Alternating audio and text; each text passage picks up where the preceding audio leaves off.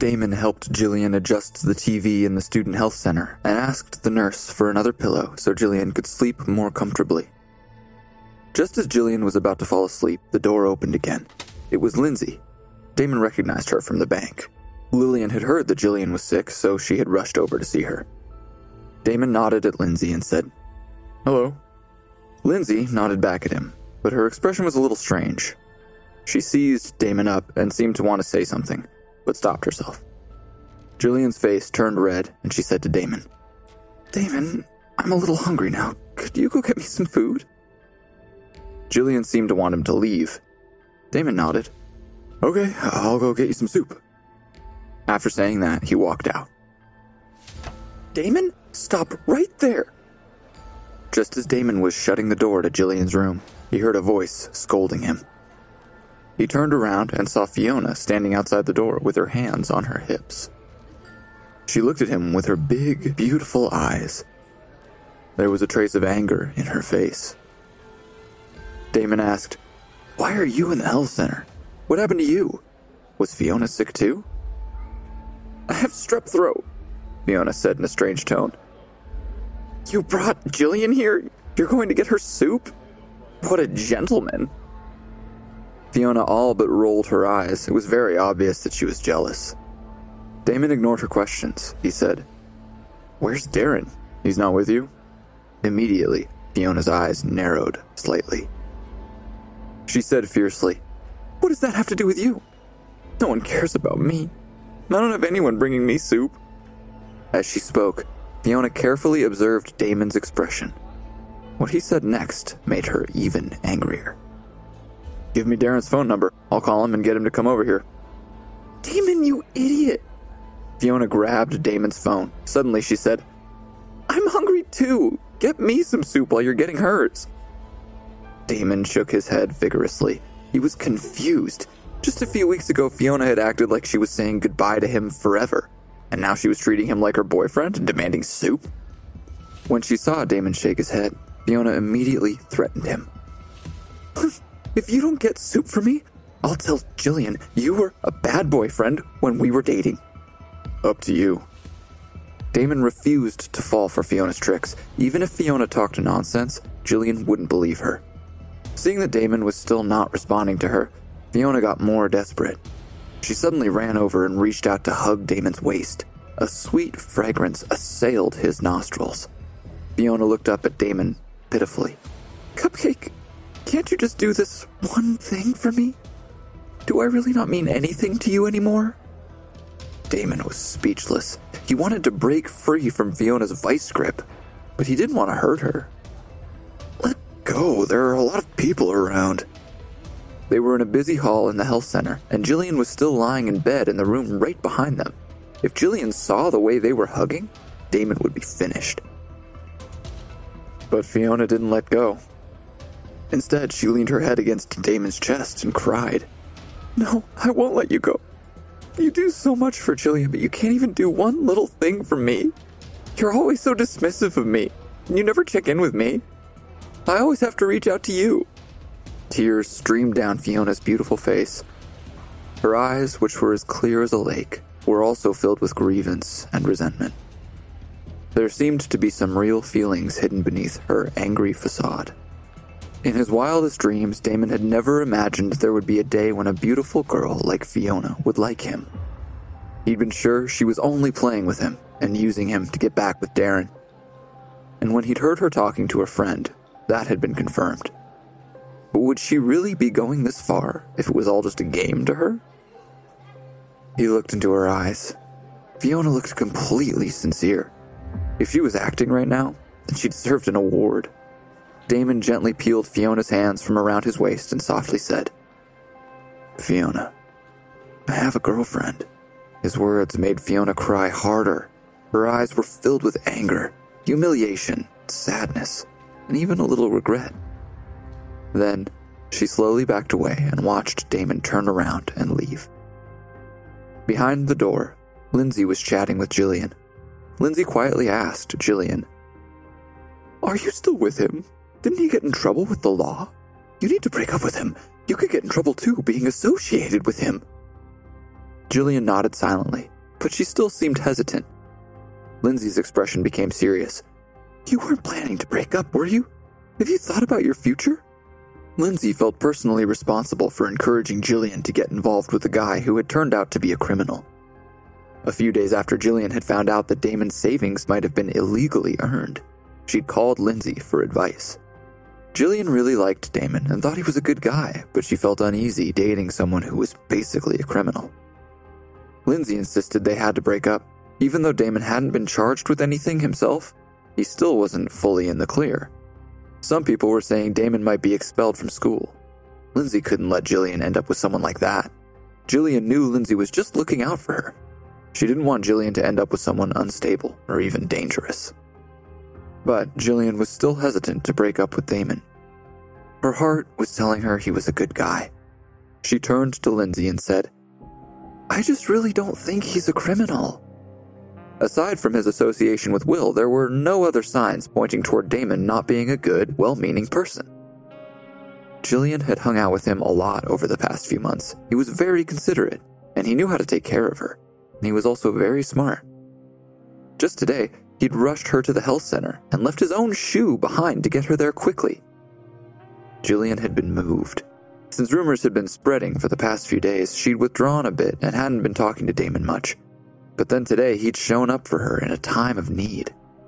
Jillian couldn't help but take it as a sign. Jillian felt that Damon really might be the one. They hadn't been very physical yet, but she really liked spending time with him. When she was with Damon, she felt relaxed and happy. They didn't even have to say anything when they were together. She could sit next to him all day and not say a word, and she'd still consider it a day well spent but reason told her to stay away from Damon. Still, she wondered if she'd regret breaking up with him. She didn't want to break up. But the facts were right in front of her. Even if he hadn't gotten caught himself, he'd worked very closely with Will. Jillian, I know you like him, but I really don't think you should be associating with someone like him. It's not good for you. It's too risky. Hearing it from Lindsay made Jillian see the risks more clearly. When she thought about the fact that Damon could have been expelled, she was so scared that she could not speak. Damon got Jillian chicken soup, and when he came back to her room, he found that Lindsay had already left. Jillian sat alone on the hospital bed, looking as if she had something on her mind. Damon set the soup down in front of Jillian and said, I'll get a spoon for you. Jillian stopped Damon. No need, Damon, wait. I have something to say to you. Damon turned around and said, Go ahead. Jillian bit her lip. Her heart was in a dilemma. Damon could tell she was hesitating. He frowned and said, Jillian, if you have something to say, say it. Jillian gritted her teeth and finally said softly, Damon, I'm not sure we should keep hanging out. People might get the wrong idea. Fiona, who had just come back looking for Damon, stood outside the door listening to their conversation. Damon's body stiffened. He could tell what she was trying to say. That's why it had been so hard for her to say it. Damon's heart sank, and he forced a smile. What do you mean? Jillian gritted her teeth and said, Let's not study together so much anymore. I appreciate all your help, but I'm worried people will start thinking we're a couple. Damon's expression was sullen. He wanted to smile and pretend to be unfazed, but he couldn't do it.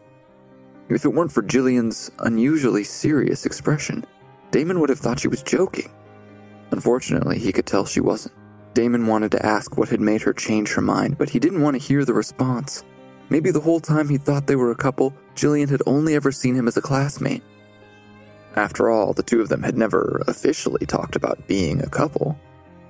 This was absurd. The reality was like a bucket of cold water splashed in Damon's face. Julian continued, Damon, you're a really good guy. It's not you. It's because I'm not good enough for you. You can find someone better than me. Sorry. After she finished speaking, she silently lowered her head, not daring to face Damon. Damon felt bitter. He thought things had been going really well with Jillian. He hadn't seen this rejection coming at all. But this wasn't the first time Damon had been rejected. Including Lily, Avery, and him being played by Fiona, this was the fourth time. He'd been through this before. Damon knew he could get through it again. He said, All right then. I have some work to do anyway, so I should go. I'll wait for you to finish the soup so I can take the container. You can just leave it. I'll get rid of it when I'm done. Thank you. Jillian didn't want him to stay any longer. Damon walked out the door. Jillian watched him go. Damon sat near the hospital's entrance. Although he had experienced this kind of thing four times, he still needed time to let himself hurt.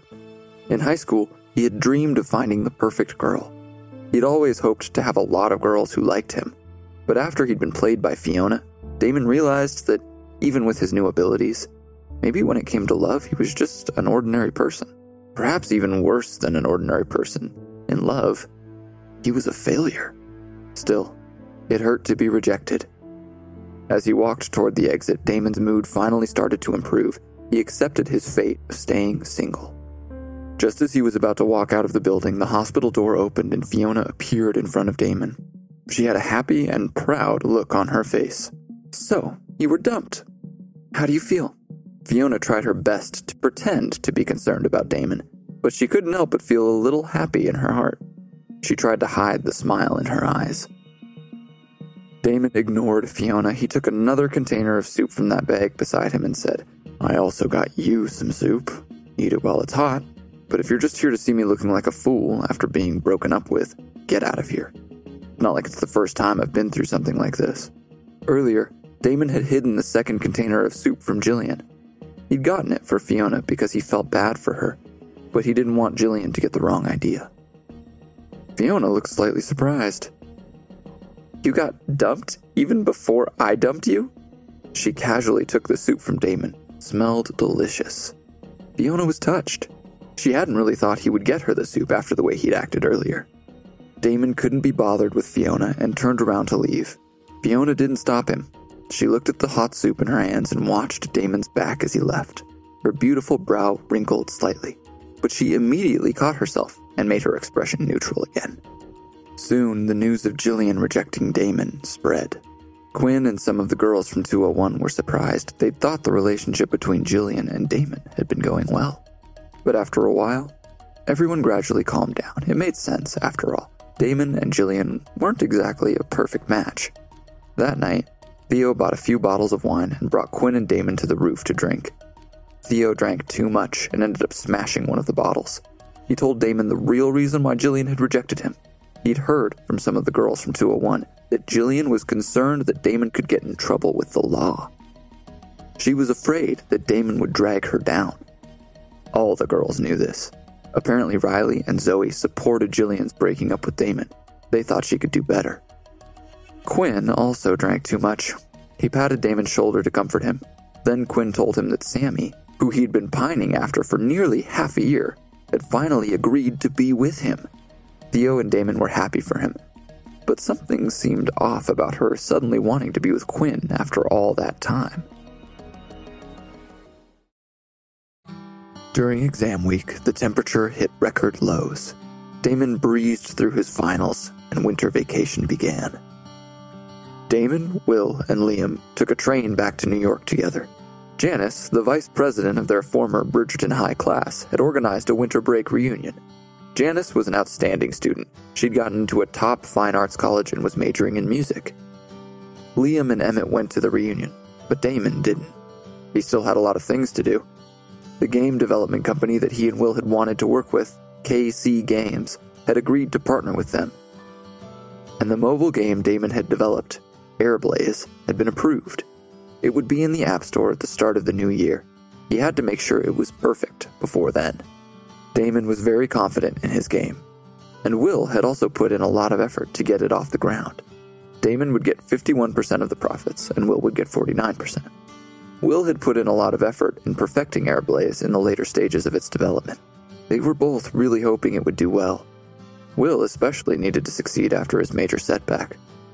Will hadn't told his parents that he'd been expelled yet. He had always been their pride and joy, He'd been the first in his family to go to college, let alone graduate school. If his parents knew that he had been expelled, it would devastate them. Will had to figure out a backup plan before his parents found out. He had to find another road to success, not only for his parents, but also for himself. On Christmas Eve, Damon had a lively holiday dinner with his family. After dinner, Selena helped her mother wash the dishes. Then the family sat together and watched Christmas movies as they asked Selena about her studies. They also asked Damon about his life in college. As they talked, Damon's father casually flipped channels. On the news, a number of CEOs and economists were being interviewed about the global economy. The reporters were interviewing a billionaire from California. His name was Zane Zelinsky. He was in his 50s. He was the richest man in the country, possibly on the continent. He had inherited a lot of money from family, and he'd also made a lot in the stock market. In the interview, he was talking about the global economic future. Damon's father listened attentively for a while and could not help but sigh. The economy is bad and ordinary people are struggling. These issues were personal for Damon's father. Not long ago, he had broken his leg when he was working part time at a construction site, and he had been denied compensation. Damon's father had used Damon's prize money to pay his medical bills, but he still couldn't work. Selena went to a private high school. If they paid Selena's tuition, Damon's tuition for the next school year would be gone. Damon's father was in a difficult position. Damon also watched Zane Zelinsky's interview very intently. When he heard his father sigh, he said, Dad, I earned some money from working this semester. You don't have to put any money in my account anymore. I can also pay Selena's tuition. When they heard that, Damon's parents' eyes got big. Selena's mouth was agape. They all looked at him in disbelief. Damon's father refused flatly. No, you have to prioritize your studies now. Don't work part time and tire yourself out. You don't have to worry about money. Damon's parents knew a lot of less well off kids worked part time in college and couldn't focus completely on their studies, and their grades suffered. They didn't want that to happen to their son. Selena blinked her beautiful big eyes and said sensibly, Damon, don't worry and don't tire yourself out. I can stop buying snacks and cut down on school supplies. But Damon shook his head. Don't worry. My part time job is easy, and it goes along with the subject I'm studying. It's almost like just being in school. You don't have to worry. Damon didn't dare tell them how much he had savings right now. He didn't want them to worry that he was doing something illegal. Damon's father wanted to persuade Damon, but seeing that he had made up his mind, he could only agree. He knew it was useless to argue with his son when he put his mind to something. Secretly, he was relieved to have some much needed help. It would take a lot of pressure off and give him more time to heal. The next day was Christmas, and the city was unusually quiet. Nearly everyone was at home, celebrating with their families. Damon started getting Christmas texts from old friends. Most of them were just generic, wishing him happy holidays. Damon sent short, polite replies to each message. But when Damon got a message from Veronica, his heart skipped a beat. She was away in Berlin on an exchange program. Veronica's message said, Merry Christmas, Damon. Are you doing all right? She also sent him a photo. It was a selfie of her in Berlin in the snow. It was obvious that Veronica had specially written this message to him. It wasn't just generic. Damon looked at Veronica's beautiful smile in the picture and replied in a fluster, Merry Christmas. I'm pretty good. What about you? But Veronica didn't reply. Damon's phone rang while he was eating breakfast. When he answered, a girl's voice said, Cupcake, what are you doing? It was Fiona. Damon was slightly annoyed she was calling him on the holiday. He frowned and replied, Do you need something? Something bad happened, Fiona said angrily. People have been saying you're my boyfriend, and now my family heard about it. Well, didn't you tell them we broke up? They don't believe me. Fiona was so angry that she was holding back tears. This is your fault. Now my dad wants to come visit campus and meet you after his break. You deal with this yourself. It's your problem now. You have to meet my dad. But what does this have to do with me? I never told anyone we were dating. That was all you. Cupcake, this is all your fault, and now you have to help me fix it. Fiona was being completely unreasonable. After she finished yelling at Damon, Fiona hung up. Damon put his phone down on the table and sat there in a daze. He couldn't speak for a long time. During the holiday break, Damon helped Selena with her homework. Now that Selena was in her second year of high school, she was starting to get very serious about her studies. Selena didn't want to let her family down. She wanted to make them proud. After high school, she wanted to go to Meyerson University like her brother. A few days after Christmas, Liam and Emmett came by Damon's apartment to hang out. They told him about the party they'd had with their classmates from Bridgerton. It was held at a five star hotel in Manhattan. Liam wished Damon had gone because Avery had been there. At the party, Liam told everyone that Damon had been the top science scholar. They had all been curious about it because it was the only top scholar spot that hadn't gone to a student from Bridgerton. It had caused a huge shock among the students. After all, Damon hadn't been a good student when he was at Bridgerton. He'd even been expelled at the beginning of senior year. In telling how things had gone down, Liam emphasized Avery's expression when she found out Damon had been the top science scholar. Liam felt that Avery must have regretted turning Damon down when she found out about his success. Liam and Emmett wished Damon could have been there to see her reaction himself. As they sat in Damon's family's kitchen, they heard the sound of a car engine outside. They went to the window and looked out at the street and saw a black Mercedes Benz was parked in front of the building. A very well dressed, middle aged man got out of the car. A beautiful young woman followed behind him. Her long hair lightly swayed in the wind. It was Avery and her father, Harold Wilson. Damon guessed that they were probably here to visit Avery's grandparents, who still lived in the neighborhood. When Avery saw the boys, she walked over to greet them. Hi, guys, what are you talking about? Liam and Emmett smiled at Avery, nervously shifting on their feet. Even though they'd known her since childhood, her beauty still stunned them. Avery, Liam, and Emmett exchanged a few words, and then Avery looked at Damon. Her eyes lit up when they landed on Damon's face. Damon, why didn't you come to the class reunion party a few days ago? Avery looked at Damon, who looked especially dazzling today under the bright winter sun. He looked strong and handsome. When Avery first saw him, she did a double take. Was this really the Damon she'd grown up with? Damon was surprised that Avery was acting so warmly towards him. After rejecting him a year ago, she'd acted like she wanted nothing to do with him for a while. Damon smiled and said, I had other things going on. Sorry I couldn't make it. Avery smiled gently. I heard that you're studying finance at Meyerson University now. Why didn't you come and visit me during the semester? I'm also in Boston. A year ago, Damon couldn't have imagined Avery would ever ask him to visit her. She was way out of his league, and they both knew it. He could barely believe what he was hearing. But Avery's view of Damon had completely changed. It was like the Damon of the past was gone, and now this new Damon was in front of her. He made her heart flutter. I didn't think you'd want to see me. I thought if I showed up, you might pretend you didn't know who I was. Damon said half jokingly. Avery shook her head and smiled sweetly. I would never do that. Let me give you my phone number. Isn't Veronica at Meyerson with you too? We can all get together next semester. After Damon gave her his phone number, Avery said, I know someone from your school. His name is Levi. He's quite famous. You know who he is, right? Damon shrugged and nodded. Avery laughed and smiled. I would think so. He was in the National College Singer Competition. He's going to be in the finals with me. I heard from my teacher that he's really talented, and it's not easy to get a compliment from Asher. Damon didn't say anything, but Emmett jumped up in surprise. Avery, you made it into the finals? Avery nodded. Although she tried to stay calm and collected, some of her excitement spilled over at Emmett's question. Liam looked confused and asked, What is the college singer competition? Emmett looked at Liam with disdain. You don't know, it's huge. I heard the finals are going to be broadcasted live. All the singers who won the competition have become huge stars. Liam was dumbfounded when he heard this. That meant Avery could become famous. The gap between them was getting wider and wider. Avery nodded as Emmett spoke.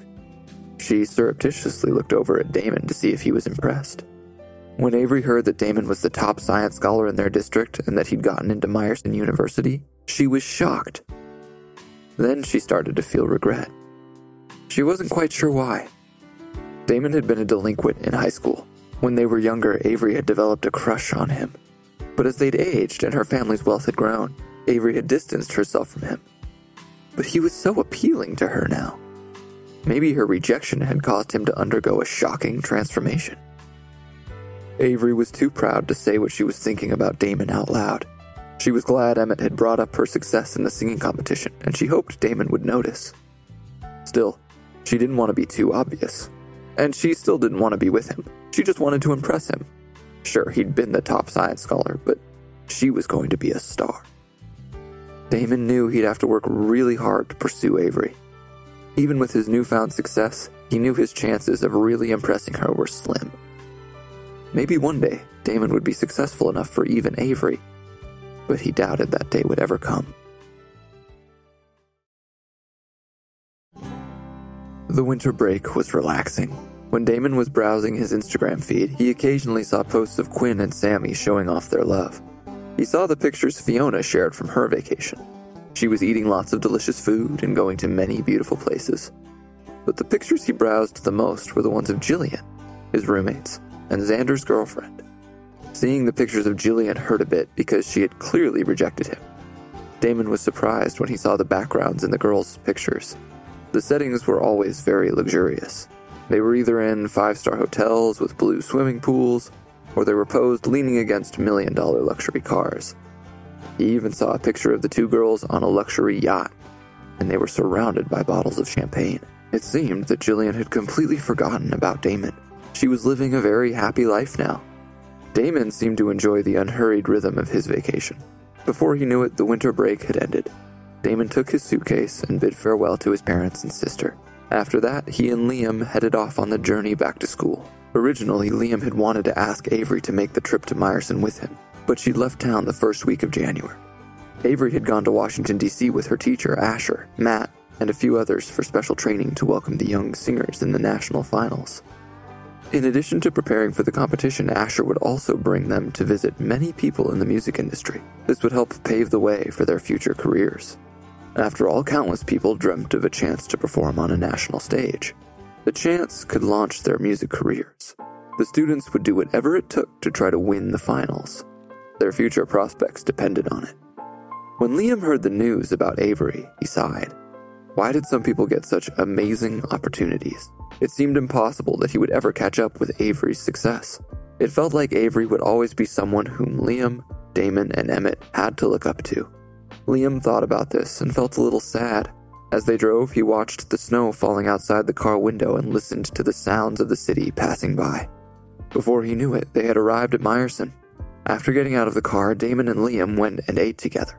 They drank some beer, and then they went their separate ways. Theo, Quinn, and Xander had all returned to the school. Levi would not be back for a while. Like Avery, he had also flown to DC to start preparing for the National Music Competition's finals. If Levi could get into the competition's final three, he had a better chance of being recognized and making a career in the music industry. Although Meyerson already had many talented alumni spread across all walks of life, the prospect of having a student from their school make a name for himself and become a powerful celebrity was an enticing thought for the heads of the university. After all, this was also a way to bring glory to Meyerson University. Theo had also returned to campus early. People were saying that he had secretly brought Willow to the hospital to have an abortion. Quinn was back because he wanted to see Sammy as soon as possible. Xander and Riley were fighting. According to Quinn, Riley seemed to have cheated on Xander, and the guy who she cheated with was very rich and powerful. However, Damon did not have the time to care about these things. Something more important was about to happen. The game that he and Will had collaborated on and developed, Airblaze, had finally been released on Android. On launch day, Damon made a special trip to see Will. He wanted to witness the game's release with his partner. When Damon walked into Will's house, he saw that the place was a mess. A girl was packing her bags. When she finished packing, she took her bags and stood numbly by the door. The girl was Will's girlfriend, Leah. Leah glanced at Damon, and a look of disdain flashed in her eyes. She took her luggage, turned, and left. After Leah was gone, Damon walked into the bedroom and saw Will drinking on the bed. Damon could not help but ask, What happened to the two of you? Will did not answer immediately. He held the bottle to his chest and gazed out of the window. He was drunk. He asked, Did she leave? Will turned his head to look at Damon. Damon nodded. Before Damon could ask anything else, Will began to talk, pausing every so often to take a swig from the bottle that he was holding. She said that she couldn't see a future with me, so she broke up with me. Damon was not too surprised. To be honest, Damon hadn't thought that Leah and Will's relationship would last after Will was expelled from school. Leah was actually quite pretty and had a bright future, Will, on the other hand, had been in trouble with the police and expelled. Leah was too good for Will, or at least that's what she seemed to think. However, Damon felt sorry for his friend when he saw him drowning his sorrows in the middle of the day. Fortunately, Damon was experienced with heartbreak. Damon, who had been in love four times before, felt that it was his duty to comfort Will and teach him how to forget about his broken heart. After all, they had both invested money into KC Games. Damon couldn't afford to let Will fall into pieces over this. Damon was a student, and he couldn't run KC Games on his own. So Damon sat down and drank with Will. They smoked, and Damon told Will about Lily abandoning him and how Avery rejected him. He went on to talk about how Jillian had hurt him and Fiona had played him. His goal was to cheer Will up. He wanted Will to realize that the situation wasn't so bad. He needed to pull himself together. He wanted them to work hard and succeed. When Leah first left, Will had been in a very bad mood. But after hearing Damon's story, Will began to feel that in comparison, his own situation wasn't so bad.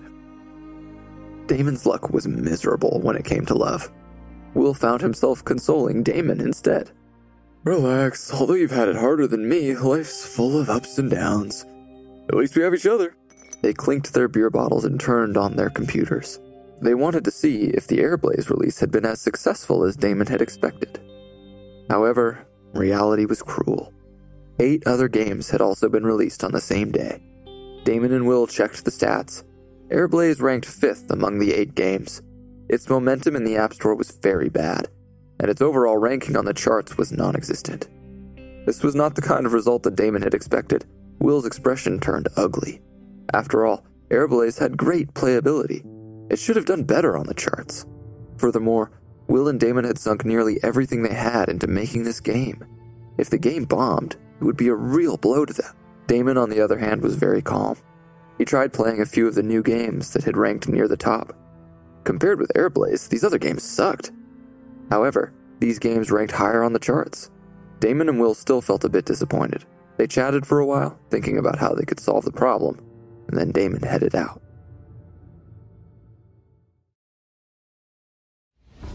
Damon returned to his dorm and began researching the other games that had been released that day. He looked at the games ranked near the top and noticed something strange.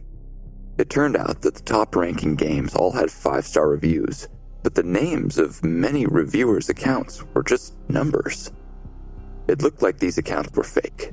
Moreover, Damon occasionally noticed that some of the comments left by different accounts were identical. This further strengthened his belief that the reviews were fake.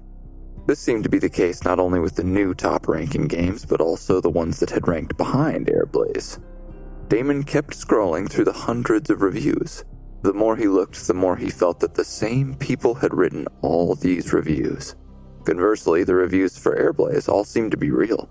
Many users even commented on how much they had liked the game. Was it possible for someone to fake the review on a game? With this thought in mind, Damon started to search the web for an answer. The answer was as Damon had expected.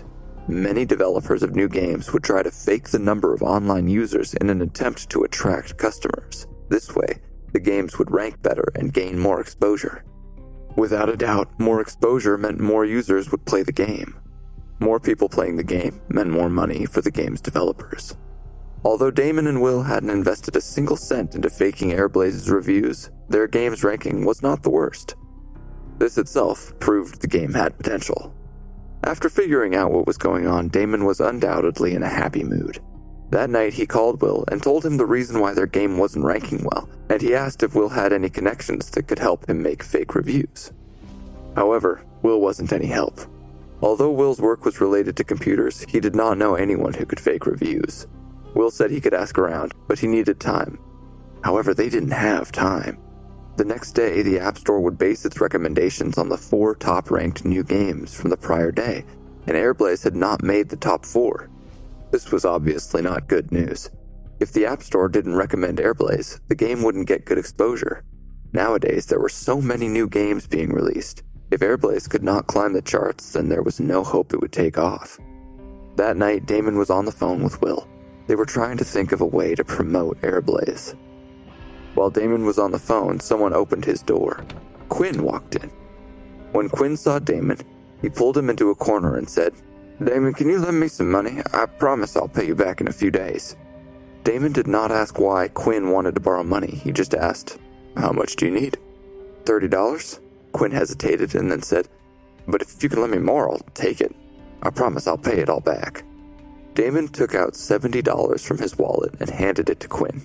Damon knew what Quinn was going to do with the money. He wanted to make Sammy happy. Quinn had financial aid and worked two part time jobs to earn money. However, Sammy, who was used to a lavish lifestyle, still felt that Quinn didn't have enough money. Damon had once subtly warned Quinn that he needed to put a limit on Sammy's demands. But Quinn wasn't thinking clearly. He was in love. He liked Sammy too much, so he would do anything to keep her happy. When Damon saw Quinn leaving the dormitory with the $70, he flopped down on the bed and continued thinking about how to promote Airblaze. He felt sleepy. Suddenly, he heard a bell ring. Damon opened his eyes and found that the room was dark. He had fallen asleep, and it was already the middle of the night. Whose alarm was ringing? Xander cursed in the dark. Which of you idiots set an alarm in the middle of the night? Hector got up from his bed and said mischievously, Today I actually found an awesome new game. It's called Airblaze. Xander, do you want to play it? A bunch of my friends are already playing it. This game rocks. Damon's heart skipped a beat. Was Hector playing the game he had developed? It's so much fun that you set an alarm to play it. Xander mumbled he was obviously sleepy. Hector nodded. It's amazing. It's after midnight now, so new items just spawned. No one else is online either, so I can grab all the best items. Damon had set up the game so that every day new items spawned for the players to find. Some of the items in the game were worth a lot of money. Damon carefully observed Hector. Hector stayed up and played for half an hour before falling back asleep. It wasn't much, but seeing Hector's excitement over the game filled Damon with confidence again. Hector loved the game to the point of obsession. Seeing this rekindled Damon's hopes that Airblaze could still be a success. The next morning, Damon told Will about the ranking list. Will knitted his brows together lightly. Airblaze was his first experience with game development. He was not even as experienced as Damon in this field. However, he had been developing plugins for a few years, so he knew some people who might be able to help. Will made a few phone calls and got some advice. To get a good rating in the App Store, Airblaze needed reviews. To get good reviews, people had to play the game and like it. Additionally, they could spend money on ads to promote the game. The best thing would be if they could catch the eye of a game influencer. If an influencer felt that the game had potential, their game would reach a wider audience. After all, Damon and Will would share their profits with any influencers who promoted their game. If Airblaze earned money, anyone who helped promote it stood to gain. However, most popular gaming influencers were monopolized by the big corporations. Damon and Will had not promoted Airblaze in the early stages of development. It was not realistic for them to think that they could catch the attention of a popular influencer now that the game had already been released. After all, their release had been a flop. Who would want to promote it now? This was a difficult problem. In order to develop Airblaze, Damon and Will had spent all their money. Will was worse off than Damon. He had been arrested, brought to the police station, and then fined a huge sum. He had borrowed money from people to collaborate with Damon on KC Games. Will had no money now. Besides, if they didn't find any company who would promote their game, they were screwed. Although advertising fees were high, some companies might work on commission. As long as Damon and Will found someone good to promote the game, success was feasible. Their investment in the game would be useless if they couldn't reach their target consumers. Now, the only way to proceed was to spend money on promoting the game. There was no time to lose. Will was in charge of finding a way to contact promoters, while Damon gathered all the savings he had left.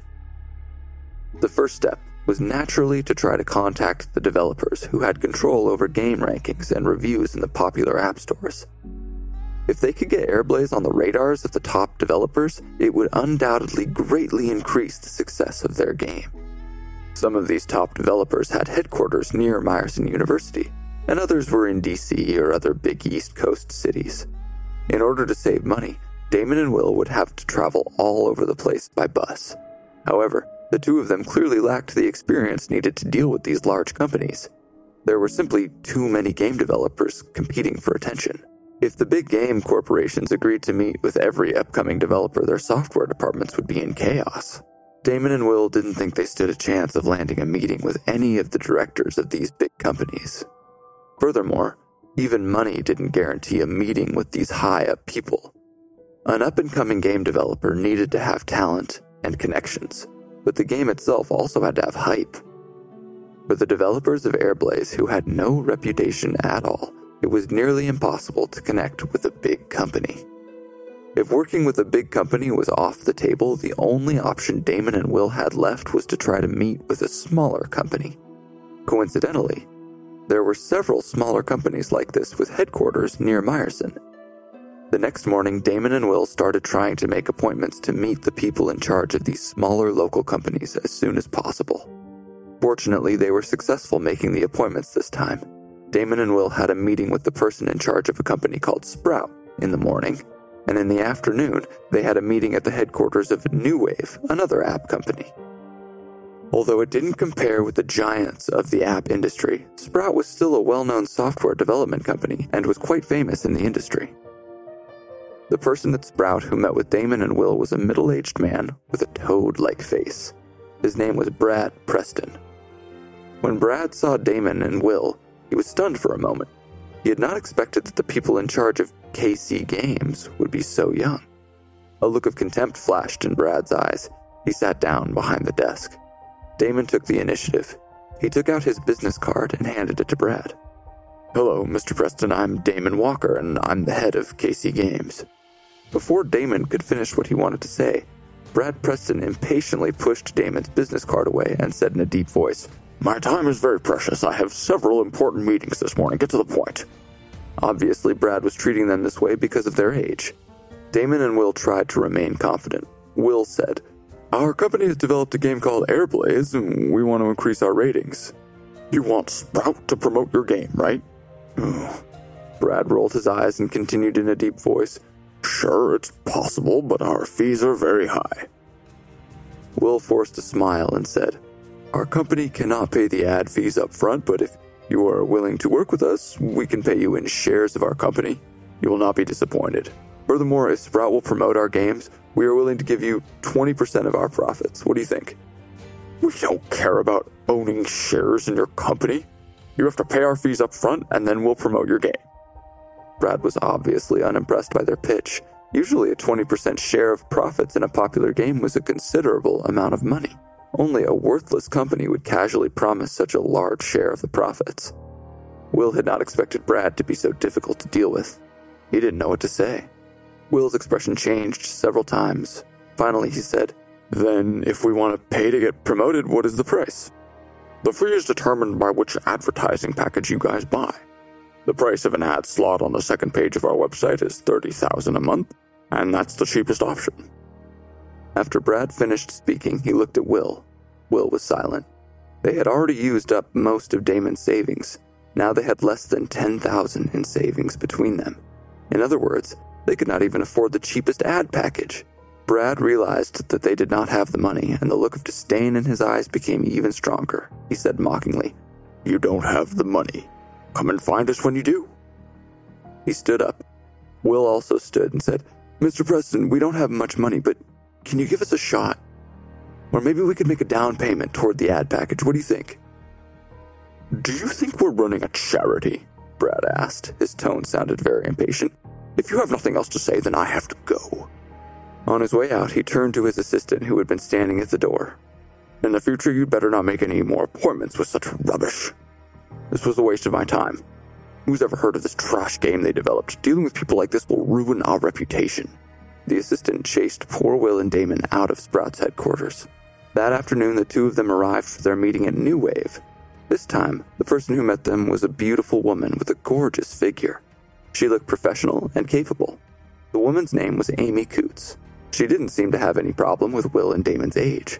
She even seemed impressed that the two of them had started a company at such a young age. But in the end, they still had to talk business. Like Sprout, New Wave sold ads by monthly subscription. When Damon tactfully said that he doubted that they could afford the New Wave's fees, Amy frowned slightly, and then she said, Our cheapest ad packages are 30000 a month. How about this? We'll give you a 20% discount, but you have to buy at least half a month's worth of ad space. If it's any less, I'm really sorry, but I can't accept it. This was the biggest discount Amy could offer Damon and Will. To be honest, Damon and Will had made a good impression on her, and it didn't hurt that she found Damon attractive as well. Secretly, this is why Amy was willing to give him such a discount. Unfortunately, Damon and Will had only 10,000 in savings. They were still 5,000 short. Damon and Will helplessly bid farewell to Amy at New Wave. They were thinking about how to raise the $5,000. They'd been making a lot of money before. $5,000 was not an unimaginable sum. However, starting KC Games had been extremely costly. Damon's music was making good money every month from online streaming and views, but he still had half a month until his next paycheck. If they waited that long to start promoting Airblaze, the game might not have any ratings left at all. No one cared about old games. Damon and Will's top priority was borrowing $5,000 to get them through this rough patch. Damon chatted with Will for a while. When Will brought up Amy to Damon, his voice had a mysterious tone.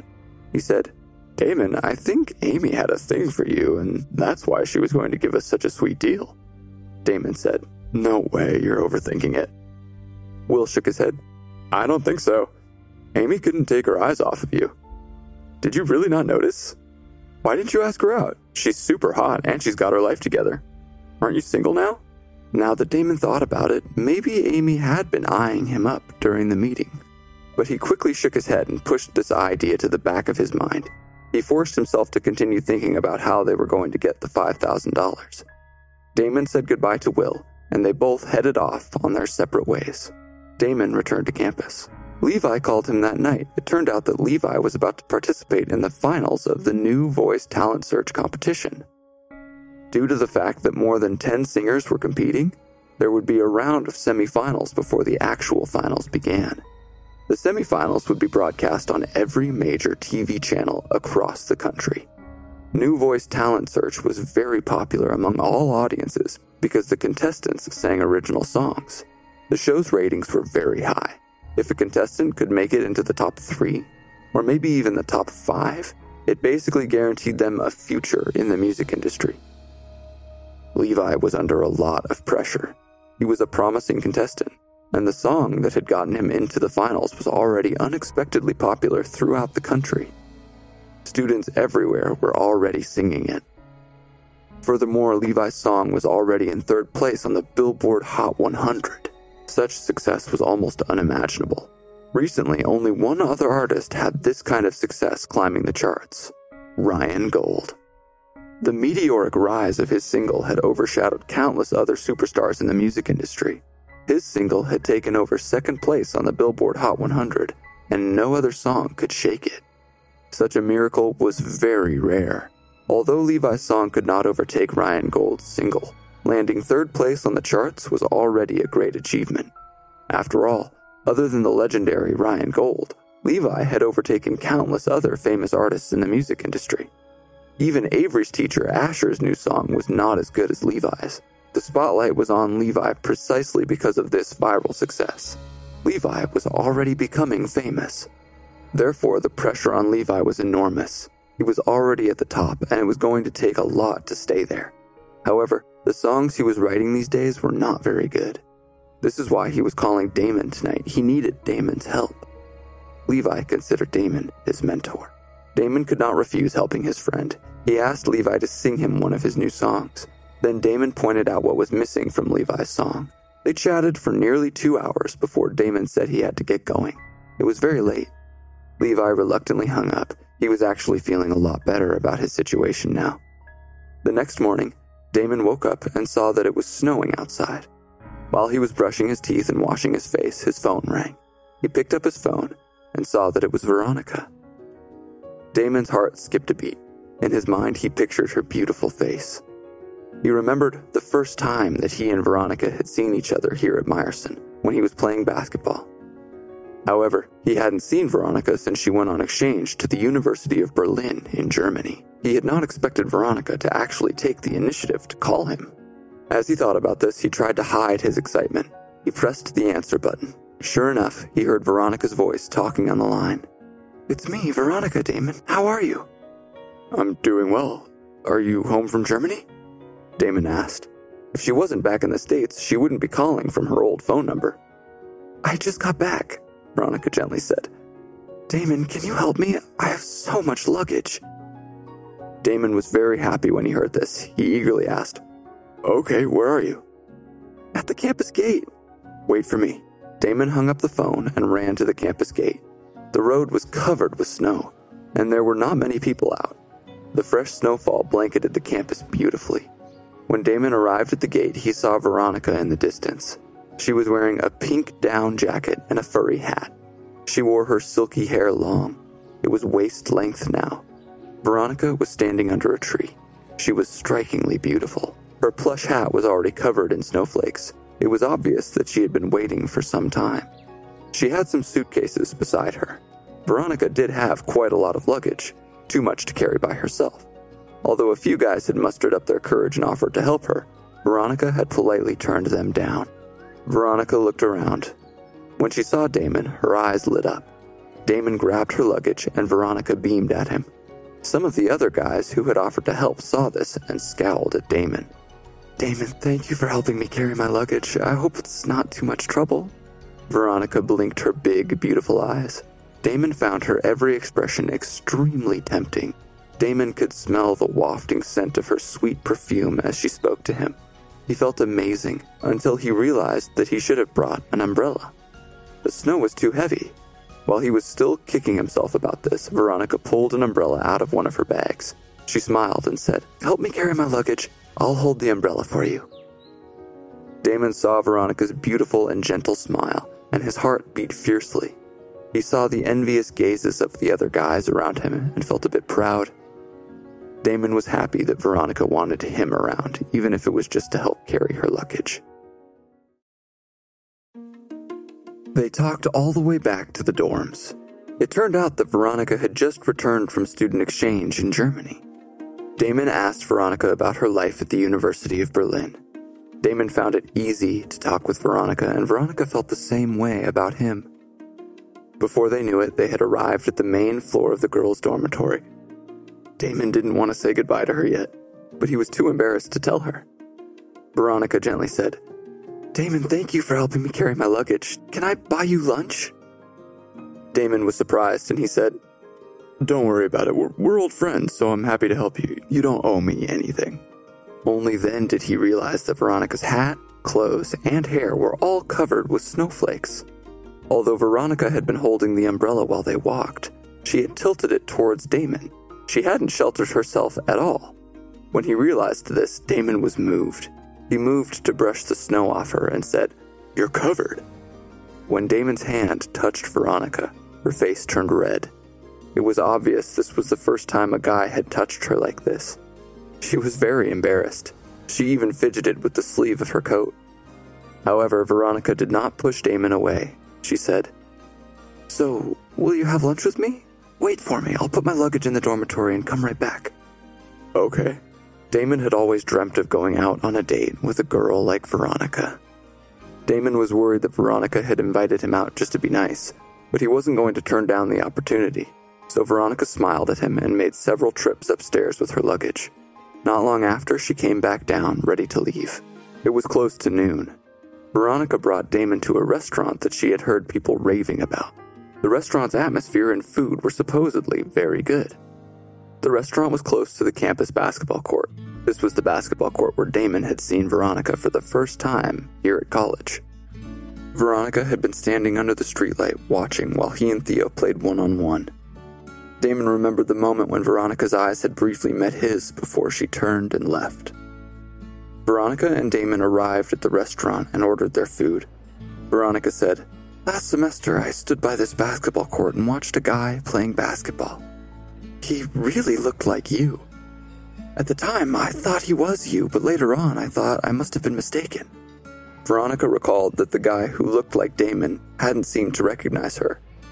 If it had been Damon, why hadn't he smiled or waved? That was me, Damon answered. Veronica's eyes widened. She softly asked, Why didn't you say hi? Her tone sounded somewhat sorrowful, but her expression held a hint of reproach. Veronica hoped that Damon wouldn't try to make up an excuse because she would not believe him. Since he knew what she was talking about, it meant that he had seen her too. Damon was stunned. He couldn't tell Veronica that he hadn't thought there was any point in saying hi to her. Back then, Veronica was already very popular, and Damon was just an ordinary guy. Sure, he had aced his SATs, but other than that, he didn't have anything else going for him. Back then, he had been nothing compared to Veronica. Damon hadn't wanted to try for someone so far out of his league, so he had chosen not to say hello.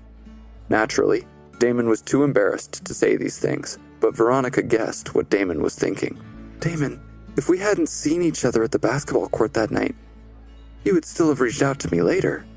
When she asked this question, her tone sounded strange. Damon saw that she was gently biting her red lips. It seemed like she was thinking hard about something. Damon said, I just wanted us to meet at the right time. Is that so? Veronica said faintly with a shake of her head. We were classmates for three years. Why didn't you ever talk to me? Veronica's tone sounded angry now. She was indeed angry. She didn't feel important to Damon.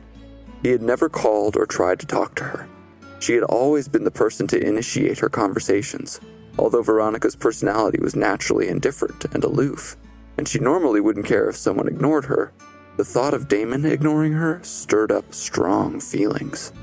Was she actually angry about this? I may not have talked to you, but I thought about you. You're important to me. Damon wanted to tell Veronica how much he liked her. He wanted to tell her that he liked her as much as he liked Avery, and maybe even more. However, he couldn't make the words come out of his mouth. Veronica saw Damon stumbling over his words, and her face turned red. Her eyes also flickered with a strange light. She changed the subject. Damon, I have always wanted to thank you. You saved my life. Veronica, Damon interrupted.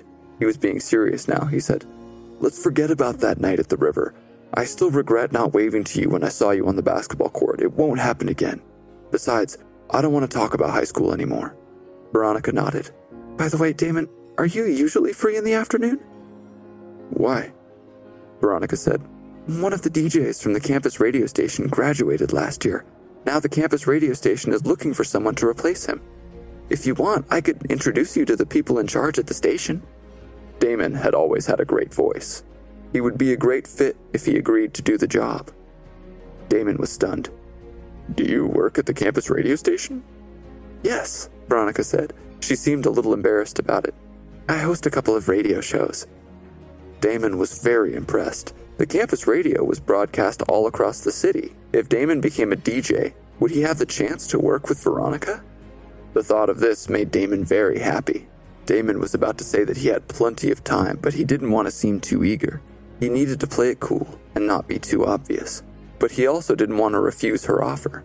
Veronica was offering to go out of her way to help him. Many other people would jump at such an offer.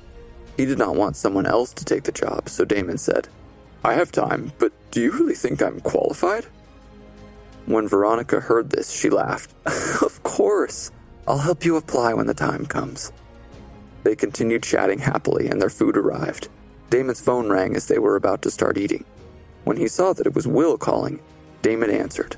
Will's voice sounded a little depressed. I asked all my friends, but no one was willing to lend me money. Will hadn't expected that borrowing $5,000 would be so difficult. After his friends turned down his request, he felt miserable. When he'd been making all that money from plugins, Will had been rich. He'd helped these friends a lot. However, now Will had been expelled, he was in dire straits. His friends did not want to return the favor. The reason for this was very simple. No one knew if he would be able to pay them back. Everyone was afraid that if they helped, they would never see their money again. Damon comforted him and said, Don't be discouraged. I'll think of a way out of this mess. With a trembling voice, Will said, can you borrow $5,000 from somewhere? I've never had a problem borrowing money before. If we can't scrape together 5,000, all our efforts will have been for nothing. The two of them had already invested so much into this game, including all their savings, time, and energy. Trust me, Damon said with confidence. His words seemed to have an inexplicable calming effect on Will. Will believed Damon. What other choice did he have? Furthermore, Will had to admit that Damon was a person who could solve problems. He couldn't explain why. but Will trusted this man even if he was three years younger. Damon hung up the phone and saw Veronica was quietly staring at him. It was my friend, Damon explained. Was he a close friend? Veronica asked.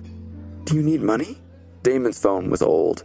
Even though it hadn't been on speakerphone, Veronica had heard their conversation. Damon shook his head. It's nothing. Let's talk more about your student exchange. I'm quite interested in hearing more about Germany. Damon successfully changed the topic. The two of them were learning a lot about each other. Before they knew it, the meal was over. When Damon saw Veronica about to get up and pay the bill, he felt a little reluctant to actually let her pay. To be honest, Damon hadn't spent any time around Veronica since they were classmates together back in Bridgeton High School, and this was the first time they had really chatted. Her thoughts, her outlook on life, and her intelligence were all very attractive to Damon. Looks were one thing, but Veronica was smart too. She was a serious catch. Damon had kept his cards close to his chest. He had yet to reveal his edge. The idea of being with Veronica was still a distant dream. Damon needed to work hard if he wanted to get an outstanding girl like her. Damon, can you come with me to the bank? I need to get some cash, Veronica asked. Damon felt somewhat reluctant to part ways with Veronica, so naturally he agreed. The two of them went to a nearby bank. Veronica walked to the counter while Damon waited outside. After she finished at the bank, Veronica came out and found him. She held out a wad of cash to Damon and gently said, This is $5,000. Take it. Damon was stunned. Why are you giving me this money? Veronica was afraid that Damon would misunderstand her intention, and she quickly said, Damon, don't worry about it. I heard what you said on the phone. I'm well off. I have lots of money that I don't need right now. Let me help you. When Damon did not move to take the money, Veronica frowned slightly and explained, Don't worry. This loan has no strings attached. Just pay me back when you can. When Damon still didn't move to take the money, Veronica stomped her feet in anger. Damon, are we friends or not? I heard your whole conversation. Your friend said that you guys had put everything you had into this project. Take this money. Put it towards your dream. Damon felt endlessly grateful. He was indeed short $5,000, so he did not refuse her offer anymore. He reached out and took the money. I'll pay you back as soon as I can. When Veronica saw Damon finally take the money, her heart surged with a sweet and happy feeling.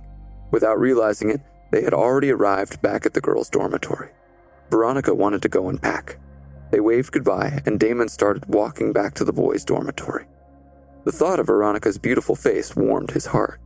As he walked, he could not help turning around one last time to look at Veronica again, but she had already gone inside the building. He glimpsed her silhouette through the second floor window. Veronica quietly stood watching Damon leave, but when she saw him turn around, she quickly turned and entered her dorm. The next morning, Damon called Will they met up and brought their 15,000 to New Wave to purchase ads for Airblaze. Amy was not surprised that the two students had gotten the money together so quickly.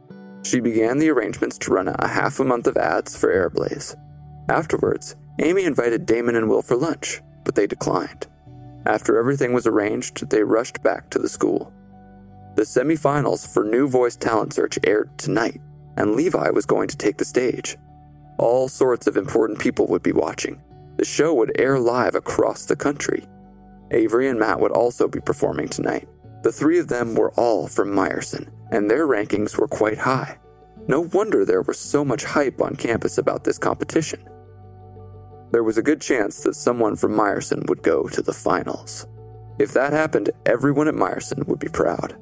Damon, Quinn, Theo, Hector, and the other students all ran to room 502 and turned on the TV.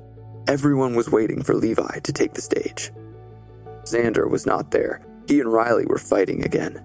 During the holidays, Riley and Jillian had posted many photos of themselves with luxury cars and yachts. The two of them ran with a wealthy and mysterious crowd. It was rumored that they had even hung out with some big stars. Damon did not know much about this crowd, but he had a feeling that whatever was going on was not good. Countless women became groupies of this mysterious and wealthy crowd, but most of them would never actually join the elite. More often, these women were taken advantage of, used as playthings for the rich. These women would give anything to be included in this circle, even their dignity. Even so, the pictures of yachts and luxury cars that Riley and Jillian had posted on Instagram were enough to make most ordinary girls envious. A boy with high self esteem like Xander would not tolerate his girlfriend entering such a social circle. This circle might look bright and beautiful from the outside, but inside it was filled with all kinds of negativity and filth. Xander asked Riley to stay away from these people. He didn't like Riley's new friends. It sounded like they were even on the verge of breaking up. However, Damon was more concerned with Jillian. Jillian had not only joined the circle, but she was even dating one of those rich guys now. Not only was her new boyfriend wealthy, but he also seemed quite influential within his crowd. Thinking about this naturally made Damon a little sad. However, Damon did his best to push it out of his mind. At 8 p.m. that evening, the New Voice Talent Search broadcast live on all channels. As the most popular contestant from the East Coast, Levi performing in the grand finale was basically a given. Avery and Matt both sang their songs before Levi's performance. The song that Matt sang was very ordinary. As Matt took the stage, he tripped and almost fell. This caused a slight commotion. Otherwise, Matt's performance did not really stand out. Matt was lucky just to have an opportunity to show his face on national TV. When Avery went on stage to sing, her beauty and style lit up the eyes of many judges and audience members. Avery relied on her solid music skills and her magnetic voice to get good marks from the judges. When Avery saw her results, her face turned red. She was nearly guaranteed a spot in the finals. It seemed that Matt, however, would certainly be eliminated. When Levi appeared, he was playing a guitar. His voice was very impressive. When he finished singing, the audience erupted with thunderous applause. He was indeed the crowd favorite. He received a very high score. However, the song that he'd sung tonight was nowhere near as good as the song that had gotten him to the Nationals. That song had been titled Can't Bring Me Down. With a name like that, it was almost destined to become a classic. The song had defeated countless famous artists' songs on the Billboard Hot 100. This went to show how popular Levi had become, but it was impossible for every song that Levi sang to become such an instant classic. Even so, he was still the strongest contestant. However, when the program was about to end and all the scores were tallied, Levi was not the contestant with the highest score. He ranked only second. The person who'd stolen first place was a student from the University of Southern California named Dalton Hawksworth. To be honest, Dalton wasn't as good as Levi, it seemed wrong that he'd beaten Levi and taken first place in the competition. When the final scores were announced, all the students in the dormitory cursed. They thought that something shady must be going on. It made sense that the judges had eliminated Matt. After all, Matt was clearly out of his league. Avery had successfully advanced to the second round. When the judges announced her results, the camera panned over to show Avery. She beamed. She couldn't believe that she had advanced to the second round of the national competition. Without a doubt, she was one step closer to her dream of becoming a celebrity. The remaining contestants still had to compete in another round of semifinals, but this wouldn't be for some time. After that, whoever remained would compete for the top spot. Although this round of competition had ended, the next day everyone was discussing it on social media. It had gone viral on the internet. Not only was everyone discussing Avery and the other singers, but they were also discussing how Dalton had snatched Levi's win. Almost everyone thought that Levi had done better than Dalton in both singing and songwriting. Therefore, people were upset that Dalton had won first place. Although this was only the first round of semifinals and not the actual finals, points still matter. A contestant's ranking in the semifinals would have a huge impact on the result of the later rounds. Damon was surprised to see people having such heated online discussions about New Voice talent search. No wonder the singers who made it into the finals became famous. Another hot topic of online debate was how Levi's singing style had recently evolved. Some observant netizens had noticed that Levi was starting to sound a bit like Ryan Gold. That's right, Ryan Gold, the superstar whose song topped the Billboard Hot 100 chart. If it wasn't for the fact that Levi's voice sounded very different from Ryan Gold's, people might even think they were the same person. Although people generally concluded that Levi was not as good as Ryan Gold, Some people had already started to speculate about whether Levi and Ryan Gold had some sort of connection. Perhaps Levi was a protege of this music industry superstar. Had Ryan Gold taken Levi under his wing? Once this theory surfaced, it went viral on social media.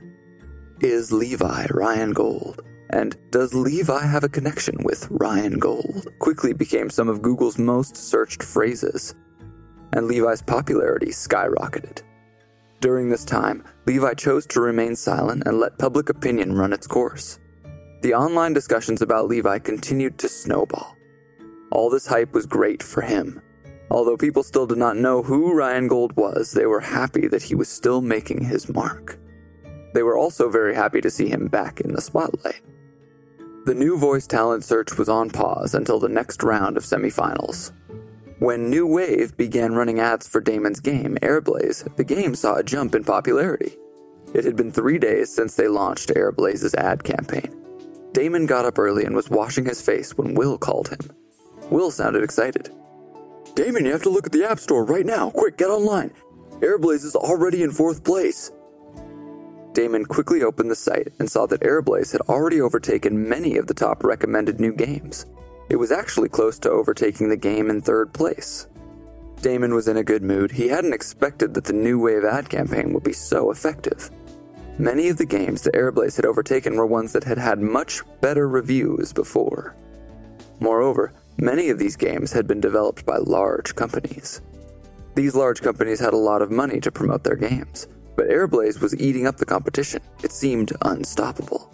This meant that Airblaze had a lot of potential. The game was already proving its worth. Compared to the other games, Airblaze had great playability. It kept players coming back for more. However, Airblaze's biggest draw was that it was highly competitive. It kept its players competing against each other for the highest scores. Players needed to find items, and they could even play as a team to get better rewards. This encouraged people to recommend the game to other people. Although the new games put out by larger companies tended to be quite popular, they didn't always retain players. People were willing to spend money on these games, but they were often disappointed by the gameplay and stopped playing after a while. Even if people did enjoy these popular games, there were often no incentives to invite their friends or family to play with them. Therefore, they couldn't compete with Airblaze in this respect. Even though Airblaze did not have much of a marketing campaign, it promoted itself.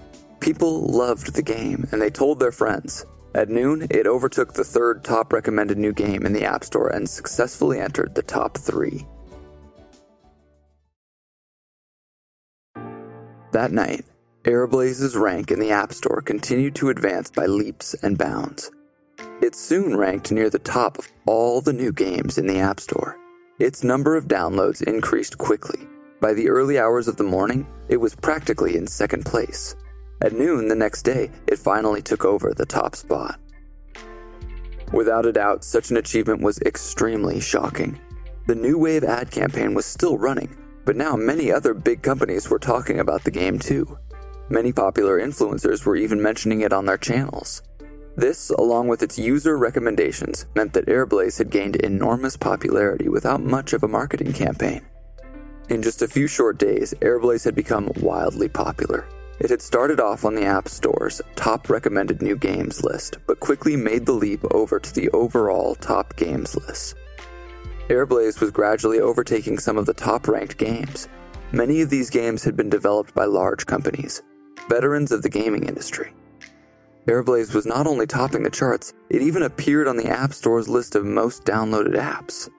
Airblaze had gone from having 100 players to 10,000 in a short period of time.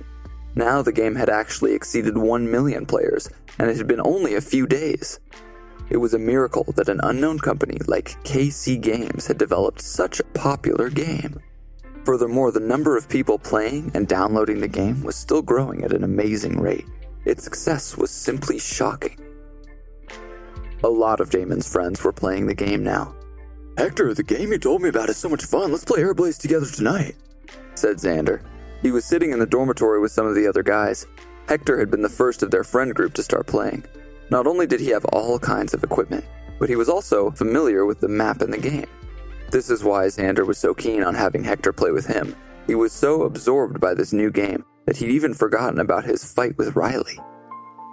Hector was also happy to play with Xander. He introduced this new game to everyone that he knew. Theo and Quinn were also playing now. When people saw their friends, Airblaze was the first thing they talked about. Bro, have you played Airblaze? Of course. I just explored the Lost Temple yesterday, but I didn't find anything good yet. I searched the Jungle Tomb last night. Did you find anything? I found a set of holy chainmail and the dark gauntlets. How much is the holy chainmail worth? Liam was even playing Airblaze while he and Damon had lunch together. He asked Damon why he wasn't playing the game. In one short month, the game had swept across the entire country like a tornado. Before long, Airblaze had 5 million users. Not only had it taken over first place on New Wave's top game list, but it also continued to occupy a relatively high position in the App Store. What's more, the Airblaze marketing campaign had already ended. It was now gaining popularity by word of mouth alone. Imagine how many users it would have had if the larger companies had agreed to work with Damon and Will. The Airblaze phenomenon was causing a huge stir in the gaming industry. All kinds of advertising companies were reaching out to KC Games to discuss doing future business together. Many other game developers were also trying to figure out how Airblaze had been so successful. What was the secret behind its success? At the same time, some venture capitalists had even taken notice of this startup company. Someone had secretly contracted Will, hoping to invest in KC Games. The companies who had originally rejected working with Airblaze were now filled with regret. Money got people's attention, and the people at larger companies who had previously been unwilling to meet began to personally call Will. When they called, they tried to sweet talk Will into agreeing to work with them. They all wanted to work with KC Games now that it was successful, but Will tactfully refused them. He thought, In the past, you ignored us, but now we have the power. However, when Will received a call from Brad, the person in charge of Sprout, Will was quite surprised. On the phone, Brad was overly polite. He started by asking Will how he was doing and how he had been feeling lately. Then Brad asked if there was anything he could help with. He was beating around the bush in hopes of finding a way to cooperate with KC Games now. Will made it very clear that Brad should get lost. Then he hung up the phone. He even blocked Brad's number. Because of Airblaze's success, it was now New Wave's biggest earner. The game already had millions of downloads, and New Wave was earning a share of the revenue. Everyone at New Wave was happy. However, the happiest people of all were Damon and Will. Not long ago, their situation had seemed so desperate, but now they were making a ton of money. Will had never dreamed of such success. In light of his huge success, Will had totally forgotten his depression he no longer cared that his girlfriend had left him or that he had been expelled from school. Now, Will's parents wouldn't even care if he didn't finish university. Will didn't need to graduate. He could be proud of his achievements. He was successful, all on his own. Damon, on the other hand, was more subdued than Will. Damon had always believed the Airblaze could succeed. He just hadn't expected that success to be so huge. Although Airblaze had been released only a month ago, KC Games had already made nearly $300,000 in profits. Damon and Will had never dreamt that their game would make so much money. This was very shocking. That night, Damon and Will drank to their heart's content in a very high end five star hotel in Meyerson. After that, Will went out clubbing, but Damon was tired and took a taxi back to school. With the unexpected success of Airblaze, Damon and Will needed to start thinking about the future of their company. Countless bigger companies had taken notice of their little startup and wanted to invest. KC Games would need to take big steps towards becoming a real company. To develop their business, they would also need to hire some staff members. Just as Damon's mobile game was reaching peak popularity, the semifinals of the New York Voice Talent Search finally began. In the days leading up to this, Levi called Damon more frequently to get his advice about music. Damon told him everything he knew. Damon's advice helped Levi a lot. All of the contestants in the semifinals were great musicians, however, Levi was the crowd favorite. He was entering this round of the semifinals in second place after Dalton had stolen the first place position. This was also a hot topic of online discussion. People were surprised that Damon had beaten Levi. However, Dalton's score had been higher than Levi's from the very beginning. A lot of people wondered if the show was rigged. However, there was no proof of this, and the final results were not guaranteed. The competition in the semifinals was so intense because the stakes were so high. The contestants had a once in a lifetime chance to make a name for themselves. It wasn't unimaginable that people might resort to some shady business to get a leg up in the competition. After all, everyone wanted to win. Winter slowly gave way to spring and the flowers began to bloom. Finally, Damon heard from Veronica. Last time they had seen each other, Veronica had asked Damon if he wanted to work at the campus radio station. Damon had originally thought that Veronica was just joking. Furthermore, he had been busy dealing with KC Games, so Damon gradually forgot about Veronica's offer. He hadn't expected to hear back from her. On the phone, Veronica told Damon to get ready for the interview at the radio station. It was in two days. Damon had nearly forgot all about Fiona, but she occasionally reminded him of her existence by calling to see if he wanted to hang out. Whenever she called to ask if Damon was free, he brushed her off. After chatting with Veronica that morning, Damon had lunch. Then he went back to his dormitory to take a nap. Damon was suddenly awoken from a sound sleep when he felt something tickling his nose.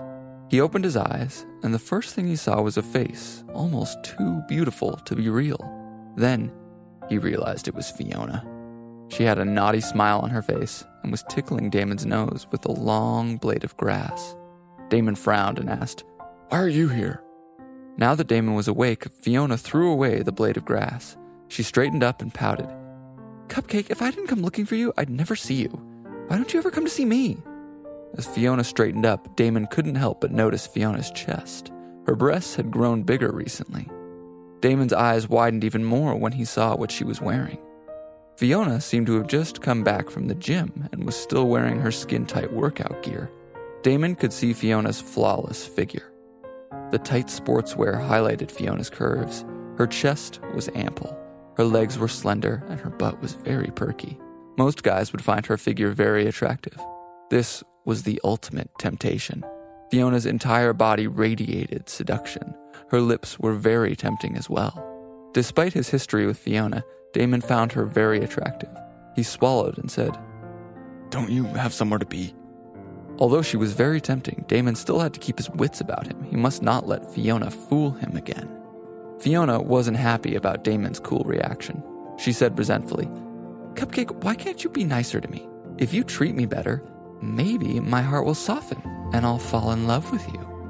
Fiona shrugged her sleeve off her shoulder to reveal more of her fair skin and made an extremely alluring gesture. Fiona was very smart, and she knew she was attractive. She also knew how to use her beauty to seduce men. She was annoyed that her moves weren't working on Damon. Perhaps the only reason Damon wasn't falling for her this time was because she'd played him before. After Damon had overheard what Fiona had said to Maddie, he was done. Damon said, Please go, even if you have nothing better to do, I don't want you here. Fiona frowned again. Then her frown faded and she said, Cupcake, my father is coming to school. He said he wants to meet you. Meet me? Why? Fiona saw Damon's confusion and became anxious. Didn't I already tell you about it when we talked during winter vacation? Someone told my dad that I have a boyfriend, and now my dad wants to meet him. Aren't you going out with Darren? Damon asked, remembering that Fiona had mentioned this during the holidays. He had not taken it seriously at the time because he hadn't thought it was true.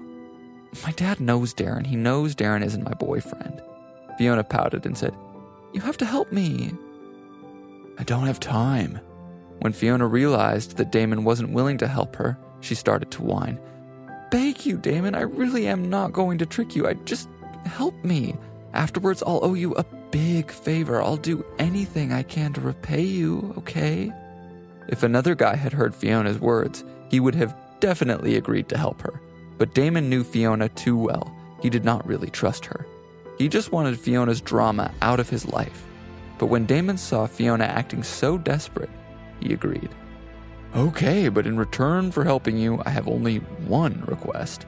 After this is over, don't bother me anymore. Now that KC Games was on the right track, his life had become more complicated. Although the team had things under control and Will was managing most of the company's day to day, Airblaze needed Damon's guidance. The game had all kinds of bugs that still needed to be worked out. As the game grew in popularity, they also needed to start scheduling development for the next game. Damon's time was extremely precious. Fiona had expected Damon to ask for more from her. She blinked her eyes All right then, why don't we eat first? After dinner, we can talk about my dad's visit, and I'll fill you in on all the details. Is it really necessary? Damon did not understand what was so complicated about this. He was just pretending to be Fiona's boyfriend. Was there a need to be so serious? Fiona, however, seemed to be taking it very seriously. Of course. Otherwise, what if my dad sees through our story? Fiona grabbed Damon's hand and said, A very good restaurant just opened near campus. Let's go there. We don't need to hold hands for this. Damon wasn't happy about the way this was turning out. Associating with Fiona would affect his prospects for finding a real girlfriend. However, Fiona continued holding his hand. We need to practice, otherwise, he'll know something's wrong. Damon helplessly followed her downstairs. A gust of wind blew in from outside. Fiona trembled. She looked at Damon and said, Cupcake, I'm a little cold. Damon took off his coat and put it over Fiona's shoulders. The expression in Fiona's eyes filled with shyness and joy. Maybe Fiona could be sweet sometimes. Fiona had chosen a romantic restaurant. The chef's cooking was very good. Fiona asked Damon what he liked to eat, and then she ordered a few appetizers for them to share. She started to tell Damon what he needed to do when her father came. However, Damon's mind was not on Fiona. He realized he knew some other people who were also in the restaurant.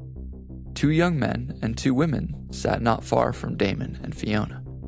The two men were quite handsome and wore stylish clothes. The two girls across from them were Jillian and Riley. Damon remembered what had happened between him and Jillian. He did not want to talk to them, so he deliberately turned his head away and pretended he hadn't seen them. However, Riley's sharp eyes had already noticed him. Riley started to point at Damon. The two guys they were with also turned and looked. They wore expressions of disdain and ridicule. The moment Jillian saw Damon, her eyes filled with a look of sadness. She immediately turned away. At that moment, Fiona also noticed Jillian. She slapped her hand on the table, smiled a big, fake smile, and said, Hey, it's your ex. Do you want to go and say hi? Damon shook his head and awkwardly replied, Let's eat. By now, their appetizers had arrived. Damon lowered his head and began to eat. Fiona said with a smile, Looks like your ex has a new boyfriend. He must be the handsome guy with blonde hair. I've heard about him. His name is Jonathan Rockerfield. He's from a wealthy family. Do you want to know more? Fiona saw that Damon was ignoring her and continued anyway. But you shouldn't worry about it. Although he has money, he's a scumbag. I also heard he likes to gamble. Your ex will regret her choice sooner or later. How do you know that? Fiona smugly replied, He has a bad reputation. Meanwhile, Riley was so obviously talking to her table about Damon. As Jillian listened to Riley speak, her pretty face became paler and paler. Damon did not know what Riley had said, but he guessed that it wasn't good. Then, one of the boys got up and went to the bathroom. The boy with blonde hair also stood up, but he walked straight towards Damon. Jillian looked scared. She quickly stood up and said, Jonathan, stay here. There's nothing going on between me and Damon. Please leave him alone. There's no need to go over there. Jonathan shook his head and said, You've been acting weird since you noticed this guy was here. So he's just your ex, huh? You still have feelings for him? Jillian's pretty face turned even paler. I don't have feelings for him. You're the only one I want. You're acting crazy, okay? Just come and talk to me with him. We'll go and show him that you're happier now without him. Jonathan grabbed Jillian's hand and pulled her towards Damon. Jillian gave in to Jonathan and got up to follow him. Maybe he was right. After all, it might be kind of satisfying to show off her new rich boyfriend to her ex. Jillian followed Jonathan and wrapped her arm around his waist. At least she could let Damon know that she had found true love. Jonathan pulled Jillian close and walked over to Damon's table, but he did not look at Damon. Instead, he smiled at Fiona and said, Hey, gorgeous, do you mind if I sit here? He sat down without waiting for Fiona to answer. He edged his chair closer to Fiona. Fiona frowned. Go away, you're not welcome here.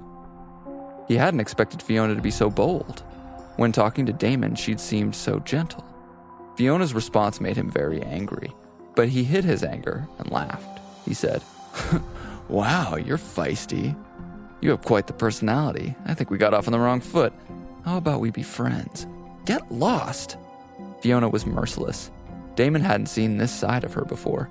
She had usually been sweet to him, but Fiona didn't have the patience to deal with Jonathan's crap. she would stand up for Damon. Jonathan didn't have much patience either. His expression turned extremely ugly. He said, No wonder you're with someone like Damon. You both deserve each other. Fiona immediately ridiculed him. Who do you think you are? Why don't you look at yourself in the mirror? You look like a loser. What right do you have to judge us? Jonathan was embarrassed by Fiona's words. She was not an easy person to deal with. Since he couldn't think of something to say to gain the upper hand, he glowered at Damon. I heard that you were with Jillian before. I'm warning you, she's mine now. You better keep your filthy paws off her. If you ever talk to Jillian again, I'll make you wish you never met her. Next time that the police come to get you, it won't just be to make a statement, they'll lock you up. Even Jillian felt that Jonathan was taking things too far. She was worried that he was going to start a real fight. Jonathan, let's go. This is meaningless, she said. Jonathan pushed Jillian's hand away and said coldly, Why are you trying to stop me? Are you upset that I want to teach your ex a lesson? It was obvious to everyone watching that Jonathan had no respect for Jillian. Jonathan clearly frightened Jillian. She tried hard to pretend to smile. She said, Jonathan, you misunderstood me. I really love you and only you. Please don't do this. She still looked like she was scared of him. They didn't look like they were in love at all. Fiona pointed at Jonathan and mocked him. Who are you calling filthy? You're the filthy one. Your whole family is filthy. Jonathan said sarcastically. And your boyfriend's a filthy criminal. Who knows what sort of things he did to pay for that game he developed? Don't you know that he's in trouble with the cops? Fiona placed her hands on her waist and snapped, No matter what, he's much better than trash like you. Jonathan pointed at Damon and said, If you want, let's take this outside. Don't hide behind your girl. Fiona said, I'm protecting my boyfriend. Shut your stinky mouth, scum. Fiona felt like she was about to explode in anger. Who were these people? Jonathan didn't even realize how ugly he was. He wasn't worth one ten thousandth of Damon. Is that so? Jonathan said with disdain. Do you think I don't know? You're playing with this poor guy. If you're really his girlfriend, kiss him now. Fiona looked at Jillian, who was still standing behind Jonathan. She then looked at Damon, who was clearly stunned by her outburst. She bit her lips, and her face turned slightly red. Damon was just as caught off guard by the demand. Fiona wrapped her arms around Damon's waist. Then, in front of everyone's stunned gazes, she leaned in to kiss Damon. Damon was amazed. Although he and Fiona had kissed before, he hadn't expected Fiona to be bold enough to actually kiss him in public. Was she really doing this to try to help him out? Damon opened his eyes and saw that Fiona was totally into their kiss. Damon was confused.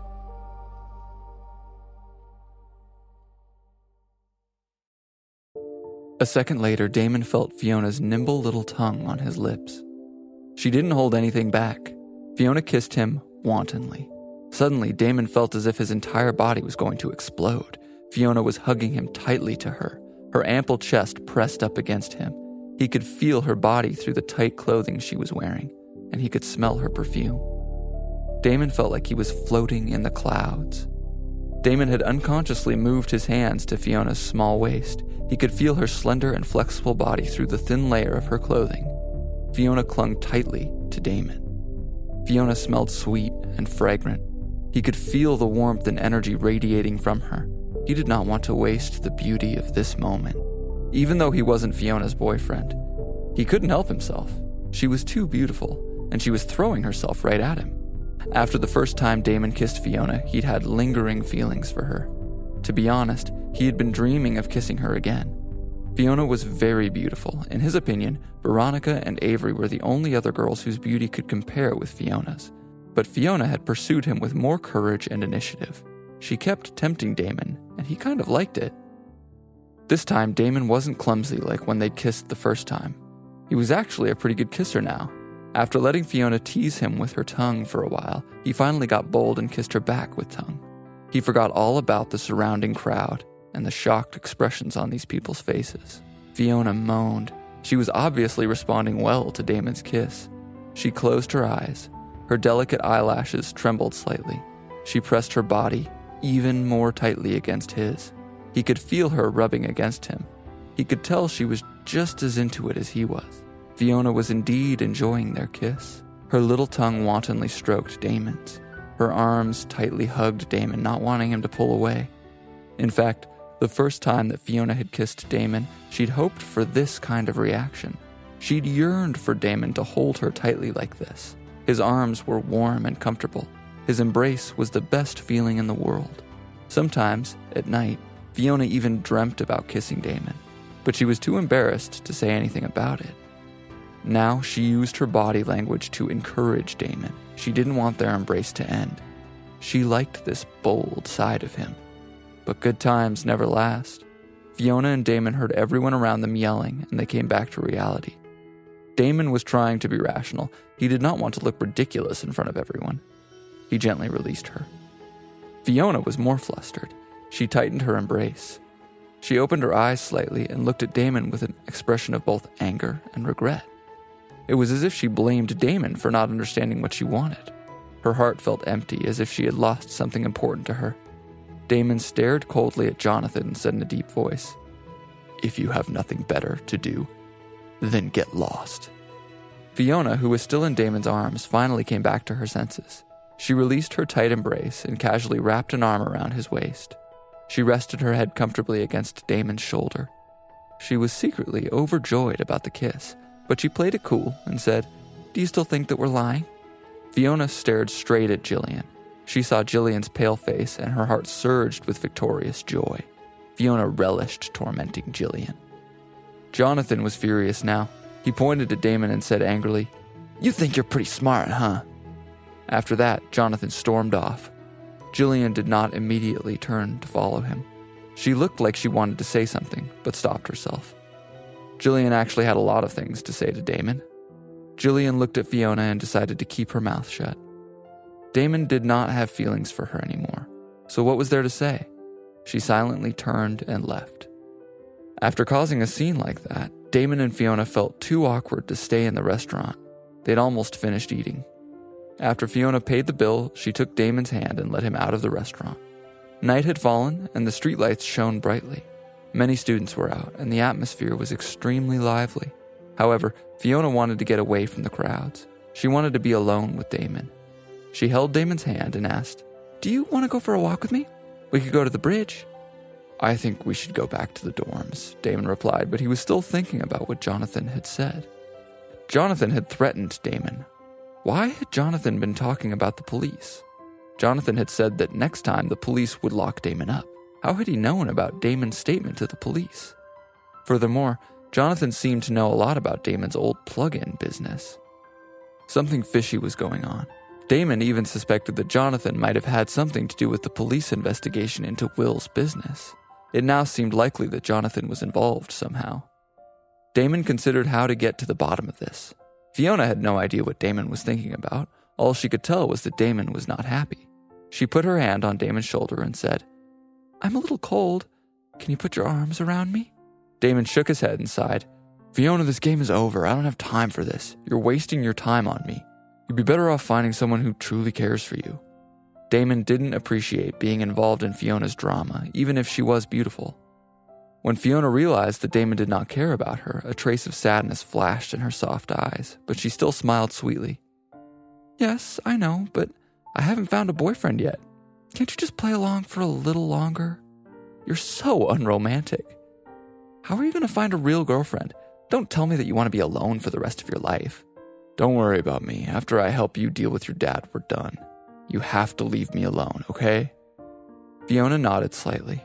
She started to tear up as she stared at Damon's face.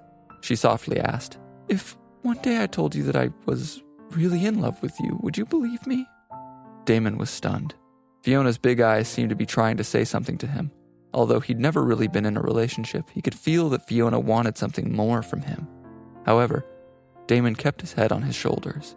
He remembered that Fiona had always been cunning, like a beautiful snake. It was very likely that she was just playing him. Long after Damon's conversation with Fiona was over, her playful expression still lingered in his mind. She had seemed like a completely different person than the Fiona that he knew. Damon was confused. He did not know which side of Fiona was real. When he thought about how she had humiliated him before, Damon felt very angry. His feelings towards her turned instantly cold. No. He couldn't make the same mistake twice. He had to protect his dignity. He thought of Fiona's smile again. Before they parted ways that night, she'd said, I understand why you're being cautious. I've hurt you before. Don't worry, it would take a miracle to make me fall in love with you. When she said this, she hadn't been able to look him in the eye. She hadn't seemed like her usual carefree self.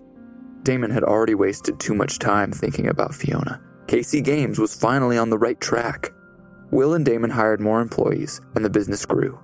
Furthermore, with Airblaze's explosive success, KC Games was now earning a lot of money.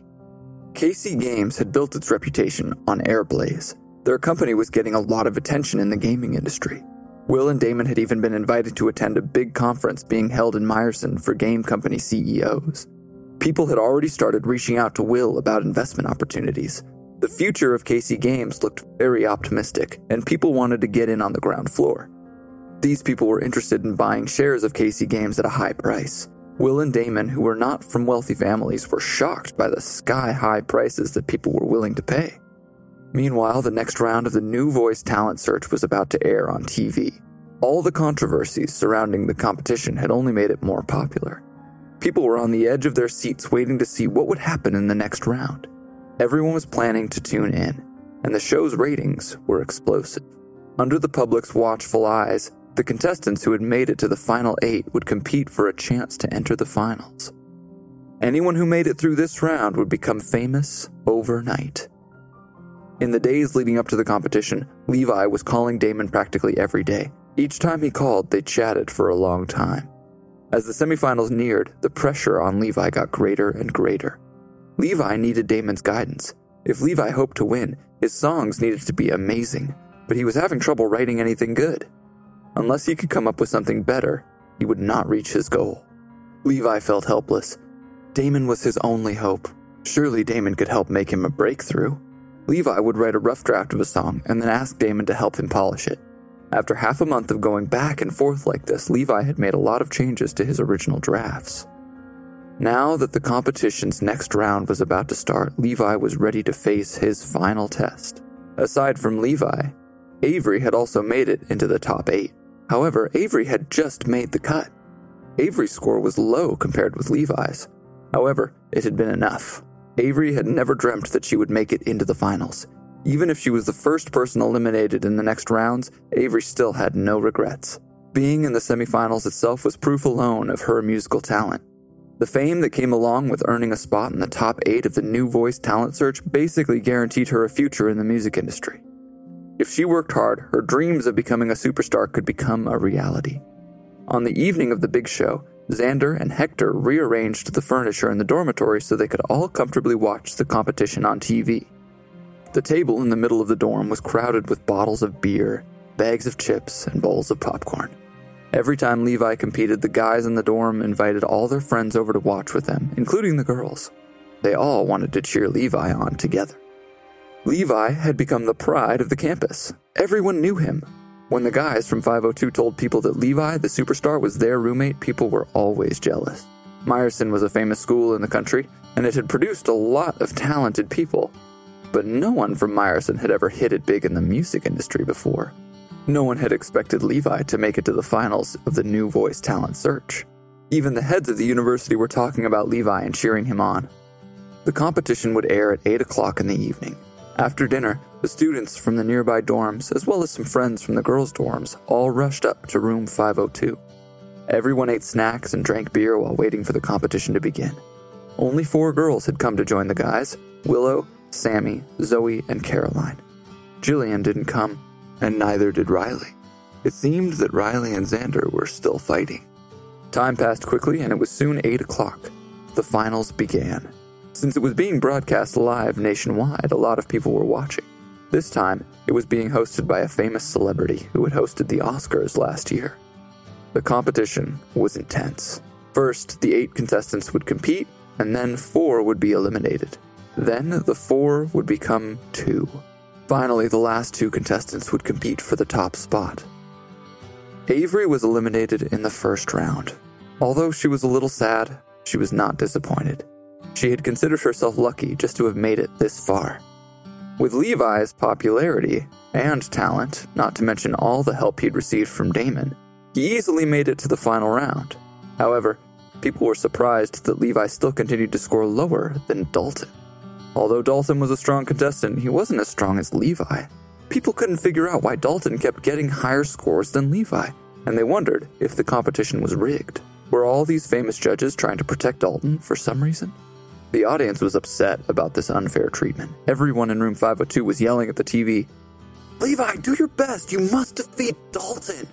No one believes these dirty tricks. We all support you, Levi. Levi, we love you. You're the best. Levi, we're all your fans. Don't let us down. Everyone was looking forward to the final round.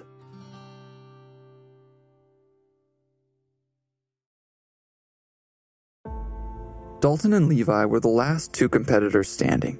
They would face off in the final round. This was destined to be the most intense match of the competition. Everyone would be watching. Neither of them could afford to lose in front of so many people. After a short rest, the final match began. The two youths walked onto the stage. The audience was full of anticipation. Levi was planning to play the song that Damon had helped him write. The song was called Shades of Blue People's hearts were pounding as they listened to Levi play. Everyone could relate to Levi's song. It spoke to the students who were listening now and brought up familiar feelings in them. But the song also spoke to anyone who had been young. People listened and remembered the beautiful memories of their youth. Levi was putting on an amazing performance. The song was on par with the song that had gotten him to nationals, the song that was now in the top three of the Billboard Hot 100. When Levi finished singing his song, the entire hall was filled with applause. Even the judges couldn't help but give him thumbs up. They had heard many great songs tonight, but Levi's was the only song that had really touched their hearts and resonated so well with the audience. Without a doubt, this was the best song ever sung in this singing competition. Levi was the only contestant who had pulled off such an amazing performance. Levi had not only wowed the live audience, he had also amazed all the TV viewers who were tuned in. Everyone in the audience was raving. That song was amazing. It reminds me of when I was young. That song was really good. It makes me think of the girl I used to love. I wonder if she's still okay. Where is she now? That song was so beautiful that I cried. If this song doesn't win the championship, then there's definitely something shady going on here. Dalton was still waiting to perform, and he was feeling the pressure. Levi was a hard act to follow. When Dalton came out on stage, he tripped and almost fell down. Perhaps his nerves were getting to him. His hand trembled as he held the microphone. Although he'd practiced hard, he did not perform well because he was so nervous. He got the song's last notes totally wrong. When Dalton finished singing, the audience was very angry. How did this guy get into the finals? He has no talent. If Levi doesn't win the competition, then the competition is rigged. It's not fair to all the fans. If Levi doesn't win the competition, then there's no hope for the world. Everyone seemed to agree that if Dalton won the competition, it would be an insult to musicians everywhere. In fact, Dalton was well connected in the music industry. If he hadn't been, the judges wouldn't have given him such high scores. However, the last song that Dalton sang had indeed been jarring to the ear. Everyone would protest if the judges gave him a high score again. The judges couldn't do that. To do so would be an insult to the intelligence of the entire country. However, because Dalton was well connected, the judges didn't want to embarrass him. His final score was not as low as it should have been, but Levi obviously scored higher this time. However, the winner of the finals match would not necessarily win the competition. They still needed to add up the contestants' total points from all the performances. The contestant with the highest overall points would obtain the final victory. People nervously waited for the contestants' total points to be calculated. The people watching from room 502 were most nervous of all. Theo, who was sitting closest to the TV, shouted, If Levi doesn't win the competition, there's no hope for the music industry. Quinn pressed her palms together tightly and prayed for Levi. Damon was very calm. No matter what the result was, Levi had worked hard. Things would turn out fine for him. The host was counting the votes on stage to liven up the atmosphere. The camera panned over the faces of the last two contestants while they waited to see their results. Levi and Dalton both looked very nervous. They fixed their eyes on the huge screen, waiting to see the final result. The judges sat below the stage nervously. The scores were finally tallied. but the host hadn't announced the winner yet. He took a moment to make a funny joke and then said in a steady voice, We have a winner for the new voice talent search. I am proud to announce that the champion is Levi from Meyerson University. Let's congratulate him. The venue exploded with applause. When the camera showed the final scores, Levi's was just barely more than Dalton's. Levi's score was 108 and Dalton's was 107. If Dalton hadn't gotten nervous at the end and messed up his performance, he would have won the championship. After his poor performance, it wasn't possible for the judges to let him win. People would have been outraged.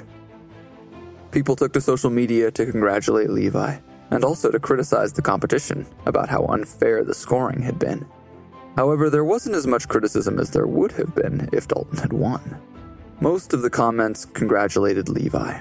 Now that Levi had won the competition, there was no doubt that his star would rise.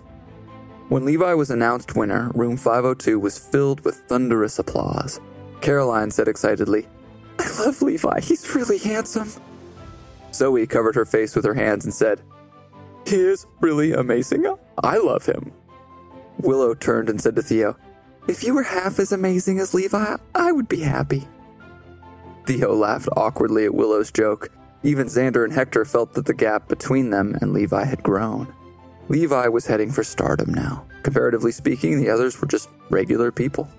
The camera turned to show Levi and Dalton. Levi had an expression of wild joy on his face. On the other hand, Dalton wore an ugly expression.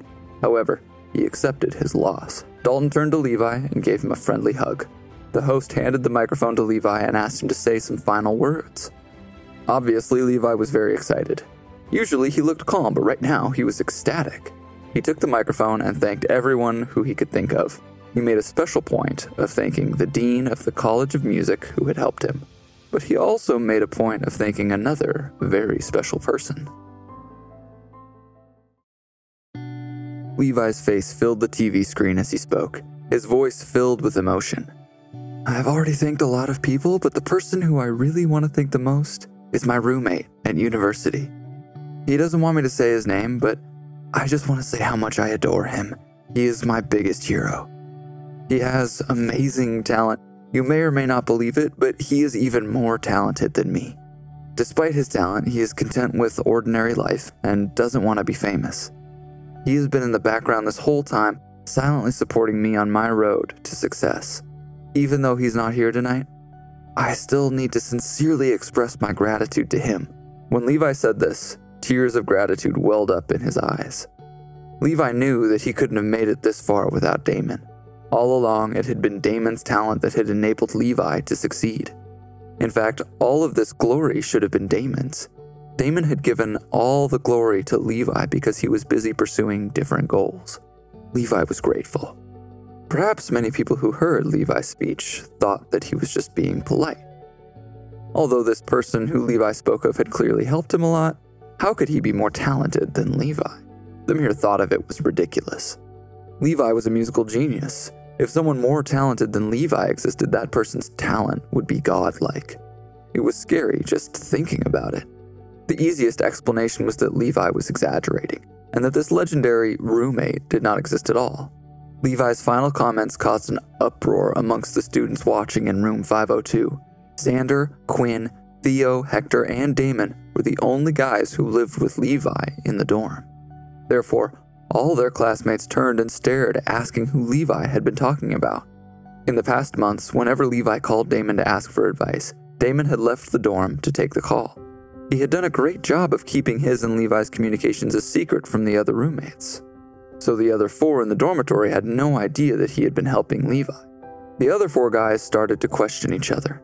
Everyone turned and looked at Damon, but after Damon denied having anything to do with it, everyone stopped paying attention to him. The students all questioned each other, but they were unable to figure out who Levi had been talking about. Naturally, everyone was greatly disappointed. Who was this mysterious genius who had helped Levi? It seemed that the answer would remain a mystery until Levi returned. The other students finished up their beers and headed back to their own dorms for the night. Avery, who had taken eighth place in the finals, took a car back to the hotel with Levi. They knew each other because they were both from Meyerson. Since the competition was over, they would pack their luggage and return to Meyerson tomorrow. The weather was unusually good for this time of year. and stars shone brightly in the sky above the city.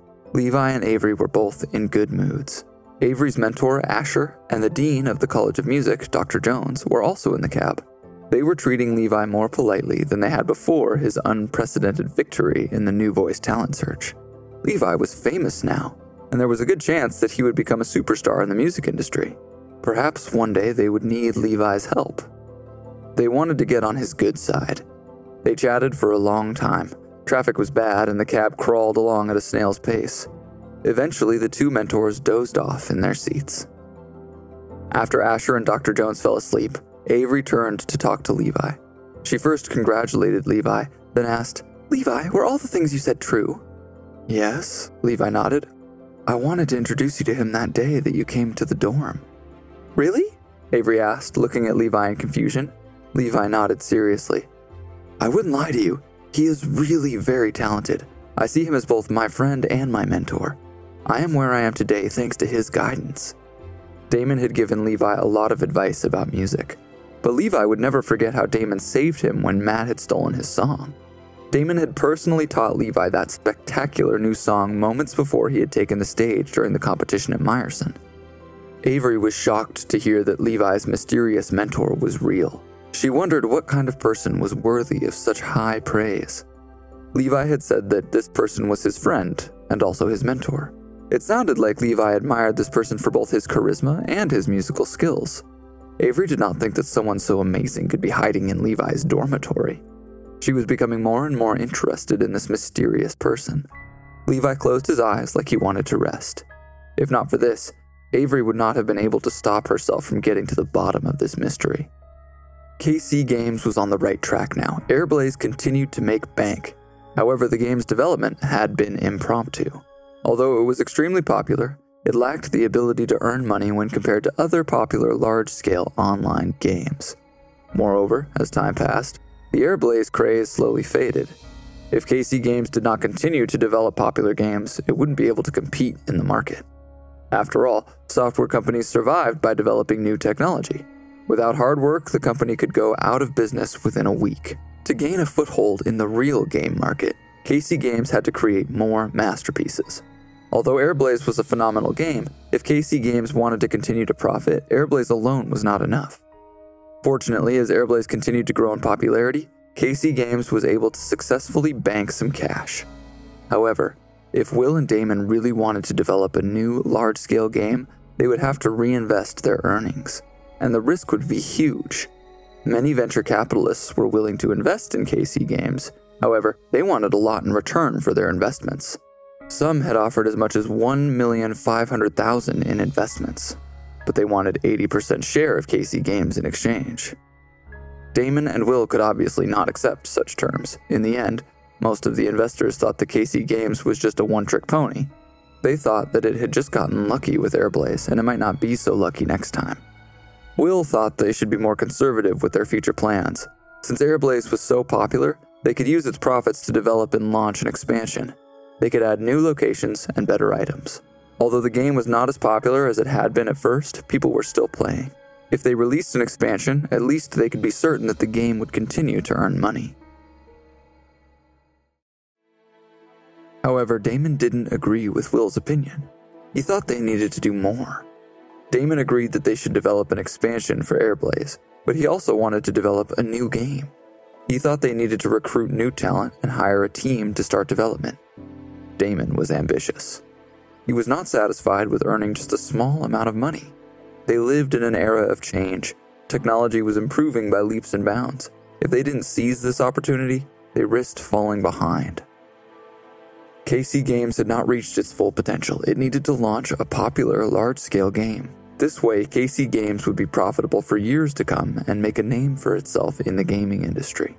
The disadvantages of this plan were also obvious. Developing both an expansion for Airblaze and a new large scale game simultaneously meant that KC Games would be fighting a battle on two fronts. If Damon and Will could successfully develop a large scale game, it would be something worth celebrating. But if the plan failed, KC Games would definitely go under. Will was a little hesitant about Damon's suggestion, after all, their company's success had just taken off. Damon's two way battle plan was extremely risky. For the first time, Will had tasted the joy of success, but he was a more conservative person than Damon. He thought KC Games could start off with launching other people's games instead of developing its own. This way, they could at least save on the development costs. However, Damon rejected his idea outright. KC Games was just a small company. Even if other game developers were willing to let KC Games launch their games, the high commission fees that would be involved were not something Damon and Will could afford. If Will and Damon could afford to launch other people's games, they might as well use the money to develop a new game of their own. Will didn't know when it had started, but he realized that he now blindly trusted Damon's opinion when it came to deciding what was best for their company. It wasn't like he worshipped Damon or anything, but Will recognized that Damon had unparalleled talent in the gaming industry. In less than a year, Damon had quickly progressed from being a student who had just learned programming to being someone who could independently develop and launch a popular game. Will had always felt that he had talent in his field, and he certainly wasn't stupid, but Damon made him second guess himself. Will was not a risk taker. Now, Airblaze had brought him the kind of wealth that was normally out of reach for ordinary people like him. However, Damon's ambition was rubbing off on him in a way that was hard for him to express. He suddenly began wondering why he didn't have bigger dreams for his life. Will finally let Damon convince him. His intuition told him that going along with Damon's ideas would keep leading him to success. Damon had come through for him several times already. Damon had earned Will's trust. KC Games was short of funds, they didn't have enough money to put Damon's grand plan into action yet. However, after they developed and released the expansion for Airblaze, downloads of the game spiked again, and KC Games' income began to rise steadily. When Levi returned, he instantly became the most famous person on campus. Levi's fame and talent made him the center of attention. People were always waiting around the dorms for a chance to see him. Many fanatical girls even hid in the dorm building, waiting for Levi to come back from class so that they could express their love to him. Gradually, the number of girls increased. Many girls placed candles and flowers near the entryway to the building. After class, girls would try to talk to him and ask for his phone number. Some girls even used more creative methods to try to win him over. There were even rumors that girls were fighting each other over him. Countless girls who loved Levi slid into his DMs. Some girls confessed their feelings, and other girls teased him. Some even sent pictures and videos to him. Although the girls knew they probably didn't stand a chance of getting Levi, they still thought it was worth a shot. Levi was handsome and talented, even if it was only for a one night stand. They all still wanted to be with him. Levi was a shining star at Meyerson University. It had been raining for an entire half a month, but today the weather finally cleared up. The temperature outside had risen, and the bright sunlight outside the window was very warm. Damon woke up in the morning and made a plan to meet Will. He wanted to talk to Will about his ideas for a new game. Damon brushed his teeth and washed his face. It was 9:30 in the morning. Everyone in the dorm had gone out except for Quinn, who was browsing online for a part-time job. Damon was about to go downstairs for breakfast when someone knocked on the door. Damon opened the door. Veronica stood there smiling sweetly. "Hi, Damon." Damon was slightly surprised to see Veronica. She seemed to have dressed up a little. She was wearing a dress, Damon couldn't help but notice how fair and slender her legs were. Her exposed skin was very tempting. Although Veronica wore flat shoes, she was beautiful and tall. Damon's heart beat faster. Veronica was a natural beauty, and her smile was even more charming. Veronica saw that her appearance had stunned Damon, and her pretty face blushed slightly. Damon, are you free? I've already told the people at the radio station about you. They want to interview you today. Damon was slightly stunned to hear this. Do I really need to do an interview? Veronica thought that Damon was trying to back out on her. She bit her lips. When she spoke, her tone sounded a little anxious. It's just a quick interview. Don't you want to work there? Okay, no problem. Veronica had caught Damon off guard. He had forgotten all about the interview, but he didn't want her to think that he was not confident. Besides, working with Veronica at the radio station day and night sounded like a dream. You'll do great, said Veronica, her entire face lit up. The two of them prepared to leave. Just then, someone else knocked on the door. Damon said, Please come in. The door swung open and a heavy-set, bald man walked in. He looked around the dorm room for a moment before greeting Damon. Hey, what's your name? Damon had never seen this heavy-set man before, so he took a moment to size him up before answering. Who are you? he asked. I work for Tony Music Entertainment. I'm looking for Levi. Does he live in this dormitory? Levi's the champion of the new voice talent search competition. As he spoke, the man handed over a business card. Damon and Veronica glanced at the card and discovered that the man's name was Ricky King. The business card said that Ricky was a general manager at Tony Music Entertainment. Could it be true? Damon and Veronica had heard about Tony Music Entertainment. It was a top record label in the music industry. It had signed countless musicians and superstars. Damon and Veronica had not expected that such a famous record label would be after Levi, but it made sense. Levi was very famous now. He was talented, and he had also won New Voice Talent Search. His future looked bright. Every record label wanted to sign this kind of talent. Since the success of Levi's first single, people from recording companies had often come looking for him in the dorms. However, none of them were as powerful as Tony Music Entertainment. Levi had really made it big. Yes, Levi lives in this dormitory, but you might have to wait around for him. He's not here right now, Damon replied. Is that so? Well, then I'll wait for him. Instead of sitting down, Ricky started to stroll around the dormitory looking at things. He asked them which desk was Levi's, but then stopped and stood in front of Damon's desk. May I ask whose desk this is? Ricky seemed very interested in the things on Damon's desk. Why, what's the matter? Damon asked. Ricky was smart. He read Damon's body language and ventured a guess. Is this your desk? When Damon didn't answer him, Ricky knew he'd guessed correctly. Ricky took a piece of paper from his pocket and squinted at it. Then he reached out and shook Damon's hand. Hello, Mr. Ryan Gold. I've been looking for you for a long time. Ryan Gold? This was the alias that Damon had used when he uploaded his music online. Damon had never mentioned it to anyone. No one knew that Ryan Gold was actually Damon. Why did Ricky seem so certain about it? Damon was shocked. He turned his head to look at Veronica and saw that she was looking at him curiously. Damon pretended to be confused. Sorry, I don't know what you're talking about. Ricky was smart and instantly caught on to Damon's game. He laughed and said, Okay, okay, I get it. I don't know your real name, but I want to talk to you about something. Are you free for lunch this afternoon? We can talk about the details then. Ricky handed his business card to Damon and asked for Damon's phone number. Damon hesitated for a moment, then agreed. He had several reasons for doing this. The first reason was that although Ricky had discovered Damon's secret identity, he hadn't exposed him. The second reason was that Damon really wanted to know how Ricky had figured out that he was Ryan Gold. After Ricky exchanged phone numbers with Damon, he pressed Damon to call him as soon as he had time. After that, he didn't even wait around for Levi, he just turned and left. Damon immediately realized that Ricky had not been here to find Levi at all. Ricky had been here to find him. Although Levi had won the competition, Damon's musical talent and achievements were far greater than Levi's. Ryan Gold was even more popular than Levi. Damon and Veronica left the dormitory together. As they walked along, Veronica kept looking at Damon curiously. When she realized that Damon did not have any intention of talking about what had just happened, she couldn't stay silent any longer. Damon, why did that guy call you Ryan Gold? Damon shook his head and pretended to be confused. Yeah, I don't know what he was thinking. Is that so? Veronica stared at Damon for a moment and saw that he didn't want to continue talking about Ricky or Ryan Gold, so she changed the subject to the upcoming interview. Damon, you might need to do an audition during the interview this afternoon. You have to show them that you can do the job. Although Veronica knew that Damon had a great voice, she was a little worried that he might not perform well on the spot, so she was trying to prepare him for whatever might happen. Veronica quite admired Damon's talent, and she really believed that he would make a great radio host. He just had to do well in the interview. The two of them went to the campus radio station. When they arrived, they saw a big group of people waiting outside. These people were all here for the interview as well.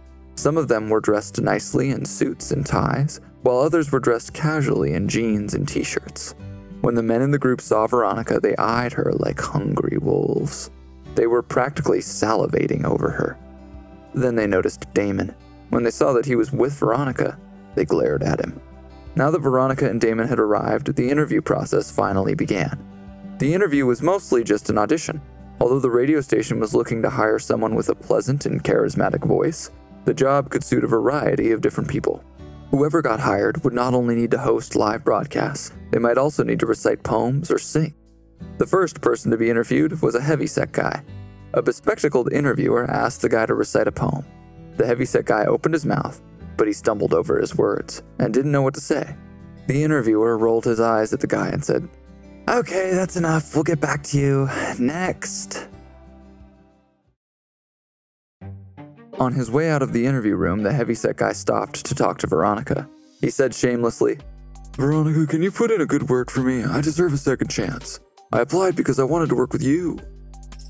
Veronica shrugged him off, and some guys who worked for the station escorted the man out of the building. The second person in line for an interview was picking his nose as he walked in. The bespectacled man handed him a piece of paper and said, Read this aloud. The nose picker began to read aloud in a thick southern accent. The interview was clearly not impressed and interrupted the man. Next. The poor guy gathered his things and walked out. The next person in line was a bald guy.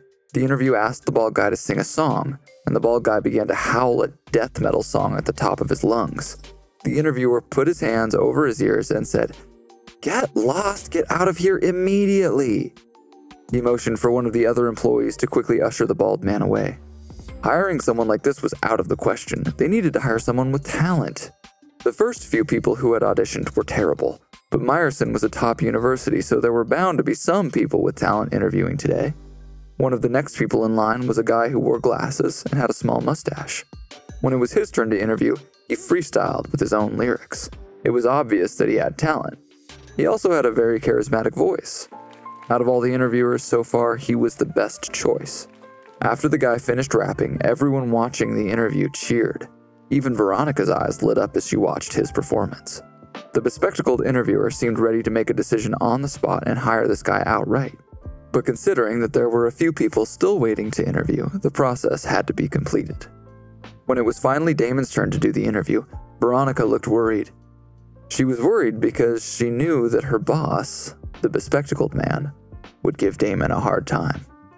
The bespectacled man's name was Tony Wexler, and he was in charge of the station. Tony was a senior student at Meyerson. He was not only the vice president of the student union, but also a member of the Students Association of Entrepreneurs, or SAE, on campus. He had started a company while he was still in his first year, and his company was now worth hundreds of thousands of dollars. He had a prestigious reputation. Normally, when students at Meyerson reached fourth year, they would leave the student union and start looking for an internship within their field of study. However, Tony liked the authority of his high position in the student union. He enjoyed the feeling of having people look up to him. This was why he still had not stepped down. Everyone knew that Tony had already made up his mind about hiring the guy with the small mustache. After the guy with the small mustache finished his interview, it was obvious that Tony was no longer interested in interviewing more people. He stretched and nodded to the girl sitting next to him. She seemed to know what Tony was thinking. The girl's name was Erica Smith, and she was also in her fourth year. She worked in Tony's company, and she was helping with the interview process today. She glanced at Damon, who had just sat down in front of them. She handed him a piece of paper and said, Memorize this. You have one minute. Damon took the paper and glanced at it. He saw that the entire page was covered in tiny print. Damon glanced at it for a moment before Erica snatched it back. Damon looked at Erica's silky hair. Erica ignored his gaze and said, Okay, now recite what was on the paper. When the people in the room heard this, they instantly fell silent. Damon swore silently to himself. What the heck? Erica had told him that he could look at the paper for a whole minute, but then she snatched it away after just 10 seconds. The average person could not have even read that page in a minute, let alone memorize it. Erica was clearly trying to tell Damon just to give up. The other people in the interview room looked at each other in surprise. Clearly, they all knew that Erica was trying to make things difficult for Damon. But they also knew that this was an order from Tony, so they all remained silent. Veronica was the only person who spoke up. She said lightly, Erica, we're trying to hire a radio host here, not a super genius. I think that you should make your request more realistic. What do you think? Erica had long been jealous of Veronica's beauty and talent, but she did not dare to openly offend Veronica. Erica realized that Veronica wanted Damon to get the job. Erica had been trying to make things difficult for Damon to please Tony, but now she could see that Veronica was being serious. Erica hesitated. She was afraid of pissing off Veronica. She thought about her next move. Should she give Damon another chance? After all, even she felt her previous request had been a bit ridiculous. Unexpectedly, Tony, who had seemed half asleep just minutes before, said with a smile, Veronica, although we're only a campus station, the Meyerson radio station is one of the best on the East Coast. If we want to maintain a high broadcasting standard, naturally, we need to hire the most talented people. With Tony backing her up, Erica regained her confidence and said, Oh, I agree. What Tony said makes sense. I was going to say the same thing. The other employees in the interview room also spoke out in agreement. Yes, yes, yes, what Tony said makes sense. He's right. We don't need to hire anyone mediocre. If this guy wants the job, he needs to prove he can do it. He needs to impress us. Veronica was at a loss. She didn't know what to say. She felt that Damon was being discriminated against. How could anyone memorize that many words in just 10 seconds? That was almost impossible. Just as Veronica was deciding whether or not she should argue with Tony, Damon said, It's okay. How about I give it a shot? The people in the room thought they had misheard him. Was this guy crazy? Was he just bluffing, or did he really think he could do it? Had this guy actually said he wanted to give it a try? Didn't he understand that the request was impossible? Seeing Damon's confident look, Tony smiled coldly. He wanted to see Damon try to memorize the article. Tony had disliked Damon ever since Damon arrived at the station with Veronica.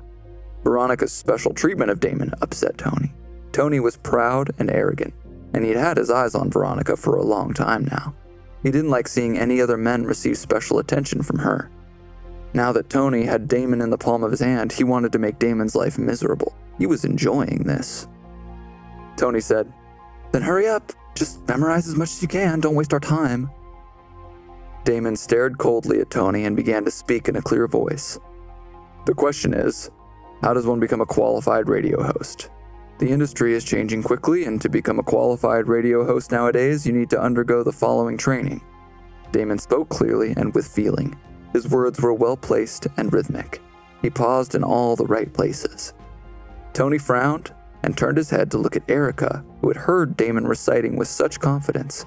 He saw Erica following along with the words on the paper. She looked shocked. When Damon had finished reciting a hundred words, Tony impatiently asked Erica, How's he doing? Has he made a mistake yet? If Damon read any of the words wrong, Tony would end the interview. No, it's all right, Erica stammered in response. Damon hadn't made a single mistake yet. It was shocking. Erica's words immediately attracted the attention of the other people who were watching the interview. Veronica also turned her head in surprise. She read over Erica's shoulder. The words written on the paper were indeed exactly the same as what Damon had said. Damon was even pausing in all the right spots. No one could believe what was happening. Who was this guy, and where had he come from? Veronica watched Damon in amazement. She had been certain that Tony and Erica would get the best of Damon, but Damon's performance was astounding. He was simply a genius. When Damon had read half the page without faltering, Tony couldn't help but mutter, Must have made a mistake by now, right? How has he not made a single mistake?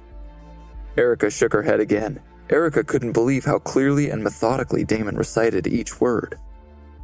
When Damon was three quarters of the way done, Tony said anxiously, What about now? You messed something up, right? Erica shook her head yet again. She was at a loss for words. Finally, Damon got to the last few sentences from the page. He spoke slower now.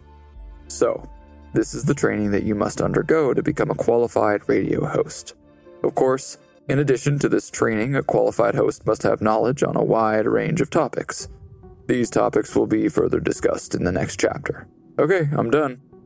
How did I do? Damon had recited the entire page from memory, and he hadn't got a single word wrong.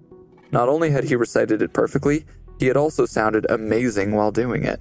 Damon had all the makings of a talented radio host.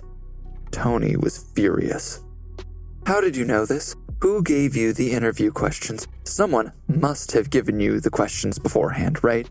Tony didn't believe that there was any way Damon could have memorized so many words in just 10 seconds. He must have memorized the article before coming to the interview. Tony looked like he had seen a ghost. But everything in Erica's expression told Tony that she was just as surprised as he was. In fact, the article that Erica had given Damon to recite wasn't even an actual interview question. She had just thought it up on the spot and torn the page out of a book. She'd been deliberately trying to make things difficult for Damon. She hadn't thought that Damon would actually be able to memorize the whole thing in 10 seconds. He'd have to be some sort of genius to do that. Not only had he memorized it, but he had also recited it like a professional radio host. Since the page had been randomly torn from a book, even Erica herself hadn't memorized the contents, so there was no way Damon could have possibly gotten a hold of the question beforehand. Tony's expression was volatile. Damon, on the other hand, was calm and composed. Veronica, who was standing beside Erica, watched Damon. Her eyes seemed to flicker with a strange light. Damon smiled confidently, but he looked neither proud nor humble. Damon had the kind of smile that made people fall in love with him. Girls liked guys with talent, and undoubtedly at this moment, Damon looked very talented. Tony coughed and said, You were good, very good, but, um, we're hiring only one radio host today. Although you answered the interview questions correctly, we still haven't made any final decisions. Erica nodded in agreement. Damon had aced the interview in front of everyone. Even if Tony didn't want to hire him, he couldn't just send Damon away. Damon had memorized the entire article, something that no one else who worked for the station would be able to do. He clearly had talent. A few other people were still waiting to be interviewed. However, after seeing Erica's last interview question, a question that only a super genius could answer. They didn't see a point in doing the interview.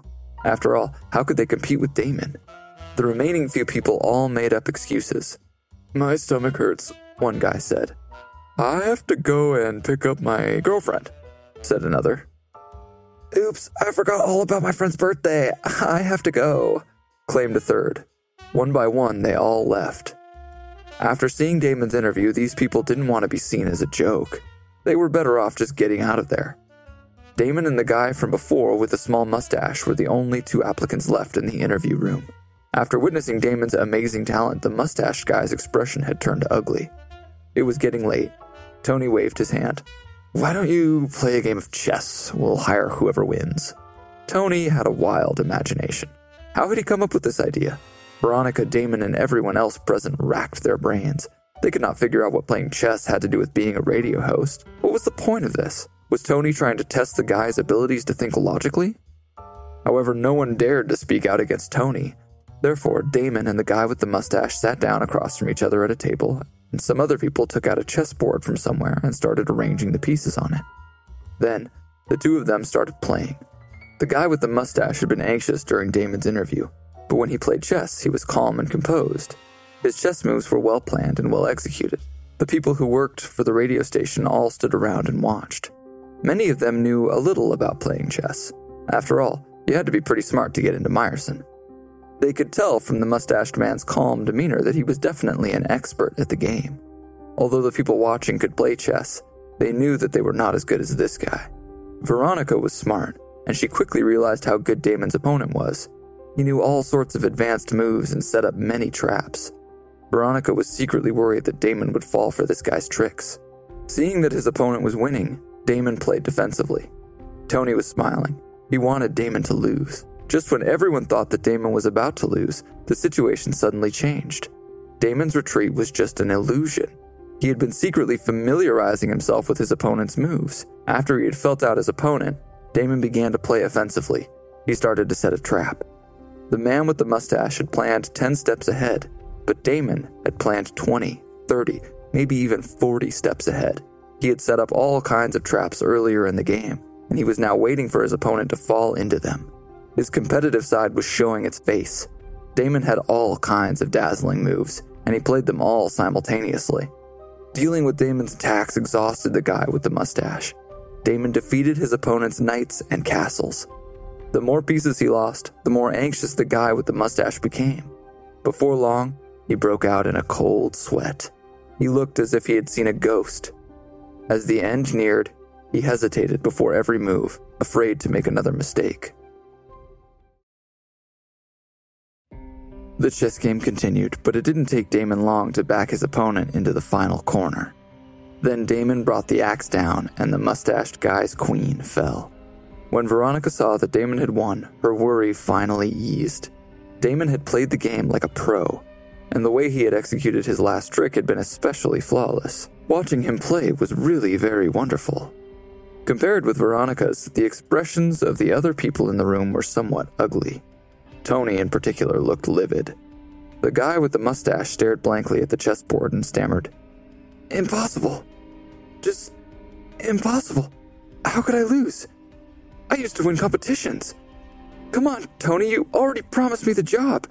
Are you still gonna hire me? What's the deal? Everyone heard what the guy had said, and they all turned to look at Tony. Damon felt particularly grim. How could there still be any question about who would get the job?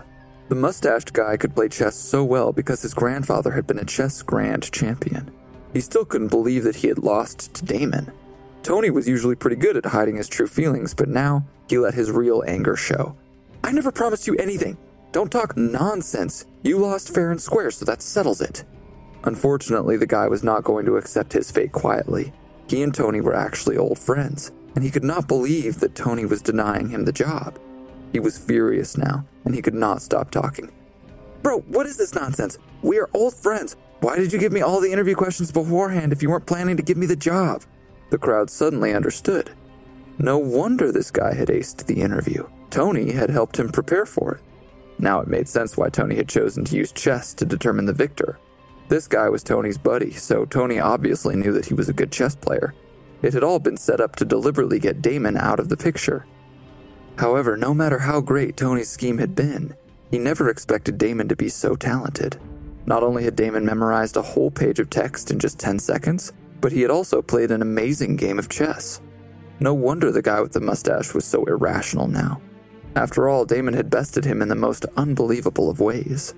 If it wasn't for the fact that so many people were watching, Tony would definitely have jumped on the guy with the mustache. The guy had spilled the beans. Instead, Tony tried to regain his composure. He pointed at Damon and said, You've got the job. As for this guy, naturally, Tony was talking about the guy with the mustache who was still fuming over the chessboard. I don't know what he's talking about. We don't know each other. Get him out of here. Then Tony picked up his things and stormed angrily out of the room. Once Tony was gone, the other people gradually dispersed as well. The mustache guy had no one left to complain to. He cursed Tony. He and Tony had been friends for a long time, and Tony had let him down. He felt betrayed. Veronica had originally planned to have dinner with her friends, but she canceled on them so that she could hang out with Damon instead. She walked over to Damon and said, Damon, congratulations! Damon's performance had totally wowed Veronica. Like magic, he had turned the situation completely around. No ordinary person could have done that. Damon was quite pleased to have impressed Veronica, but he played it cool. There was nothing. I'm looking forward to working with you at the station. Veronica could not stop herself from looking Damon up and down. She had a strange look in her soft eyes. Damon, you are really a genius. How did you manage to memorize all those words in 10 seconds? Damon didn't want to tell her that he had a photographic memory. Instead, he said, I've been practicing lately. Memory is a skill that you can train like anything else. Veronica nodded as if she understood. She had heard about people training their brains like this. She had even seen a show about it before. She knew that the human brain was very powerful and capable of amazing things. She just hadn't expected that Damon would have such an ability. Veronica was still in shock. Was this how Damon had gone from being expelled from Bridgeton High School to miraculously acing his SATs? Had he achieved this extraordinary talent by working hard to train his memory? It seemed impossible for an ordinary person to do. Veronica said, You need to celebrate your success. Let me take you out for dinner later. However, Damon wasn't paying attention to what Veronica said. He was thinking about how Ricky had called him Ryan Gold earlier. Although Damon did want to go out with Veronica, business was more important. He had no choice but to reject her offer. I have something I need to do later. Let's go out tomorrow, okay? It'll be my treat. Oh, no worries. What do you need to do? We can celebrate tomorrow, Veronica replied. She did not seem upset by Damon's refusal. She just waved and said goodbye. After Veronica left, Damon dialed Ricky's number and called him. Ricky laughed when he answered the phone. Ryan Gold, I've been waiting for your call. I was hoping that you would find time to chat with me today. Although Ricky was an important person at Tony Music Entertainment, he had an approachable manner. He was easy to talk to, and he made people feel very comfortable. After hearing what Ricky had said, Damon knew that there was no point in pretending anymore. Ricky knew that Damon was Ryan Gold. After thinking for a moment, Damon said, Where are you? I'm near your school. There's a restaurant called the Moonlight Cafe. I've already reserved the table. Damon hung up the phone. When he arrived, he discovered that the restaurant was very elegant and high class. Ricky had reserved the best table in the place. After finding Ricky and exchanging some pleasantries with him, Damon got straight to the point. Mr. King, why do you think that I'm Ryan Gold? Ricky burst out laughing. We're the only two people here, just admit it. You used an alias, but we still have our ways of finding people. What Ricky said was reasonable. Damon had been working with computers for a while now. He knew that there were ways to track people's IP's addresses and then to figure out where they lived. In addition, Levi's new songs were very similar in style to his own. If Ricky had tracked his IP address to find the computer he used, it would not have been difficult to put the pieces together and figure out that Damon was Ryan Gold. Now it made sense why Ricky had been looking at Damon's computer that morning in the dormitory. Damon thought about it. Ricky had done his homework before coming here. Ricky had clearly put a lot of effort into finding Ryan Gold. He must have hired a computer whiz, or even a hacker, to track down Damon's IP address. Seeing that Damon was deep in thought, Ricky came out and admitted it. To tell you the truth, our company used a lot of manpower to find you. But regardless of how expensive or difficult our search was, it was worth it. Damon looked at Ricky and smiled and said, I'm impressed, Mr. King, but please call me Damon. My name is Damon Walker. Ricky waved his hand. All right, all right, all right, I'll call you Damon. You are a hard guy to find, but the effort was totally worth it. Ricky had been especially pleased to discover that the real life Ryan Gold was both young and likable, not to mention good looking. After meeting Damon, Ricky no longer worried about how much it had cost the company to find him. Ricky guessed that even Damon himself did not know how much power he already held in the music industry. Tony Music Entertainment had been following Ryan Gold's popularity on the internet. They knew that he had millions of fans all over the country. Even Ricky himself was a hardcore fan. Ryan Gold wasn't like other people who had gone viral online and thought they were famous. No, Ryan Gold had actual talent. Two of his songs were already in the top two places on the Billboard Hot 100. What else was Ryan Gold capable of? Ricky did not know. After all, no other artist had ever climbed the charts like this before. Ryan Gold had created history. Whenever there were rumors in the media that Ryan Gold was planning to release a third single, the number of searches about it on the internet instantly shot up to tens of millions, and Ryan Gold became Google's most searched topic all the fan groups and music forums would explode with speculation. When news like this was inevitably confirmed to be fake, the wave of excitement that it caused gradually faded. Levi, who had just won the new voice talent search competition not long ago, had experienced a similar explosion in popularity. Because a few of the songs that he sang sounded similar to Ryan Gold's, he had also become a popular topic of Google searches. This went to show just how powerful Ryan Gold's influence was.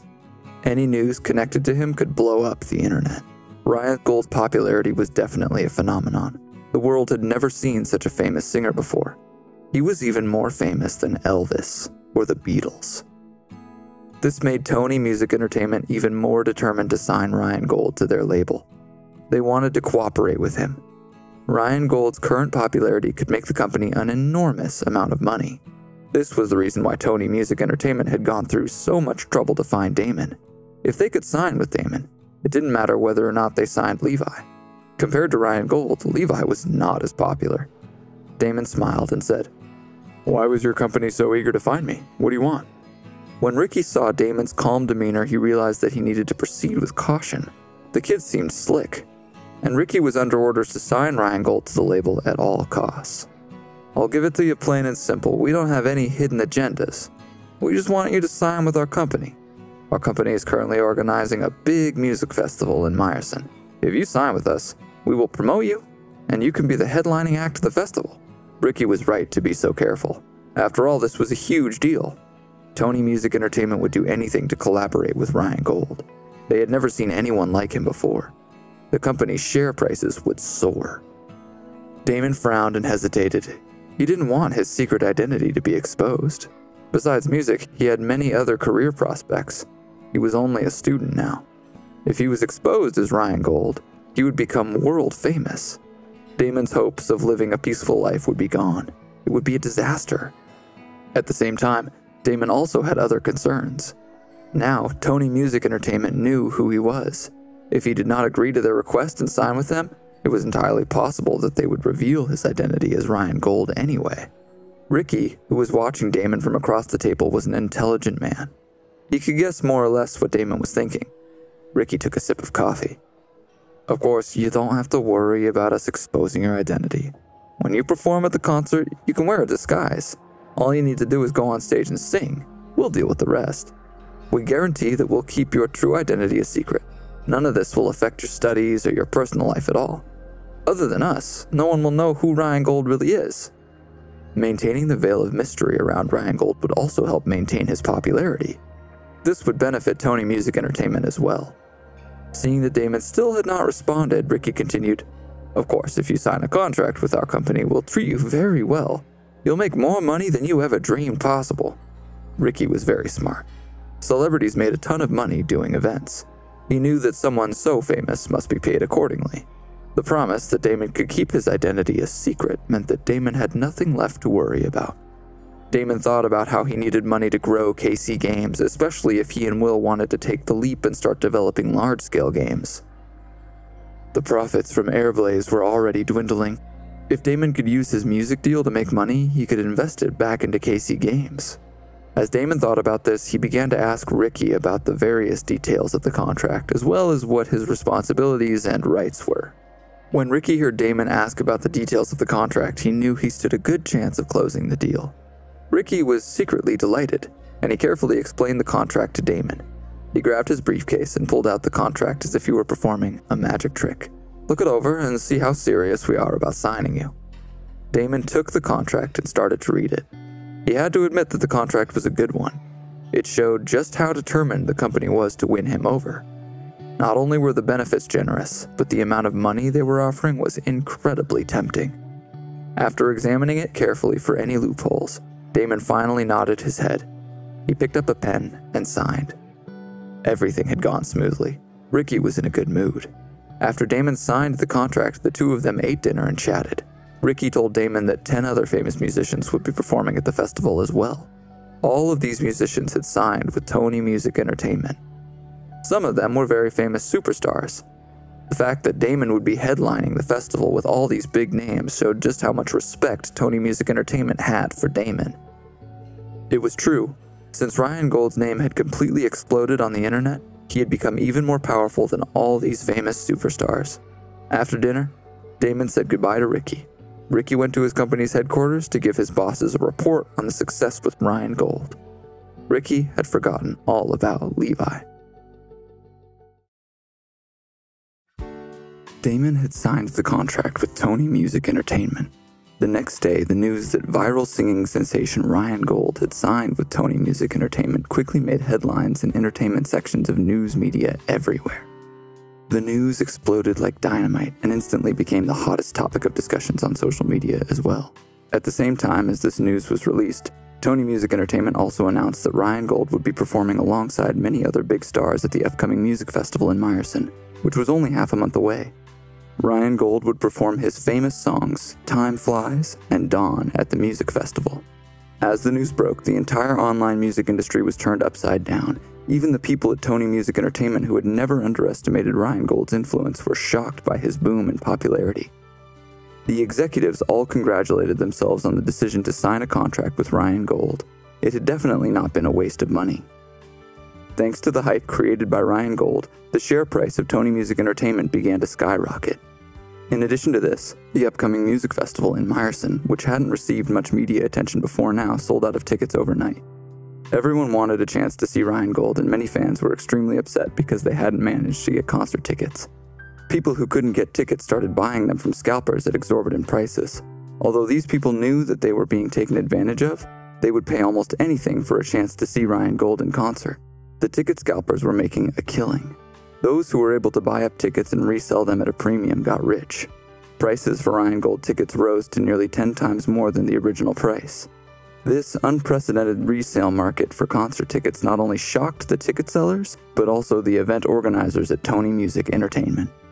As a result, Tony Music Entertainment had no choice but to start discussions with the festival venue to see if they could increase the festival's seating capacity. After all, the festival's sudden explosion in popularity had caught everyone off guard. The festival venue readily agreed to increasing capacity. Ryan Gold, who had seemingly risen to fame out of nowhere, had long been regarded as a musical genius. Anyone who was a fan of music would want a chance to see him in person. Seeing him live at the festival was a once in a lifetime chance. It was early morning, and Damon was still in bed when he heard Xander talking about the festival. Xander had been trying to buy tickets to the music festival, but so far, he had come up empty handed. Hector pushed open the door and entered the dorm. Xander saw Hector return and hurriedly asked, Hector, is there any way you can get me two tickets to the concert? I don't care where the seats are, I'll pay three times the price. Hector shook his head. Are you crazy? You think you have a chance of getting tickets now? You can't even buy tickets at five times the price. There are no tickets left. Don't you know how popular this concert is? Yeah, I know, Xander sighed. Who would have guessed that this concert would suddenly get so popular? Ryan Gold sure is something. Riley is insisting on seeing him. She said that she will break up with me if I can't get the tickets. What should I do? Even though Xander was freaking out about the situation, Hector could do nothing to help. Buying tickets to see really famous celebrities was always difficult. Now that Ryan Gold was in the limelight, it was nearly impossible to get tickets to his show without knowing the right people. Meanwhile, in the girls' dorm, a few girls were passionately discussing the upcoming concert. Riley was holding two tickets in her hand. Although Xander had not been able to get tickets, Riley had her own ways of getting things done. Otherwise, what would be the point of hanging out with her new circle of friends? Caroline eyed the tickets enviously and said, Riley, can you help me get a ticket too? I really like Ryan Gold's songs. I will pay whatever the ticket costs. Riley shook her head and said, These tickets were not easy to buy. I had to ask my friend to buy them. His father has connections in the local government. Even so, it was not easy for him to get these two tickets. Riley said this so that Caroline would know exactly how valuable the tickets were. When Caroline heard this, her pretty face turned pale, and she did not dare to ask Riley about getting a ticket again. Willow, Zoe, and Sammy had all been listening in on the conversation. They wanted tickets to the festival too, but after hearing what Riley had said, they didn't say anything. Riley turned to Jillian and asked, Jill, did Jonathan buy you tickets? Jillian wished that Riley hadn't asked her for this.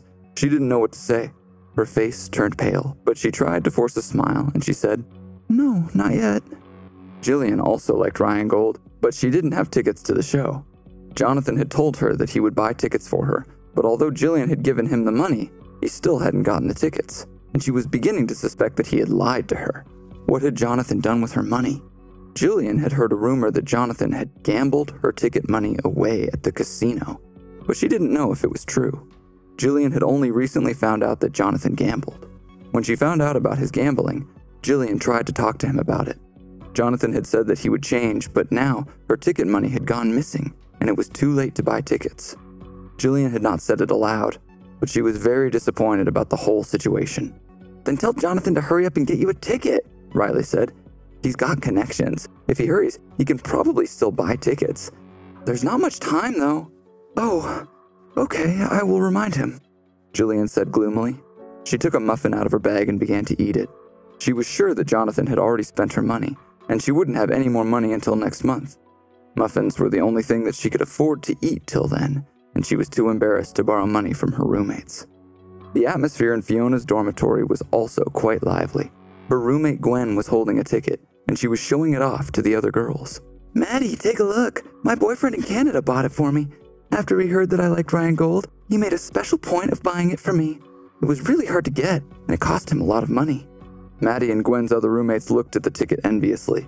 Gwen glanced at Fiona and said with a smile, Fiona, why don't you ask that loser boyfriend of yours to buy a ticket for you too? Let's see if he can pull it off. Gwen's sarcastic tone made the other two girls laugh for a moment, but they quickly quieted down. After all, they didn't want to offend Fiona. Maddie said, Gwen, don't bring that up. Fiona and Damon already broke up. Oh, is that so? Is something wrong with my eyes then? Two days ago, I could have sworn that I saw her with that loser. Gwen had always looked down on Damon. She did not understand what Fiona saw in him. Gwen didn't think Damon had any class. Everyone wanted a ticket to the Meyerson Music Festival. Damon, who secretly was at the center of all the excitement, went about his usual routine as if nothing special was going on. He ate, and he slept, and he went to class. Lately, he had been eating so well that he even gained two pounds. Early the next morning, Damon was woken by the ringing of his phone. It turned out that the caller was Liam, Damon's friend from high school who went to a neighboring university. Liam had actually called to ask about concert tickets. Like many others, Liam was also in a desperate situation. All Damon's friends wanted tickets. Was there anything that Damon could do? Damon told Liam to call Avery. After all, she was quite famous in the music industry. Plus, her teacher was Asher. If Avery wanted to get tickets, she should be able to. However, Liam hesitated when he heard Damon's suggestion. Uh, yeah, I could call her. I wonder if she would be willing to help. Although they had all been friends during childhood, Avery had left them all in the dust. She is famous now.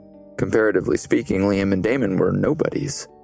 Avery seemed to be flourishing in life, but Liam and Damon were just tiny drops of water lost in an ocean. Liam thought about contacting Avery. Would she still care about him? Damon saw Liam's hesitation and encouraged him to call her, but Damon didn't really care whether Liam called Avery or not. The two of them chatted for a while longer before saying goodbye. Damon knew he wouldn't be able to fall back asleep, so he threw off his blanket and got up. He was starting to wonder if he should ask Ricky for a few VIP tickets to give to his good friends. But his friends would probably think it weird if he suddenly showed up with tickets to the festival, especially if those tickets were VIP. After all, VIP tickets must cost a fortune right now. If Damon gave his friends VIP tickets, it would inevitably cause them to start asking questions. After thinking it over, he gave up on the idea. A moment later, Quinn returned to the dormitory. Damon looked at Quinn and saw that his face was very pale. Damon wondered if he was sick. Quinn had looked like this for the past few days, but every time Damon asked him what was going on, Quinn had made up some silly excuse. Naturally, Damon had stopped asking. After class that afternoon, Damon walked over to the campus radio station. Damon had started working at the station the day after his interview. Under normal circumstances, Damon was scheduled to work every weekday afternoon after he finished class. He did not work on the weekends. Damon and Veronica would co host the daily afternoon special. It was half an hour long. During this time, they could tell stories, sing songs, and recite poetry, among other things. Damon and Veronica had been working together for a few days now, and they made a great team. Nowadays, people's smartphones had unlimited access to information through the internet, but students still listened to the campus station. They could stream it online. Every day, the station received many messages and call ins from listeners on campus. Many guys even called into the radio to try to impress the girls who they liked. They would spend a lot of effort calling into the station to request love songs or give shoutouts to their crushes. Generally, as long as their requests were not too excessive, the radio station would give them airtime. Listener interaction like this made the radio shows more interesting. The radio station was the soundtrack to campus life. Damon looked forward to his time at the radio station every day. He got to spend half an hour alone with Veronica. Damon didn't even mind that they were often too busy to talk to each other. He liked just looking at Veronica. He liked looking at her long hair, and he liked listening to her voice. Watching and listening to Veronica always made Damon feel great. Veronica had always had a special place in Damon's heart. He liked her even more than Avery. Damon had pursued Avery because, despite the fact that she was just as beautiful as Veronica, she had seemed more attainable. Although other people might not think Avery attainable, Damon and Avery had practically grown up together. Back in high school, Damon and Avery had talked to each other a lot and helped each other with homework. On the other hand, Damon and Veronica had hardly ever talked. Back then, Veronica had come off as cold and aloof. She was extremely beautiful, but her beauty had seemed threatening. Veronica had seemed like some sort of untouchable goddess. Even fantasizing about her had seemed wrong. After Damon started working with Veronica every day, he also saw how popular she was. People wrote her love letters almost every day. And it wasn't just one or two people. Veronica received a pile of these letters every day. Damon had never seen anything like it before. However, Veronica was already used to it. If she had the time, she would read the love letters at work. She respected her many fans. When Damon got to the broadcast room that day, Veronica was not there yet. Damon was usually the first of them to arrive at the broadcast room. He did this so he could sit quietly and watch Veronica while she prepared for the show. Damon always took advantage of any chance he had to watch Veronica. Damon prepared his material for the show and then spent some time tidying up around the broadcast room. Then he heard footsteps coming from outside the door. Moments later, Veronica's beautiful face appeared in the doorway.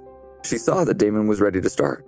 Veronica gently said, Hey, I was just starting to wonder where you were. Let's begin, Damon said. He watched Veronica's side profile as she sat down beside him. Her face was so gentle and beautiful.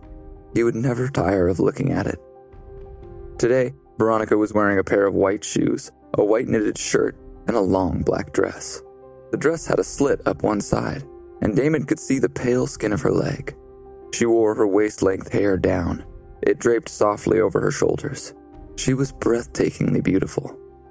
Damon couldn't take his eyes off of her. Damon realized that he had been daydreaming and tried to focus on the upcoming show instead. He reluctantly looked away from Veronica and quickly turned to his work. The show began. Today, Veronica had prepared a few poems to read.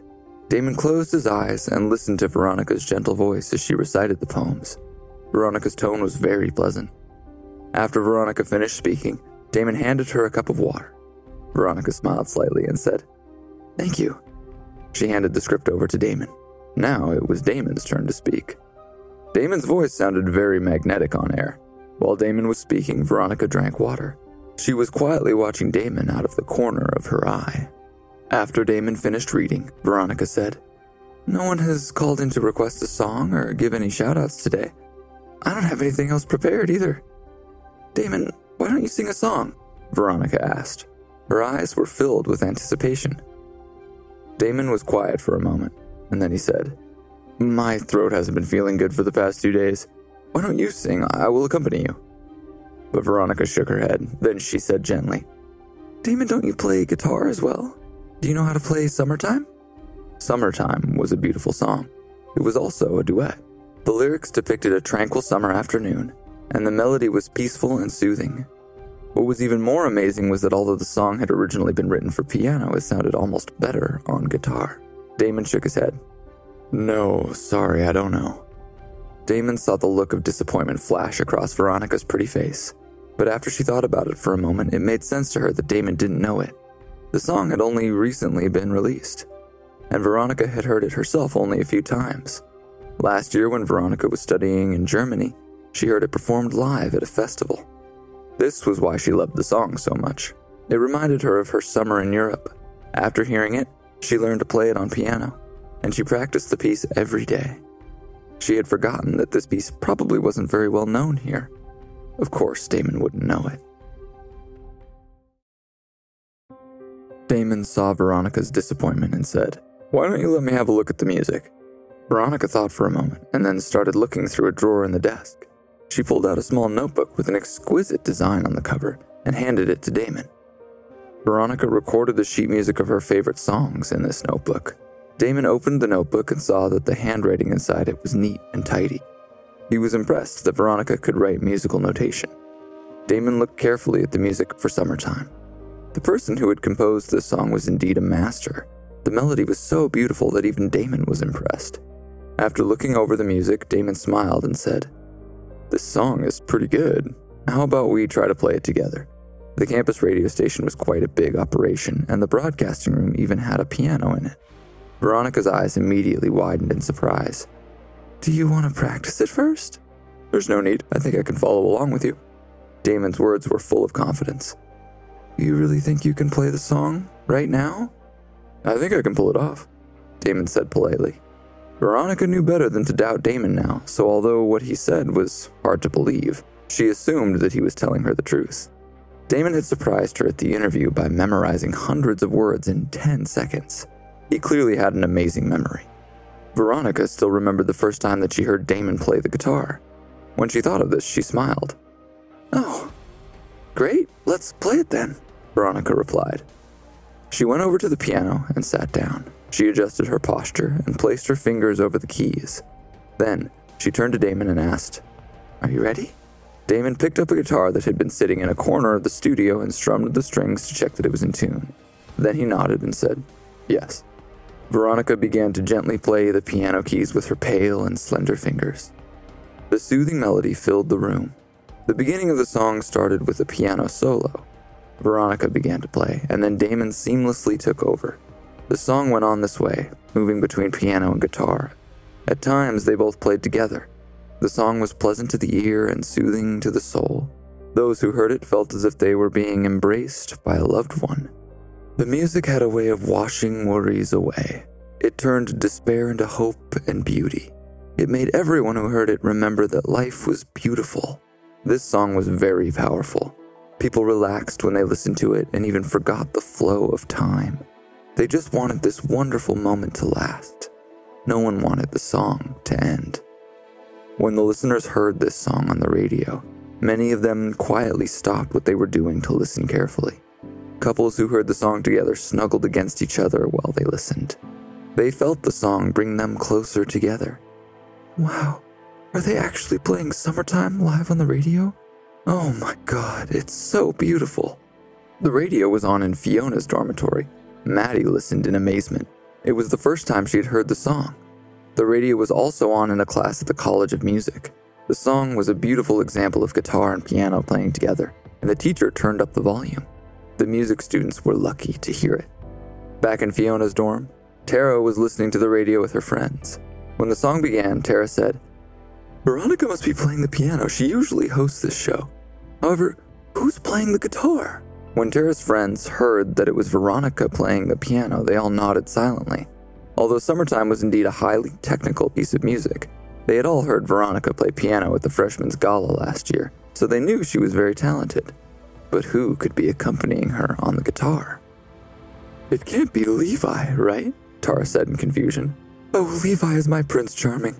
They play this duet so beautifully together. Could they actually be a couple? Oh, I hope it's not Levi. That makes me so sad. Nonsense. It definitely isn't Levi. Even Levi isn't this good, her friend replied. I think the guitar part is recorded. No one can play this well live. Although Levi had made a name for himself in the new voice talent search, he couldn't play the guitar as well as the artist who had originally recorded Summertime. After all, the couple who had originally recorded the song were internationally famous musicians. Someone like Levi, who had just appeared on the music scene out of nowhere, could not compare with them. However, if Levi and Veronica had really been a couple, they would be a match made in heaven. Veronica was beautiful and outstandingly talented. Only someone like Levi was worthy of her. If the two of them were really a couple, their relationship would be legendary. However, Tara's friend had seemed certain that the guitarist wasn't Levi, and her friends believed her. Tara patted her chest and said, What a relief. My Prince Charming is not with Veronica. If he was, I would never get over it. Fiona was still sitting at her desk playing computer games. She was the only one not participating in the discussion, but the song still echoed in her mind. She slightly furrowed her beautiful brow. Fiona sighed. You played quite well, Veronica said to Damon after they finished playing. Her beautiful eyes flickered with a soft glow. You are also very good, Damon replied. Veronica played the piano very well. While the two of them were playing, Damon had felt their separate rhythms merge together into one voice. Their music had filled each other's souls. This feeling made Damon very excited. In that moment, he felt like he knew Veronica intimately. When they played together, his love for Veronica grew even greater. How wonderful would it be if he could play with Veronica like this every day? He wondered if Veronica felt equally as satisfied with their performance. He watched her expression, but he couldn't figure out what she was thinking. Veronica suddenly asked, By the way, Damon, are you free this weekend? Damon replied, Why? Veronica's pretty face turned slightly red. Are you coming to my birthday party? It's a few days from now. I wouldn't miss it, Damon replied. He was happy that Veronica wanted him to come to her birthday. All right, then, I'll message you on the weekend. Veronica was very happy to hear Damon agree to come. She was about to say something else, but at this moment, one of her classmates ran in and said, Veronica, Drew is here looking for you. Veronica nodded to her friend and quickly said to Damon, Let's call it a day then, I have to go. Veronica gathered her things and went downstairs. Damon looked out the window. He saw a sleek Mercedes Benz parked out front. A handsome guy stood in front of the car. When the guy saw Veronica coming out of the station, he opened the car door for her. Damon watched Veronica hop into the car and leave with the guy. Damon watched until the Mercedes Benz had disappeared around the corner. He turned to Veronica's classmate, who was still in the room, and asked, Who is Drew? The girl looked at Damon in surprise and said loudly, You don't know Drew Parker? He's Veronica's boyfriend. Not only does he own his own company, but his father is also famous in Meyerson. His family is very wealthy. What? Damon had heard what the girl said, but he didn't want to believe it. A feeling of despair suddenly surged in his heart. The words, he is Veronica's boyfriend, echoed in his head. He should have expected that a beautiful girl like Veronica would have a man in her life. After hearing what her classmate had said, at least he knew that this guy was good enough for Veronica. But Damon was still disappointed. Damon had thought that he had had a chance with Veronica, but now he realized that Veronica was out of reach. Damon needed to achieve something greater before he could have the confidence to chase after a girl like her. That night, Xander returned to the dormitory with a sad look on his face. Theo was on the phone with Willow. Theo, who usually got along well with Willow, was actually having a big fight with her. It seemed like the fight was about buying tickets for the festival. After quarreling with Willow for more than an hour, Theo finally hung up the phone. After the lights in the dormitory had been turned off, everyone sat on their beds and chatted. The conversation was mostly about the upcoming music festival. Ryan Gold was the most popular celebrity scheduled to perform at the festival, so naturally he was a topic of the discussion. Levi was not in the dormitory. Ever since he had won the New Voice talent search, Levi hadn't spent much time in the dormitory. People were saying that he had rented a house in a relatively high end part of town. Now that he was famous, he needed space so that he could practice music and host events. Theo didn't know what was going on with Willow. She was usually so sensible, but now she was fighting with Theo over festival tickets. Having tickets to the show had turned into a sort of competition amongst the girls. However, the tickets cost so much now that most students couldn't afford them. Riley, on the other hand, had not asked Xander for a ticket. Even so, Xander did not seem to be optimistic about the situation. Most of the discussion in the guys' dormitory that evening centered on complaints about Ryan Gold. After all, it was because of Ryan Gold's performance that the ticket prices had skyrocketed. Moreover, he was the reason why all the girls wanted to go to the show. Ryan Gold was indirectly causing Theo, Xander, and the others a lot of trouble with their relationships. He was also costing them a lot of money. As the guys in room 502 chatted that night, they all began to realize that the girls had changed. Things used to be simpler. Now the girls seemed to care only about money and material things. They always seem to be competing with each other over these things now. At this moment, Theo seemed to have thought of something. He said, Quinn, you don't seem to be spending much time with Sammy lately. You should keep an eye on her. She seems to be hanging out with that other guy a lot. You know, the guy she used to hang out with. That guy's from a bad crowd. Theo's comment to Quinn was not baseless. That day he had seen Sammy and that guy at the mall together with his own eyes. However, Quinn only sighed softly in reply, and he did not say anything. The guys eventually stopped chatting and fell asleep. The next morning, Damon did not have any classes. He got up and played some video games instead. While he played, he took some notes and began thinking about ideas for his own game. After all, every popular large scale game required a good background story. After Theo, Xander, and Hector had left the dormitory, Quinn came over to Damon. Quinn was hoping to borrow some more money from him, Damon smiled and said, You're broke again, huh? How much do you want to borrow? This time, Quinn smiled awkwardly. He put his hands in his pockets and cautiously said, My parents are coming to visit Meyerson for a few days. Can I borrow $300? If you don't have that much, just lend me as much as you're able. Even 100 would be a huge help. Why would Quinn need to borrow money if his parents were coming to Meyerson? It seemed a little illogical. Was Quinn planning something special for his parents? But Quinn's parents should know that Quinn couldn't afford to spend hundreds of dollars on them. After all, Quinn wasn't from a rich family. Why were his parents coming to Meyerson right now, anyways? Didn't they have work? Is everything okay with you? Damon asked as he took out his wallet. He did not have much cash on him at the moment. All his money had basically gone into KC Games. However, he still had more than $1,000 in his bank account. He counted out $300 in cash and gave it to Quinn. It's nothing, I'm fine. Quinn's expression did not look fine, though. When Quinn took his hand out of his pocket to take the money, something fell out of his pocket and onto the floor. Quinn seemed very nervous.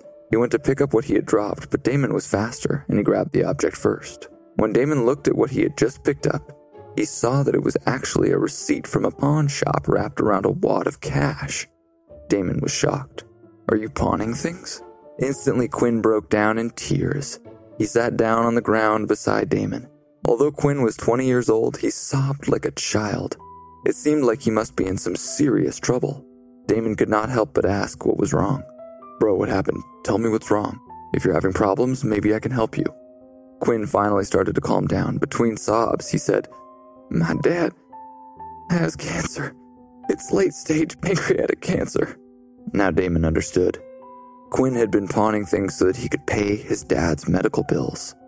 No wonder he had looked so awful lately. Now Damon also understood why Quinn hadn't been spending time with Sammy lately. It all made sense now. Damon was silent. He took out his smartphone and logged into his banking app. I have more than $1,000 in my account. Here, I'm transferring it to you now.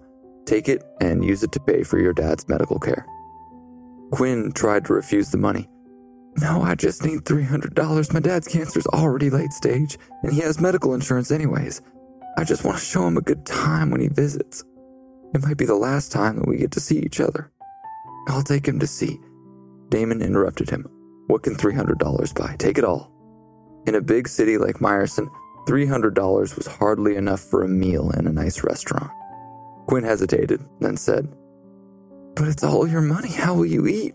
I have money, Damon said forcefully, and he hit the transfer money button on his banking app. The expression in Quinn's eyes was full of gratitude. After checking to make sure that he had received the money, he finally left. After hearing about Quinn's dad's cancer, Damon wasn't in the best of moods either. He searched his pockets and found that he had only a few cents left. Luckily, he still had some credits left on his meal card. He would be able to hold out for a while. It was almost noon when Fiona called Damon to ask him if he wanted to go out for lunch. Her father was arriving that night, so she wanted to meet Damon to discuss the final details of their plan. Damon walked out of the dormitory and found that Fiona was already waiting for him downstairs. She had her hair in a ponytail and was wearing a headband that had little rabbit's ears on it. She looked playful and cute. Her beautiful face and red lips were exceptionally attractive. It was a bright, sunny day outside, so Fiona was wearing a pair of sunglasses. The sunglasses hid her beautiful eyes. She wore a boho chic dress.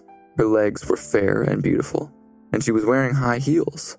The sun shone through the window behind her, and its light made her look youthful and energetic. The high heels that she was wearing were open toed, and Damon could see that her delicate and cute toes had been painted a shade of pink. Damon walked over to her. Fiona took off her sunglasses and said lightly, Where are we going to eat? The cafeteria, Damon said indifferently. Fiona looked at Damon with surprise and then led him out of the building. Damon followed Fiona. She was walking in the opposite direction as the cafeteria. They left the campus and walked a few blocks away. Fiona entered a nice looking restaurant and confidently ordered a few appies. The appies that she ordered were all Damon's favorites. Then, Fiona sat back and stared at Damon. Damon felt a little uncomfortable with Fiona staring at him like that, and he asked, Is there something wrong? No. Fiona rolled her eyes, then she asked, You know who you've been hanging out with lately. I'm trying not to be upset about it. Oh, you mean Veronica? Damon asked. She's not as cool as you think she is. Can't you just be honest? Fiona was angry now and she said coldly, Aren't you working at the campus radio station now? And aren't you working with Veronica? You were supposed to be pretending to be my boyfriend. Damon was surprised. How did you know? Do you think I'm blind? Fiona looked at Damon's surprised but indifferent expression. Fiona was so angry that she wanted to lean across the table and smack him. Others might not know how well Damon played guitar, but Fiona knew. She knew that he was the only person on campus who played better than Levi. Fiona had heard him play Summertime on the radio with Veronica. She had heard how they had harmonized together perfectly. What annoyed Fiona even more was that she did not know if there was actually something going on between them or not. Damon and Veronica had certainly seemed in tune with one another. Fiona couldn't stand the thought of Damon and Veronica together. When Damon saw how angry Fiona was, he didn't know what to say. By now, the food had arrived at the table.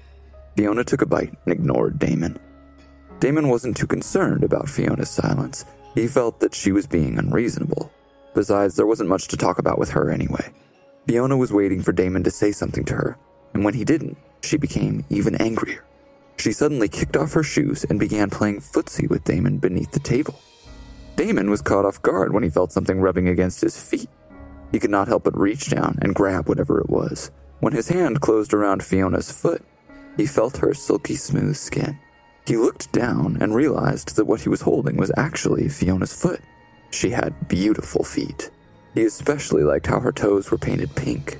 Damon found Fiona's feet very tempting. When he looked at them, he remembered the time when he had accompanied Fiona shopping.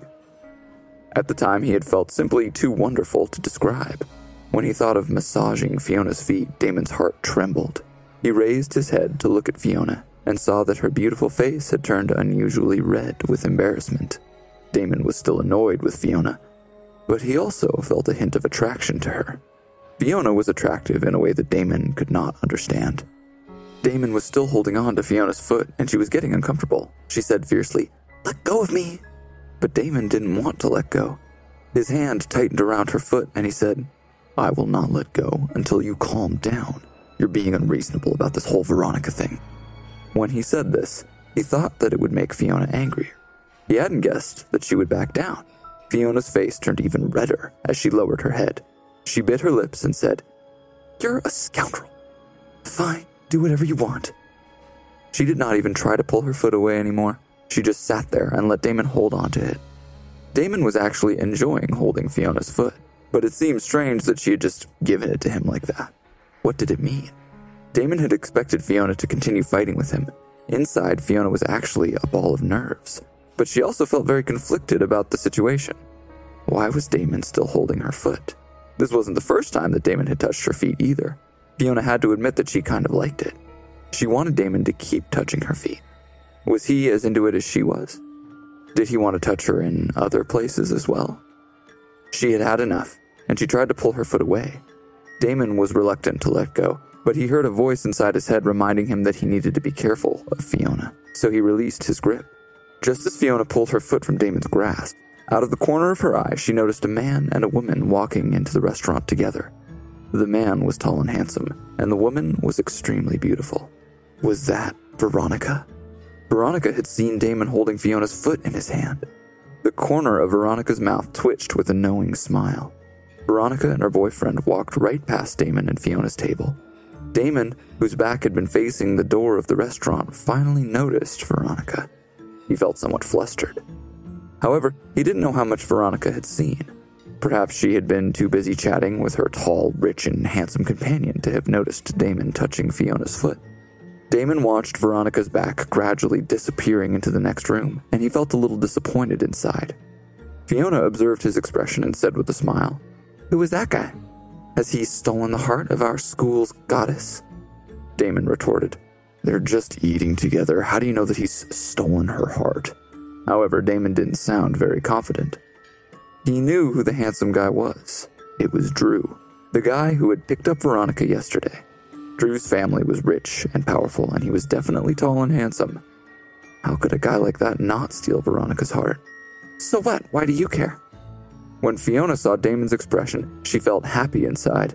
She continued, You probably don't know this, but there's a hotel behind this restaurant where you can rent rooms by the hour. That's why people come here. Fiona watched the expression on Damon's face grow increasingly ugly, and she went on, I'm sure that Veronica knows all about it. Veronica is very smart. Damon's head was a mess. He wanted to say something clever back, but he seemed to be short of breath. At this moment, more appies arrived. Damon felt miserable, but he slowly lowered his head and ate. After the meal, Fiona wanted Damon to go back to the dorms with her. She put on her coat and said, Why don't we go back to your dormitory? When they returned to the dormitory, no one else was there. Fiona took some clothes out of her bag. She had bought them for Damon at the shopping mall. She had already washed and ironed them flat. Put these clothes on, she said. We are seeing my father tonight.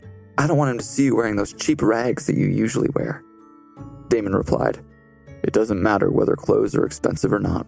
What matters is that they are clean and tidy. you have a lot of strange theories, Fiona pouted. Then she said, What if I ask you nicely? Please, can you change your clothes? Damon thought about it and decided to help Fiona one last time. He was determined to be the bigger person here. He took Fiona's clothes and went to the bathroom to change. When he came out again, he looked completely different. How do I look? A strange look flashed in Fiona's eyes, but she casually said, You look okay, I guess. At least you won't embarrass me tonight. Fiona secretly thought Damon looked amazing. All right then, I have some stuff to do now. Come and get me when you're ready to leave tonight, Damon said. He was relieved that Fiona was satisfied with his appearance. Damon sat down at his desk. Although he had implied that Fiona should leave, she did not. When Damon turned on the computer to try to get some work done, Fiona quietly sat on Damon's bed and watched him work. She couldn't figure out why he was ignoring her. Girls always thought the quiet guys were the most handsome. Damon had an inexplicable charm. Damon was busy planning his new game. He was trying to concentrate. He soon became absorbed in his work and lost track of time. Eventually, Damon's eyes finally got tired from looking at the screen. He looked at the time and saw that it was already late. It was five o'clock in the afternoon. He stretched his arms and looked around. That's when he noticed that Fiona was still in his dormitory. She had been staring at him the whole time. He saw a trace of gentleness in her beautiful big eyes. You're still here? Oh, Fiona shyly looked away. My dad should be here soon. If you're done working, we should go. Just then, Fiona's phone rang. Damon heard a deep voice talking on the other line. After hanging up the phone, Fiona said, My dad just arrived. Let's go. Damon packed up and walked out of the dormitory with Fiona. As they left the dormitory, Fiona held Damon's hand and gently leaned her head against Damon's shoulder. Damon said, This is the last time, right? Fiona gave Damon a charming smile. She said, If we don't practice in advance, our story might get exposed. Damon didn't say anything else about it. They were meeting Fiona's father at the hotel by the campus lake. When they arrived at Fiona's father's hotel room, Fiona pushed the door open and they walked in. Damon took the opportunity to look around, and he saw what he thought was an old lady with long hair and wrinkled skin sitting in a chair. Although she looked very old, her hair was actually quite thick. It seemed unusual for someone so old. At first, Damon thought they had walked into the wrong room, so he asked, Sorry, ma'am, I think we're in the wrong room. Is this room 1068? This is room 1068. I guess you weren't expecting to see someone like me here, huh? I must look old, huh? The person said unhappily. Damon knew that many women cared about their age, so he quickly tried to smooth things over and said, You look old. No, you must be Fiona's aunt. What? Do I look like a woman to you? I'm a man. The person in the chair exclaimed. Fiona, who was standing beside Damon, could not bear to continue listening to their exchange. Her face was burning with embarrassment. She took a moment to regain her composure, then she said, Damon, this is my father. Damon was shocked. He didn't know what to say, but he quickly tried to smooth things over. Uh, is that so? My mistake. Like I said, I thought this was your uncle because he looks so young. That's right. You look like you could be Fiona's uncle. Damon's attempt at flattery was so serious that he almost believed it himself. I forgive you. It was an honest mistake. Come, come on. You are my daughter's boyfriend, right? Sit down. Fiona's father exclaimed. Although Fiona's father looked strange, he seemed to be a forthright person. He actually did not blame Damon for making such a mistake. Damon sat down. Young man, do you smoke? Yet again, Damon found himself in a bit of a dilemma. He didn't want to admit that he smoked, but he also didn't want to lie. Then he remembered that being Fiona's boyfriend was just an act, so he smiled and said, Yes, I smoke. After Damon said this, Fiona's father took out a cigar and handed it to him. Here's to my daughter's future husband, her father said. Then he lit Damon's cigar. The two men began to smoke. Fiona's father smacked his lips and smiled. Young man, I like you. You are my kind of guy. Come on, smoke. What do you think of that cigar? Damon had to admit that it was a really nice cigar. He had not expected Fiona's father to have such a refined taste. Damon puffed on the cigar and continued flattering Fiona's father. Wow, I can't wait to call you father in law. You have great taste in cigars. Fiona could not bear to watch this go on any longer and muttered, Quit being an ass kisser. Damon and Fiona's father pretended that they hadn't heard her. Fiona's father nodded at Damon and said, I'm glad you think so. Fiona had not expected her father to take such a liking to Damon. What were the odds that these two men would have such similar awful tastes? They were instant buddies. Damon's acting was over the top. Had he actually called Fiona's father his father in law? Fiona was secretly impressed by Damon's acting skills. After ordering room service, Damon and Fiona's father chatted and gradually got to know each other. Damon toasted Fiona's father, and Fiona's father said how much he liked Damon again. When Damon put his wine glass down, Fiona's father said, Damon, I've heard that you were quite talented, especially when it comes to music. Fiona still couldn't believe that her father had taken such a shine to Damon. Damon was being a serious suck up. It was actually kind of embarrassing. Damon nodded in response, and Fiona's father said with a smile, Very good. Not bad at all. Your future is so bright. When two young people are together, they must share the same ideals. Thanks, you are too kind. Well, I'm just repeating all the things that my daughter already told me about you. They finished the first bottle of wine and opened a second. The food arrived. It was delicious. Damon and Fiona's father chatted about everything from travel to politics to science and technology. The more they talked, the better they got along. They regretted not meeting each other sooner.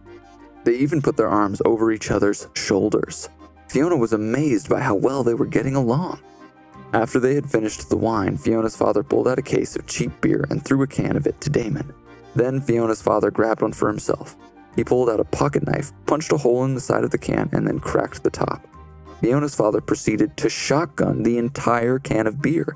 Then he threw the pocket knife to Damon and said, Your turn. Damon was shocked. Although Damon had shotgun beer at dorm parties before, he hadn't expected someone as old as Fiona's father to be able to do such a thing. Damon looked down at the beer he was holding. This night had taken an interesting turn. Damon punctured a hole in his beer can and shotgunned the entire thing as well. Fiona's father grinned and threw him another beer. Fiona just rolled her eyes. They continued to shotgun the entire case of beer.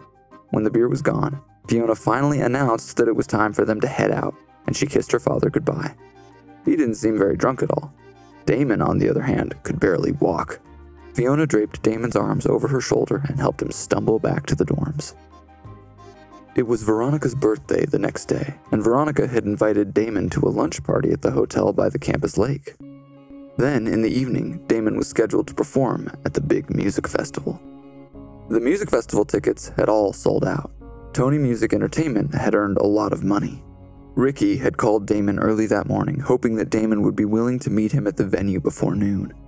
After all, Damon still needed to come to the venue to rehearse and decide on his wardrobe before he would be ready to go on stage. However, Damon had refused to report to the venue until later that afternoon, and Ricky had not wanted to risk offending Damon before the big show. After all, ever since the news broke out that Ryan Gold would be performing, the festival had become incredibly popular. Before that, ticket sales hadn't been great. No one had expected Ryan Gold to suddenly make a public appearance like this. Since Damon had told Ricky that he wouldn't be there till later, he had most of the day to do as he pleased. Damon thought about how tomorrow was Veronica's birthday. Damon looked in his wallet. He had only $10 left. He had given the rest of his money to Quinn. He did not have to worry about buying food because he still had credit left on his meal card. But he had to buy Veronica a decent gift for her birthday, right? But what kind of gift could $10 buy?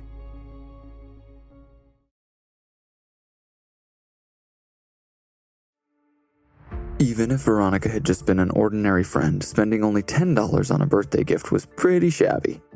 Damon wanted to get Veronica something special. However, $10 was all the money that Damon had. Should he call Will and ask to borrow some money from the KC Games account? However, the company's funds were really tight at the moment.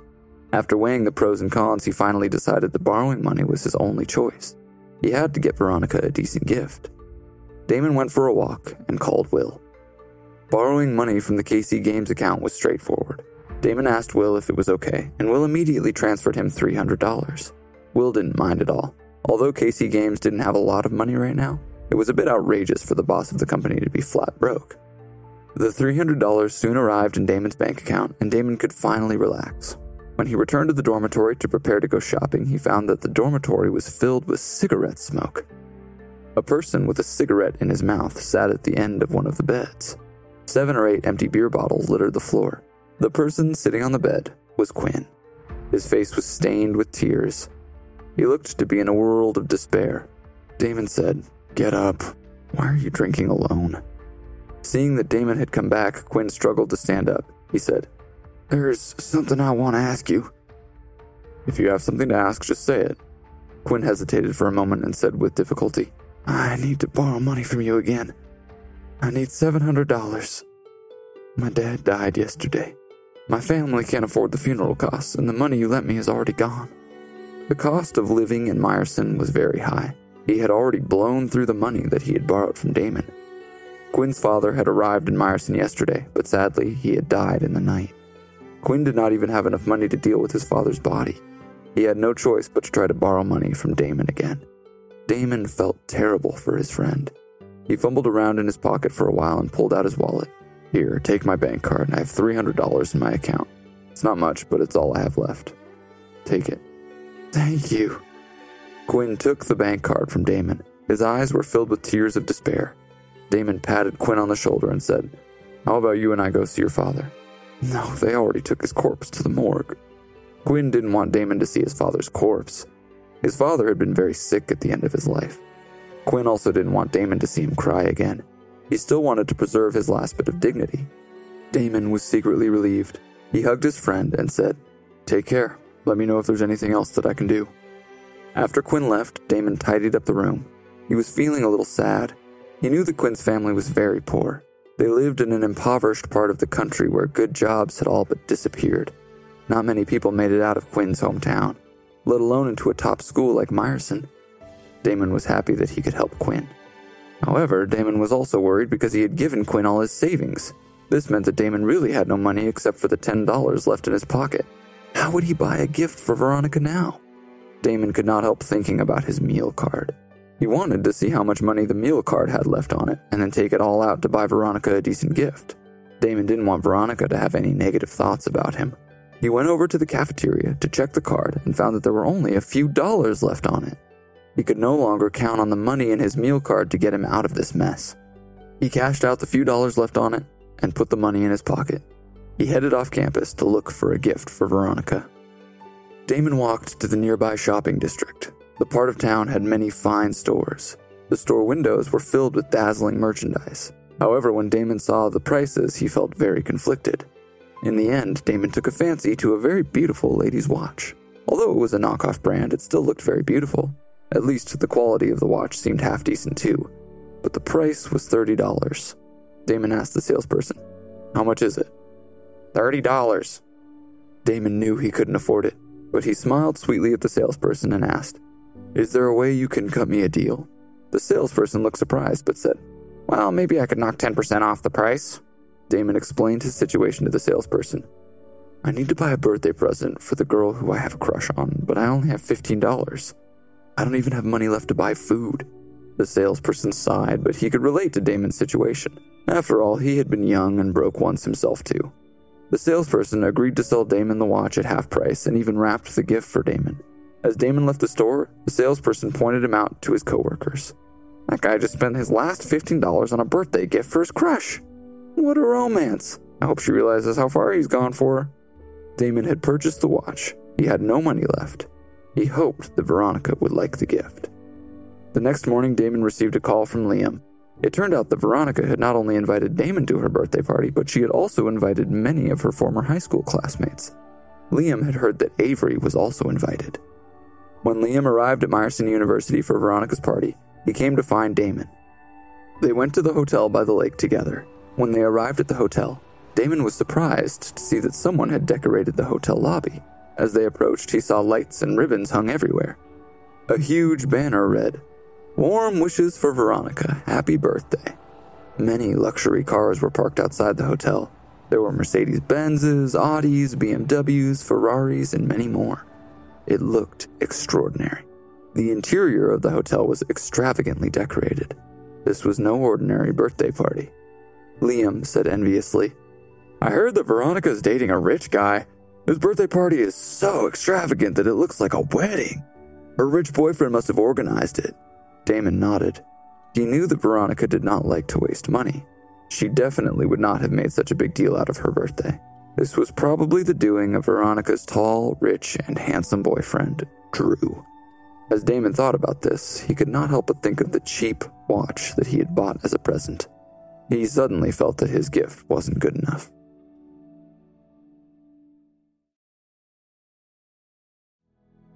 When Liam saw how extravagant Veronica's birthday venue was, he could not help but sigh. Looks like we are really out of our league here. Compared to Avery and Veronica, we haven't achieved much in life, Liam said with emotion. He had heard a lot about all the things Veronica had done in the past year. She had joined the Association of Young Entrepreneurs, and she had gone to Berlin as an exchange student. She had even won all kinds of big awards. By now, she was famous at Meyerson University. Veronica turned heads everywhere she went on campus. Avery also had her own merits. She had also achieved a lot since graduating high school. They had all graduated high school only a year ago. How had these girls already left them so far behind? At least Liam wasn't alone at the bottom. Although Damon had gotten into a better university than Liam, Liam still seemed to be doing better in school. To him, it seemed that Damon hadn't achieved much since graduating high school either. He secretly felt a lot better about his whole situation. Liam, do you have any money on you? Let me $20 so I can eat tomorrow, and I promise I will return it to you in a few days. Damon asked shamelessly when he remembered that he wouldn't have enough money to feed himself tomorrow. Liam smiled. Damon, how is it that you are even poorer than me? He took out a 20 and gave it to Damon. Suddenly, a delicate voice called out to them from behind Liam, Damon! The two of them turned their heads and saw a beautiful girl standing behind them. She was tall and she had great posture. It was Avery. She was wearing sunglasses. This might have been because she was already quite famous and she didn't want anyone to recognize her and take her photo. But even so, it was still difficult for her to hide.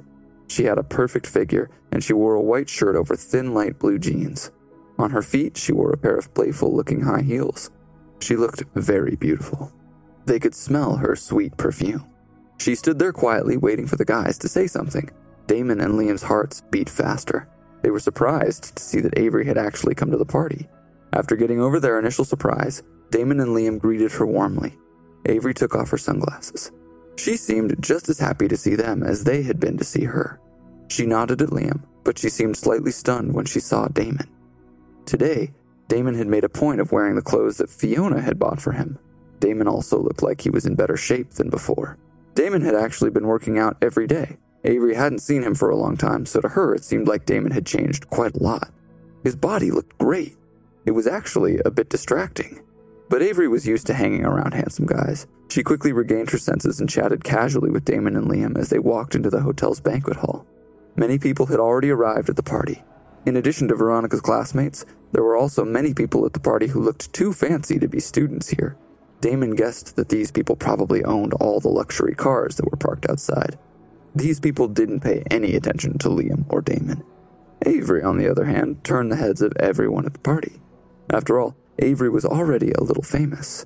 Even when people did not know who she was, they could still tell that she was something special. Avery was very attractive. Nearly every guy who saw her fantasized about her. Damon guessed that all these beautiful people were more likely friends of Veronica's handsome boyfriend, Drew. Had Veronica invited Damon to the party to make Drew jealous? Damon saw a few familiar faces around the hall. After all, Damon shared classes with many of these students. Even though they nodded at Damon in recognition, none of the people he recognized struck up a conversation with him. Damon, Liam, and Avery all stuck together. They had all gone to the same middle school and had practically grown up together. They were old friends, and they hadn't seen each other in a long time. Naturally, they had a lot of catching up to do. However, most of their conversations was just Liam asking about Avery. Avery answered all of Liam's questions.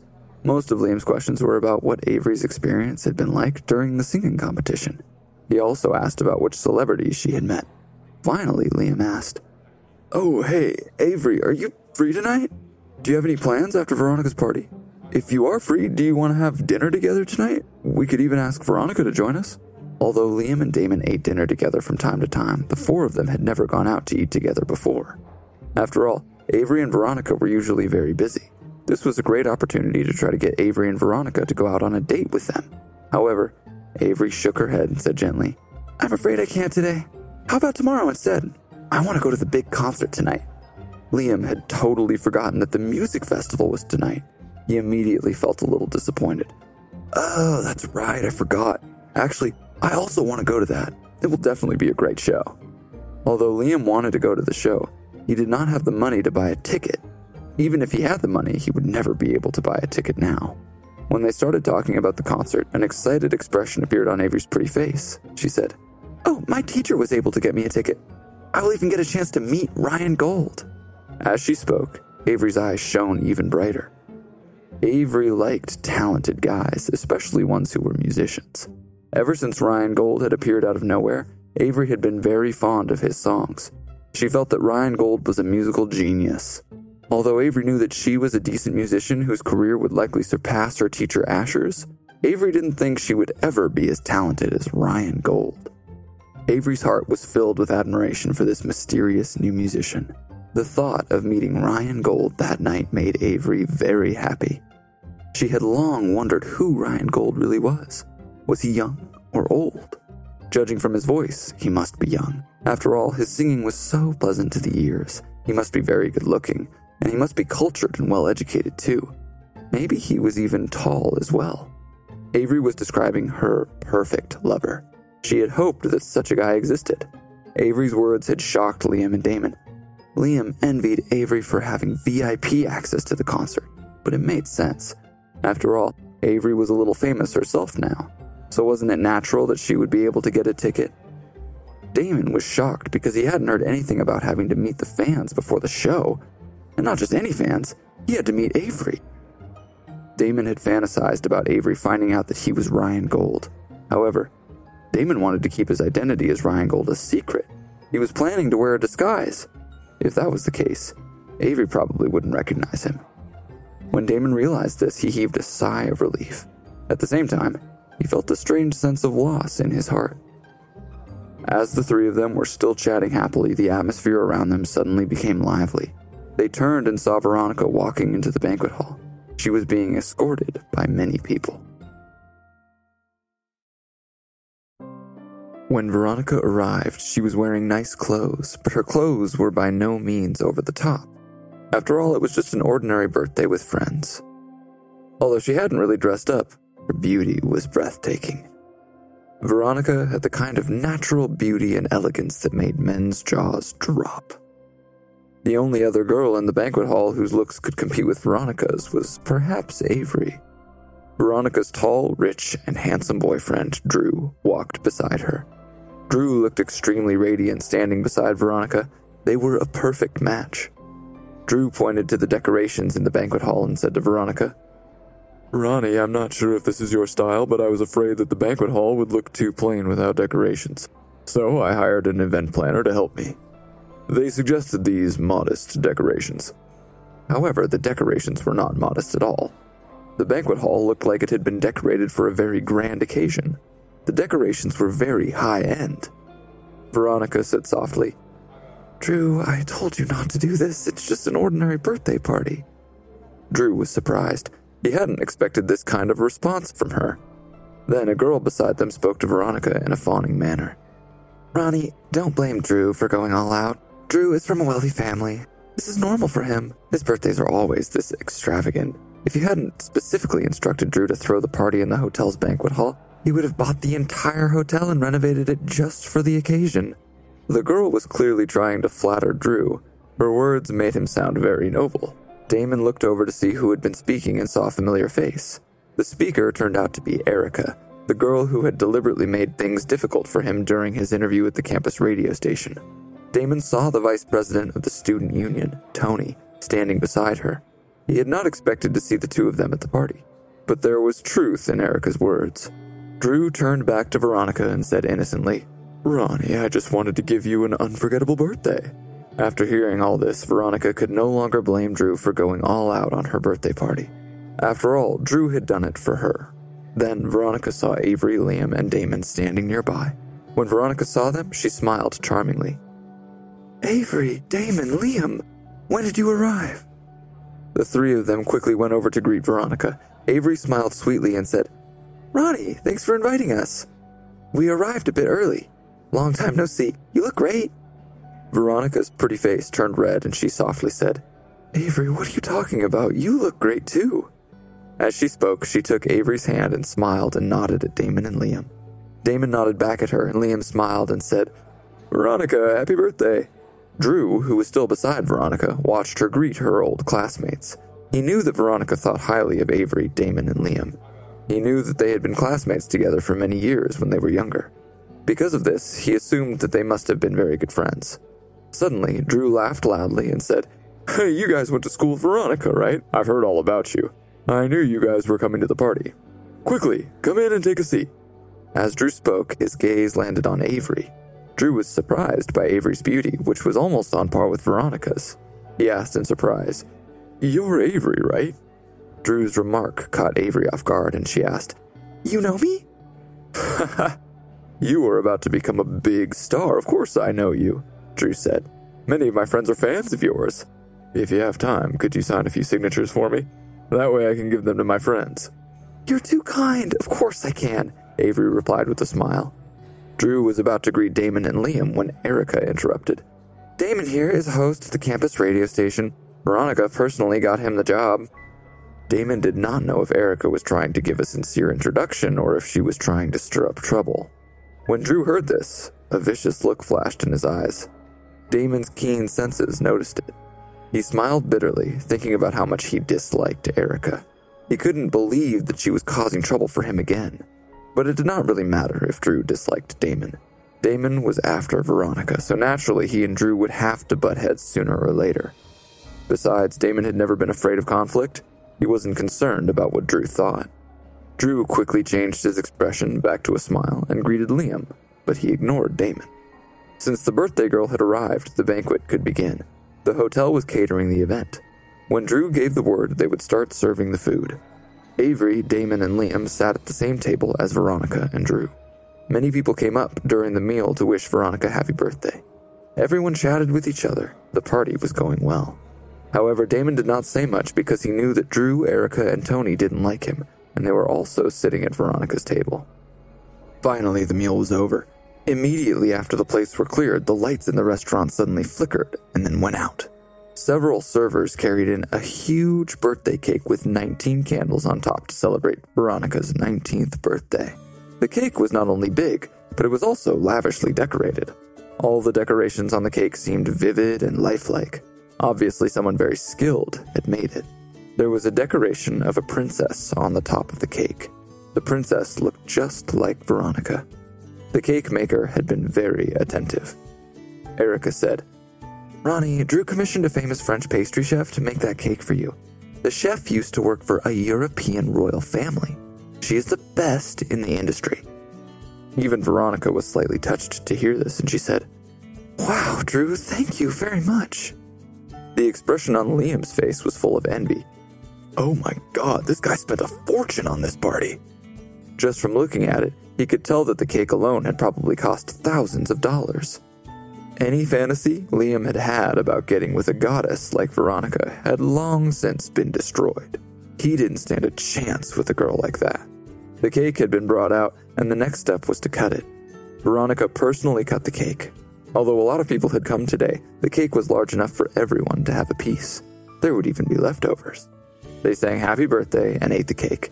Everyone wished Veronica a happy birthday. After they had finished eating, Damon opened his mouth and said, Veronica, I want to wish you a happy birthday. He took out the birthday present that he had bought yesterday and gave it to Veronica. When Damon said this, the other people at the table turned to watch. Damon's present was sitting on the table alongside many other dazzling gifts. Liam's was quite large. Damon was nervous about his present. It looked very small and plain compared to everyone else's. After Veronica had put Damon's gift wrapped present with the others in front of her, Tony piped up and said, Since everyone is here, Ronnie, why don't you open your presents? When Damon heard Tony say this, he wanted to tear Tony's mouth off his face. Damn it. He had really hoped that Veronica wouldn't open her presents in front of everyone. He didn't want to get embarrassed. However, it looked like Tony was very pleased with himself. He had obviously spent a lot of money on Veronica's gift. Otherwise, he wouldn't have suggested that she open her gifts in front of everyone. Fortunately, Veronica frowned at Tony's suggestion and said, No, that doesn't seem right. I think it's better if I wait until I get home to open them. Veronica was intelligent, and she didn't want to make any of her classmates feel bad. She knew that they could not all afford to give expensive gifts. After all, most of her classmates did not come from wealthy families like Drew and Tony. If she opened all their gifts in front of them, people might feel awkward. Damon immediately heaved a sigh of relief. He was glad that Veronica understood. This made him love Veronica all the more. But then, a handsome friend of Drew's cut in and said, Veronica, I think you should open your presents now. We all want to know what people got you. What do you think? It seemed that all Drew's friends came from wealthy families, so they were able to give expensive gifts. They were excited to see what people had got Veronica. Drew gave his friend a knowing glance. Drew must have prepared an extravagant gift for Veronica. Obviously, he wanted a chance to show off his present to everyone. Of course, Drew couldn't say this out loud. Naturally, it was better coming from his friend. Since so many people had agreed with Drew's friend, Veronica had no choice but to go along with him. So Veronica nodded her head. First, she opened the small but exquisite box from Drew's friend. Inside was the latest iPhone. It was clearly super expensive, all the students who were watching cried out in surprise. The handsome guy who had given the gift shrugged off their reactions. People who had spent much less on their gifts shifted awkwardly in their seats. After all, the iPhone was the first gift that Veronica had opened. It had set the bar high for the rest. If the other gifts weren't as good, it would inevitably be somewhat awkward. Even Tony looked somewhat uncomfortable. After all, although the gift that he had bought for Veronica was not cheap, it was still inferior to a brand new iPhone. Now he was kicking himself for suggesting that Veronica open her gifts in front of everyone. Fortunately, the second gift that Veronica opened was less extravagant. It was a nice travel mug from her classmate. Veronica smiled and said thanks. The mug was just what she had needed. The third, fourth, and fifth gifts that she opened were all worth about the same amount of money. So far, many people's gifts cost less than $50. Everyone's mood gradually relaxed. However, as Damon watched Veronica open presents, his mood became worse and worse. He thought to himself, Compared with this stuff, my gift sucks. Damn. It was going to be embarrassing when she opened his gift in front of everyone. Damon wanted to go find a hole and hide in it. He hadn't been able to afford an expensive gift. He cared a lot about what Veronica and Avery thought of him. If they thought less of him because of his crummy gift, Damon didn't think he would be able to stand it. The sixth gift that Veronica opened was from Liam. It was a karaoke machine worth around a $100. The karaoke machine could be connected to a TV or computer. Karaoke parties were all the rage on campus lately. Liam had clearly put a lot of thought into his gift. Next, Veronica picked up Tony's present. When Tony saw Veronica open the iPhone, he didn't look very happy, but he seemed better now that Veronica had opened some less expensive presents. Veronica opened Tony's gift. Inside the box was a crystal bracelet that glittered beautifully in the light. People could tell just by looking at it that it was definitely worth a lot. Tony proudly told Veronica about the bracelet. Ronnie, this is from a famous European designer. I asked someone to pick it up for you in France. It is one of a kind. You can't even buy this in the States. A female classmate of Veronica said enviously, It's beautiful. It suits you so well, Ronnie. It was finally Avery's turn to give Veronica her gift. Her gift was a designer handbag that was worth a few hundred dollars. It was Veronica's style. Veronica held it up admiringly. After opening Avery's gift, Veronica picked up the gift from Drew. Everyone could tell just from looking at the box that Drew's gift was very expensive. However, the box was very small. Everyone was trying to guess whether it was a ring, a bracelet, or some other precious item of jewelry. Veronica gently opened the box. Inside was a car key. The key had the BMW logo on it. When everyone saw this birthday present, they gasped loudly. Even Tony, who had been on his way out to get some air, craned his neck to see what it was. Although he knew that Drew's gift to Veronica would be expensive, he had never imagined that Drew would actually be so generous as to give Veronica a brand new BMW. Even though Veronica was from a well off family, she was still shocked by Drew's gift. A brand new BMW was simply too much. She couldn't think straight. The room echoed with sounds of surprise and envy. Veronica looked at the car key, then she shook her head and said softly, Drew, I'm sorry, your gift is too expensive. I can't accept it. Veronica's rejection caused an uproar in the crowd. No one had expected Veronica to reject Drew's gift. After all, it was a brand new BMW. Every girl dreamed of having a car like this. Veronica's reaction made people start to wonder if Veronica and Drew's relationship was really all that serious. After all, they were really boyfriend and girlfriend, wouldn't Veronica have gladly accepted the gift and then given Drew a big kiss? Drew's expression had also changed. After all, he had never imagined that she would refuse his gift. When Veronica opened the box and saw the car key, she was so calm. Drew didn't know what to think. He had never faced this kind of rejection before. Drew still had a trump card to play. He suddenly took out a small box from his pocket. Inside was a very beautiful diamond ring. He opened the box and raised it up high. He said, Veronica, I bought this ring for you. I'm not asking you to marry me.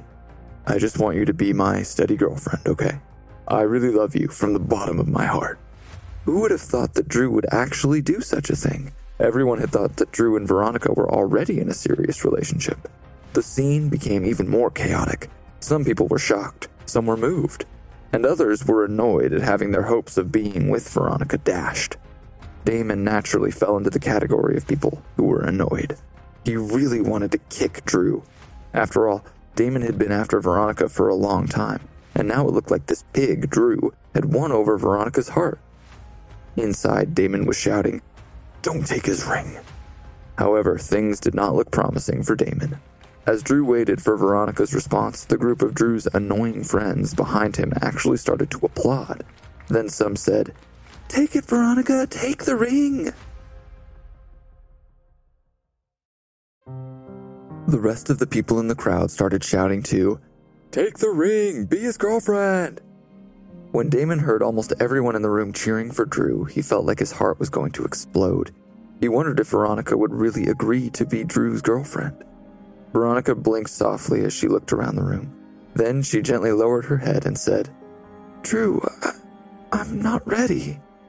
Drew hurriedly said, Ronnie, can't you see that I have feelings for you? What do you mean you're not ready? Then Drew's friend chimed in, Yes, Drew really likes you and he's serious. Many girls would die for an opportunity like this. No, it's not that I don't like him. I just feel that it is all a little sudden. Veronica seemed very conflicted. Perhaps she actually really liked Drew, but she just hadn't expected to be put on the spot like this. After all, Veronica had not been mentally prepared for Drew's sudden proposal. At least this proved that Veronica was not Drew's girlfriend, Damon thought to himself, which meant that there was still hope. Although Damon had to admit that any remaining hope seemed very distant at the moment. When people heard Veronica's words, they were disappointed, but some of them were happy. Damon, who secretly wanted Veronica to be his girlfriend, took pleasure in Drew's misfortune. Drew was pretending to be nice about the situation. He said, It's okay, Ronnie. Take your time and think about it. I really love you. I will always wait for you. Drew paused for a moment, then continued, In honor of Veronica's birthday today, I want to invite everyone to the music festival tonight. If you still need tickets, come and see me or my friends. We'll hook you up. When Drew said these words, the entire audience cried out in excitement. They had not expected Drew to drop a bombshell like that. Everyone wanted to go to the concert, but tickets were nearly impossible to get. Any tickets available now cost 10 times the original price. Was Drew actually giving everyone free tickets? He was not just rich and handsome, but he was also generous. Veronica smiled slightly and waited for the excitement to die down. She still had more gifts to open, she opened two more gifts in the $50 range. Then she finally picked up Damon's gift. Liam laughed and said, Damon, what did you get for her? Avery's expression was also full of curiosity. She also wanted to see what Damon had got for Veronica. Veronica's eyes lit up slightly, as if she had been looking forward to opening Damon's gift all along. What could be inside this small box? So, when Veronica quickly opened Damon's gift and took out the watch, Everyone else was watching expectantly. She held up Damon's gift for everyone to see. The watch glittered with a cold light, but everyone could tell that it was not very expensive. People raised their eyebrows. Damon was already a little embarrassed, but what Erica said next made him want to hide under the table. That watch looks like cheap crap that they sell in department stores. You can buy one of those for 20 bucks. The expressions on people's faces turned from looks of surprise to looks of disgust. Even though most of Veronica's friends hadn't splurged on expensive gifts, their gifts had still been more thoughtful than Damon's. How could someone give Veronica something so trashy? Damon's gift was, without a doubt, the worst gift of the bunch.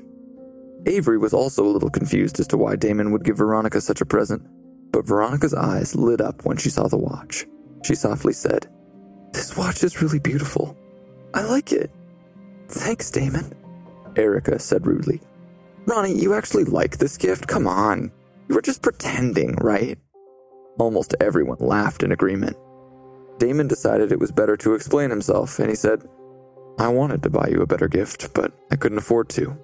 I recently lent all my money to a friend. Damon could ignore the reactions of all the people watching. He didn't care what they thought of him. But he did care about what Veronica and Avery thought of him. That was why he felt like he had to explain himself. Liam remembered that Damon had borrowed money from him earlier that day. He could not help but speak up on his friend's behalf. Veronica, he's telling you the truth. He did spend everything he had on your present. He had to borrow money for food from me today. Liam was trying to tell Veronica just how far Damon had gone to get her a birthday present. Avery didn't seem bothered by the price of Damon's present either. She knew that Damon's family was not well off. She smiled and said, Ronnie, this is actually a good quality watch. Erica refuted Avery's words. No, it's not. I know where Damon bought this. My friend works there. This watch is a cheap, piece of crap. Veronica interrupted Erica and said, I think this watch is pretty good quality. I like it. Damon, thank you. Since Veronica had spoken, Erica held her tongue. Although she was not impressed by Damon's lousy gift, Veronica did not mind. Erica had to let it go. She couldn't continue to badmouth Damon's gift without it seeming like an insult to Veronica. The people who were still watching began to discuss other things, and Veronica did not open any more presents. After all, opening presents in front of everyone was just making people feel awkward. Damon was feeling awful. He knew that from the moment the people had seen Veronica open his present, their opinions about him had changed. Some of the people at the party were even unwilling to talk to him now. How could people be so snobbish? They didn't want to be friends with someone who couldn't afford to buy a decent present. Liam quietly said, Damon, next time tell me if you need money, I'll lend you some. Liam and Damon had grown up together, so their relationship was very close. Damon shook his head. He had already accepted the situation. After all, it had not seemed like a big deal to Veronica and Avery. They had not had any objections to his present. As for the rest of these people, Damon didn't care what they thought. But Damon didn't want to hang out with them any longer. Furthermore, he had to go to the festival venue that afternoon to rehearse his performance. The party was basically over anyway. Damon told people that he had to use the bathroom, and then he went outside to smoke a cigarette. While smoking, he decided that it was time for him to leave the party. He would find an opportunity to talk to Veronica. As Damon left the banquet hall to use the bathroom, Erica watched him leaving and smiled contemptuously. If you didn't want to spend your money on Veronica, then why didn't you just say so? What kind of lousy excuse was that about lending all your money to a friend? One of Drew's friends said, You shouldn't say that. Maybe he was telling the truth. Maybe he really doesn't have any money. Not everyone has a rich family. Another girl named Lacey giggled. I'm afraid you don't know him very well, huh? Well, I know him. He used to be with Fiona. You know Fiona, right? Her family is quite rich. She is very beautiful. Anyways, when he was dating Fiona, he always used to wear cheap, knockoff brand clothing. Fiona eventually dumped him, but he still won't leave her alone. Erica said in disdain. A guy like that has no future. Who would want to be with someone like him? When Liam heard these people talking like this about his best friend, he was very unhappy. He tried to stick up for Damon and said, Don't be so sure. I believe in Damon. He is not a petty person or a liar. He must have really lent his money to someone else. The people sitting around the table saw that Liam seemed a little angry. Erica and Lacey looked down on Liam too because he was Damon's friend, but since it was Veronica's birthday, no one wanted to make the atmosphere awkward. They just laughed it off and talked about other things instead. But in her heart, Erica still looked down on Liam and Damon. She didn't think that poor people deserved to go to Meyerson. At this time, Damon finished smoking and came back to the table to say goodbye. He walked over to Veronica and said to her, Veronica, I just received a call. I have something. I need to go. Thanks for inviting me. I had a great time. I'll see you later. Everyone curled their lips. This guy was tactful. He had realized that he was not welcomed here, so he was leaving. Veronica also knew that Damon did not fit in here. She nodded and got up to personally walk Damon out. But Damon stopped her. He said, You don't need to walk me out. Entertain your guests. Veronica nodded. Damon said goodbye to Liam and Avery, and he was about to leave when the door to the banquet hall suddenly opened and a young guy walked in. A woman with a cane followed behind him. The boy said, Mom, slow down, don't fall. Although the woman was actually not very old, she had clearly lived a hard life, and she looked like she was already in her 50s or 60s.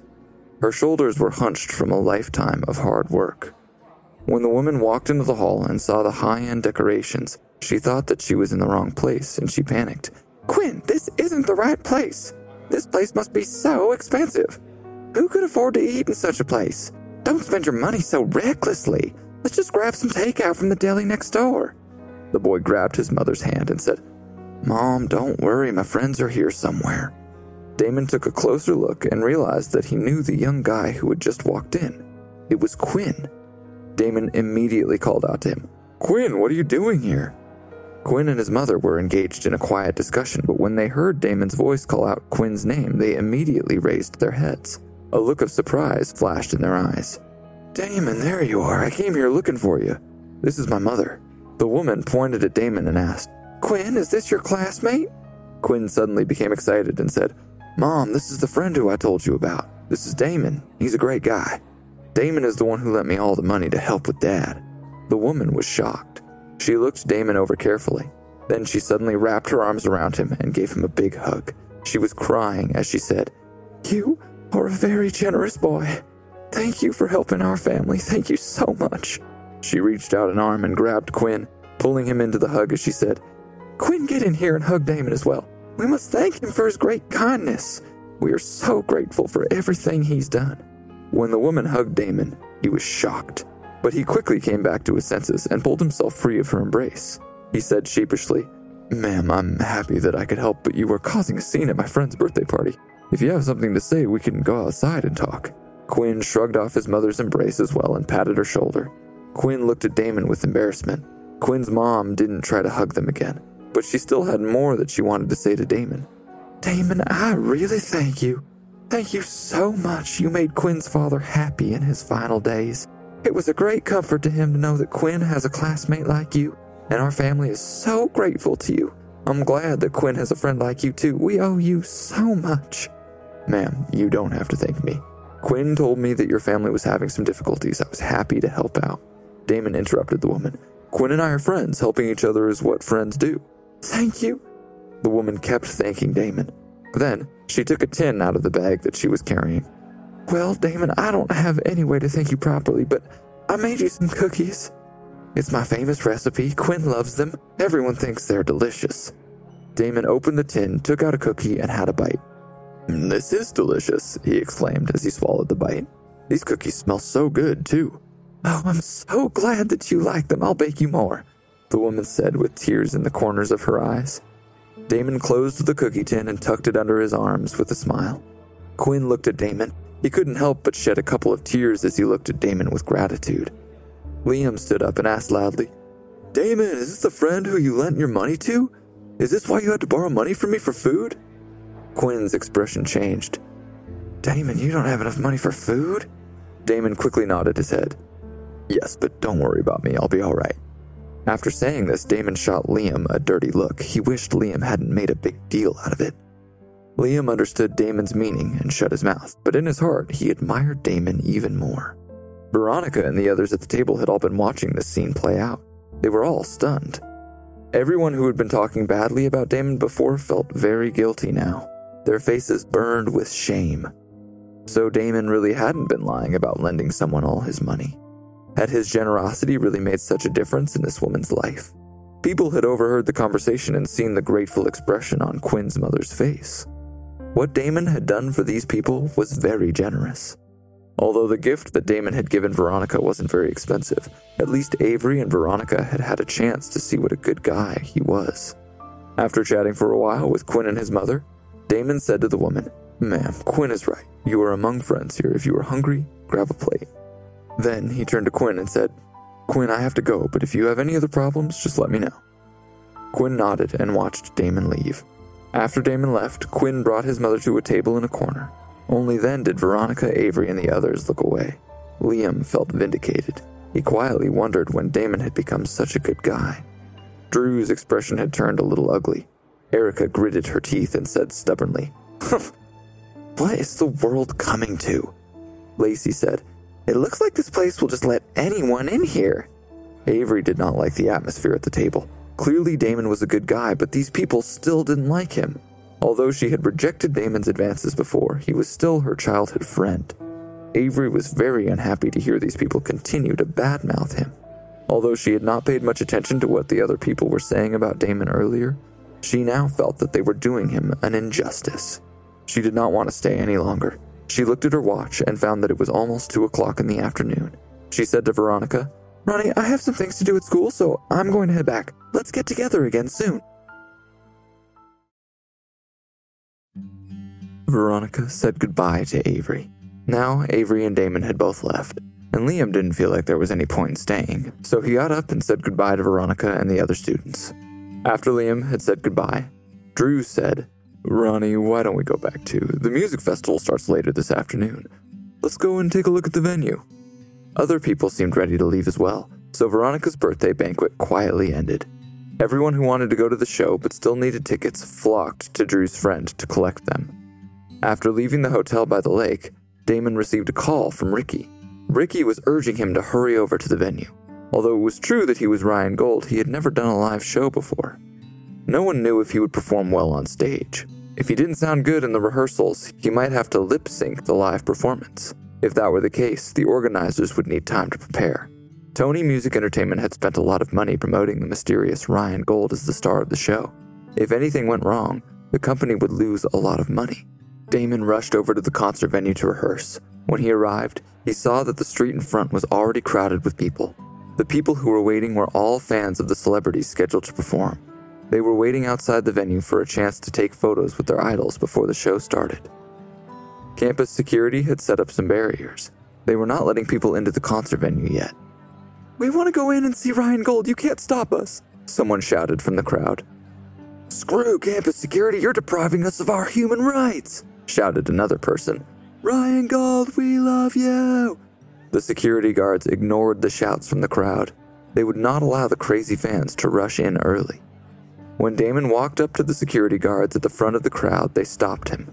One guard seized Damon and patted him down. When the search turned up nothing, the security guard relaxed a little and said, You can't come in yet. There are rehearsals going on here. If you want to wait for the performers to come out, please go over that way. There's a special waiting area there. When the performers inside finish rehearsing, they will come out and do a meet and greet. You can get their signatures then. Damon pointed at himself and said, I am also here to rehearse. When he said this, not only were the security guards stunned, but everyone else who heard was stunned too. The people around him looked at each other and could not help but laugh. Who was this guy? He was pretty funny. Did he not know what kind of people were rehearsing inside? After the crowd finished laughing, the security guard said seriously, Hey, kid, we've heard lousy excuses like yours a hundred times today. I can understand why you were so desperate to get inside. There are a lot of really famous people inside this building. To be honest, I'm a big fan of some of them too. But we're just doing our jobs. Can you please cooperate? Just wait by the side over there and stop talking nonsense. I'm being serious now. What a joke. Did this kid really expect them to believe that he was here to rehearse with all these famous celebrities? Damon racked his brain, trying to think of a way to convince them to let him in. He knew that he didn't look like a celebrity. Damon argued, I really need to go in and rehearse. After thinking it over, he realized that he did not have any way to prove to the security guards that he actually belonged inside. Ricky had not given Damon any kind of security pass to permit him to enter. A cute girl who seemed to be working at the venue walked over and said, Hey, handsome. Are you one of the backup dancers here for rehearsals? The backup dancers don't enter this way. The only people who are allowed to use this entrance are the big stars. Although the security guards had not believed Damon, this girl had noticed that Damon was handsome and had a professional demeanor, so she assumed that he must be one of the backup dancers performing at the show. Unfortunately, backup dancers were still not allowed to enter here. Damon was about to call Ricky when Ricky came out through the doors looking for him. Ricky had been wondering why Damon still hadn't arrived and had realized that Damon didn't have a security pass, so he quickly came out to take a look for him. Coincidentally, Ricky saw Damon just as Damon was anxiously trying to call him. Ricky suddenly laughed and said, My friend, the musical genius, we are looking forward to your stellar performance. You're finally here. You are our biggest star. Come in quickly, come in. We're waiting for you to rehearse. As Ricky spoke, he hurriedly grabbed Damon's arm and walked into the building. The two security guards, as well as everyone else who had been watching, widened their eyes in disbelief as they watched Ricky warmly welcome Damon into the building. The cute girl who had assumed that Damon was a backup dancer stammered. Mr. King, who, is he? Don't you like Ryan Gold? Well, he is right in front of you, Ricky said, and then he laughed again. Then he quickly led Damon into the rehearsal venue, leaving the girl, as well as all the fans, behind outside. Everyone outside looked at the door that Damon had just disappeared behind. Everyone was confused. Had they misheard the conversation? Finally, the cute girl piped up. With a trembling voice, she said, Mr. King just said that that guy is Ryan Gold. Oh, I think I heard him say that too. I thought I was hearing things. Did I hear right? exclaimed another bystander. Oh my god, could it be? Was that really Ryan Gold? He was so handsome. He looked exactly as I imagined him, another girl cried out. The cute girl who worked for the venue was also extremely excited. Oh my god, he was so handsome, especially his eyes. They were deep like an ocean. He is my Prince Charming. I can't believe I actually talked to him just now. However, when she realized that Damon had already disappeared into the building, she immediately became upset. Oh no, I forgot to ask for a selfie with him. Ugh, I'm so stupid. As the news of Ryan Gold's arrival rippled back through the crowd, everyone became very excited. No one guessed that the person who had just walked through the crowd was actually Ryan Gold, the singer who had risen to fame out of seemingly nowhere. Countless people who admired him. His nondescript arrival at the venue had been a huge surprise. Some people had even started posting about it on social media already. Everyone in the crowd was talking about him now. Oh my god, Ryan Gold just got here. I saw him. What does he look like? Oh, he's so tall and handsome. He's the man of my dreams. Mm, I like him so much. Even now, I'm still drowning in the ocean of his eyes. I can barely breathe. Come on, come on. Everyone go to gate two. Maybe Ryan Gold will come out and do a meet and greet soon. The news spread like wildfire. The students who had been waiting outside the venue to see the big stars all crazily rushed over to gate two, the designated spot for the meet and greet. Most of them wanted to see Ryan Gold. He had become very popular, no one wanted to miss a chance to see him in person. The crazed fans nearly started a riot. The security guards were so nervous that they got their riot gear and formed a line in front of Gate 2. They had to use all their strength to maintain order. The cute girl who worked for the venue excitedly took out her phone and called her classmate to report this huge news. Avery, come back quickly. Do you know who I saw just now? Avery was already nearby the venue when she asked, Who did you see? I just saw Ryan Gold. You have to believe me. The cute girl told her friend over the phone. He's really as handsome as I imagined. No, he's even more handsome than I imagined. I think I fell in love with him at first sight. Avery was very excited when she heard that Ryan Gold had actually made an appearance. At least this proved that Ryan Gold's performance was not just a gimmick to sell concert tickets. Ryan Gold, the mysterious new big shot in the music industry, was actually at the venue. Avery suppressed her excitement and said, Ashley, you fall in love with every handsome guy you see. You should confess your love to Ryan Gold. Maybe he'll fall in love with you as well. The cute girl immediately shook her head and said, Forget it. That guy definitely has a girlfriend. Who knows, he might even have lots of girlfriends.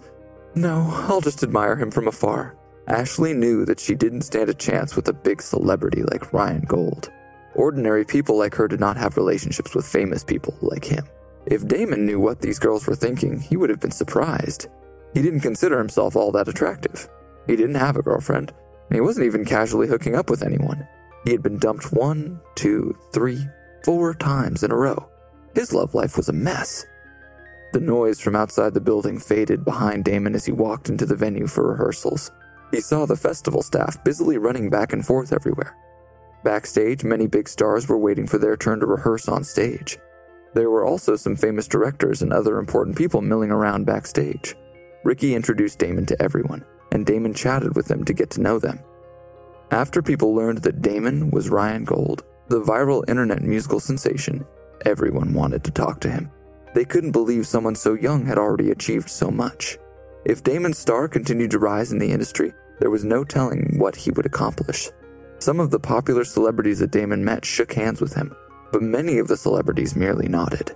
After all, Damon was young and new to fame, but he had already overshadowed many of these big shots who had been famous for a long time. It was inevitable that some of these people would resent him for it. The director who was in charge of the festival greeted Damon warmly. The man looked to be around 40 years old.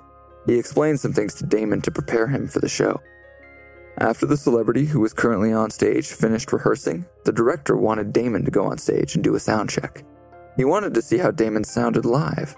After all, tens of thousands of people would be watching later. Just because a person was famous on the internet did not mean that they would do well in a big live performance like this. Damon was not afraid to go on stage. He looked around and saw the celebrities watching him. They were hoping that he would make a fool of himself. Damon cleared his throat and adjusted the tuning of his guitar before slowly starting to sing. Although it was Damon's first time on stage, he did not have stage fright. His high IQ enabled him to quickly adapt to any situation.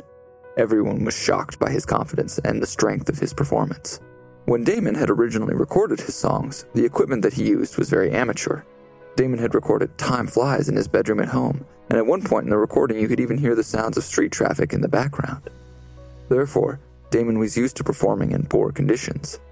The performance he gave during rehearsals sounded just as good as the original recordings of his songs. Furthermore, Damon had perfect pitch. He sounded as good as the people who had spent years singing professionally. Not only was Damon's voice amazing, but he also had a great stage presence. Damon's performance was full of energy, and everyone felt invigorated after watching him.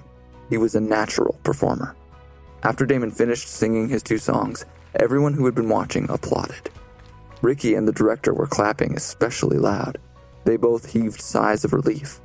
After all, this was the first time they had seen Damon perform on stage. They had been a little afraid that Damon would not perform well when put on the spot. However, now they realized that they had nothing to worry about.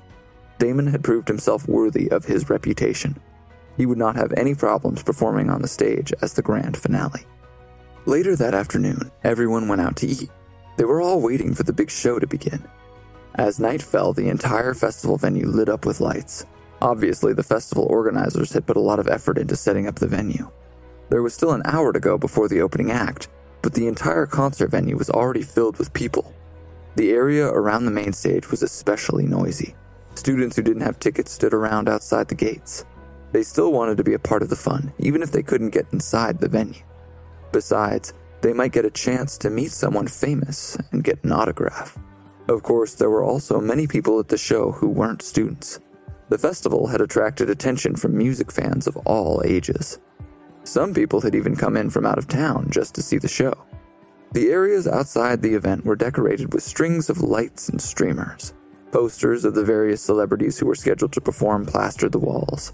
However, Ryan Gold was wearing a mask in all his posters.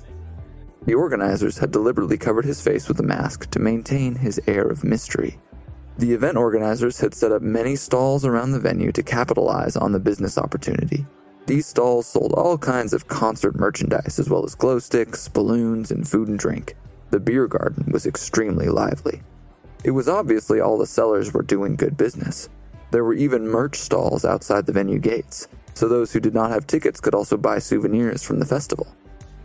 The area around the venue was busy with people who had come to take part in the excitement. There were a ton of people on campus this evening.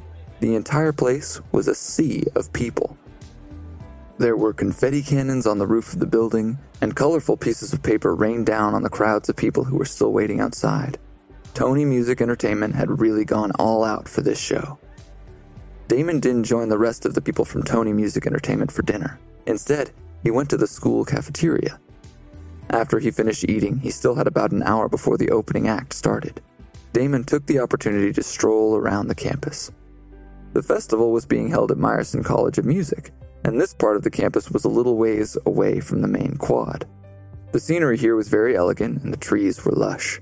There were also many ponds and gardens. It was a great setting for a music festival. The atmosphere was also very romantic.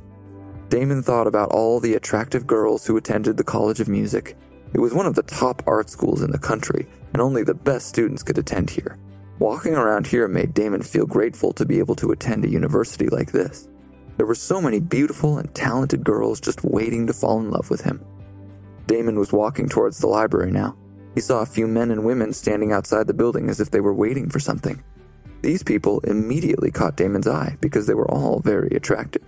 Even the men in the group were all very handsome. As Damon got closer, he thought he recognized someone he knew. Was that tall and beautiful girl Avery? Sure enough, it was. What a coincidence! It seemed like they were running into each other everywhere today. Damon had just said goodbye to her after lunch, yet here she was again. The gardens around the Meyerson College of Music were full of flowers, bushes, and trees. Avery looked like she was waiting for someone. The area outside the library where she was waiting was well lit. Damon could see Avery's reflection in the shallow pond beside the library. Her reflection rippled and swayed with the movement of the water. She looked particularly beautiful in the warm light of the library building. As Damon got closer, he recognized the guy standing beside Avery, too. It was another old acquaintance, Matt. Damon could not help but think back to the fight that he and Matt had had back in New York. At that time, Alex had beaten up Matt. Damon hadn't expected to run into Matt again. Then Damon remembered that Matt and Avery were both studying under Asher. They were classmates in the same program. Since this concert was a big deal in the music industry, it was understandable that Matt and Avery would go together. Damon was trying to decide whether or not he should go up and greet them. Now that he thought about it, maybe it wasn't such a good idea. He had just seen Avery at lunch that day. If he went over to say hi to Avery, he wouldn't have much to say. After all, he and Avery were from two different worlds. Other than the fact that they had gone to the same school and had some of the same friends, the two of them didn't have much in common. In addition, Damon really didn't have anything to say to Matt. Damon abandoned the idea of saying hi. Damon? Just as Damon was about to walk away, someone called to him from behind. Damon turned around and saw Avery waving at him from where she stood by the library. She had an expression of surprise in her big, bright eyes. Obviously, she was surprised to see Damon in her part of campus.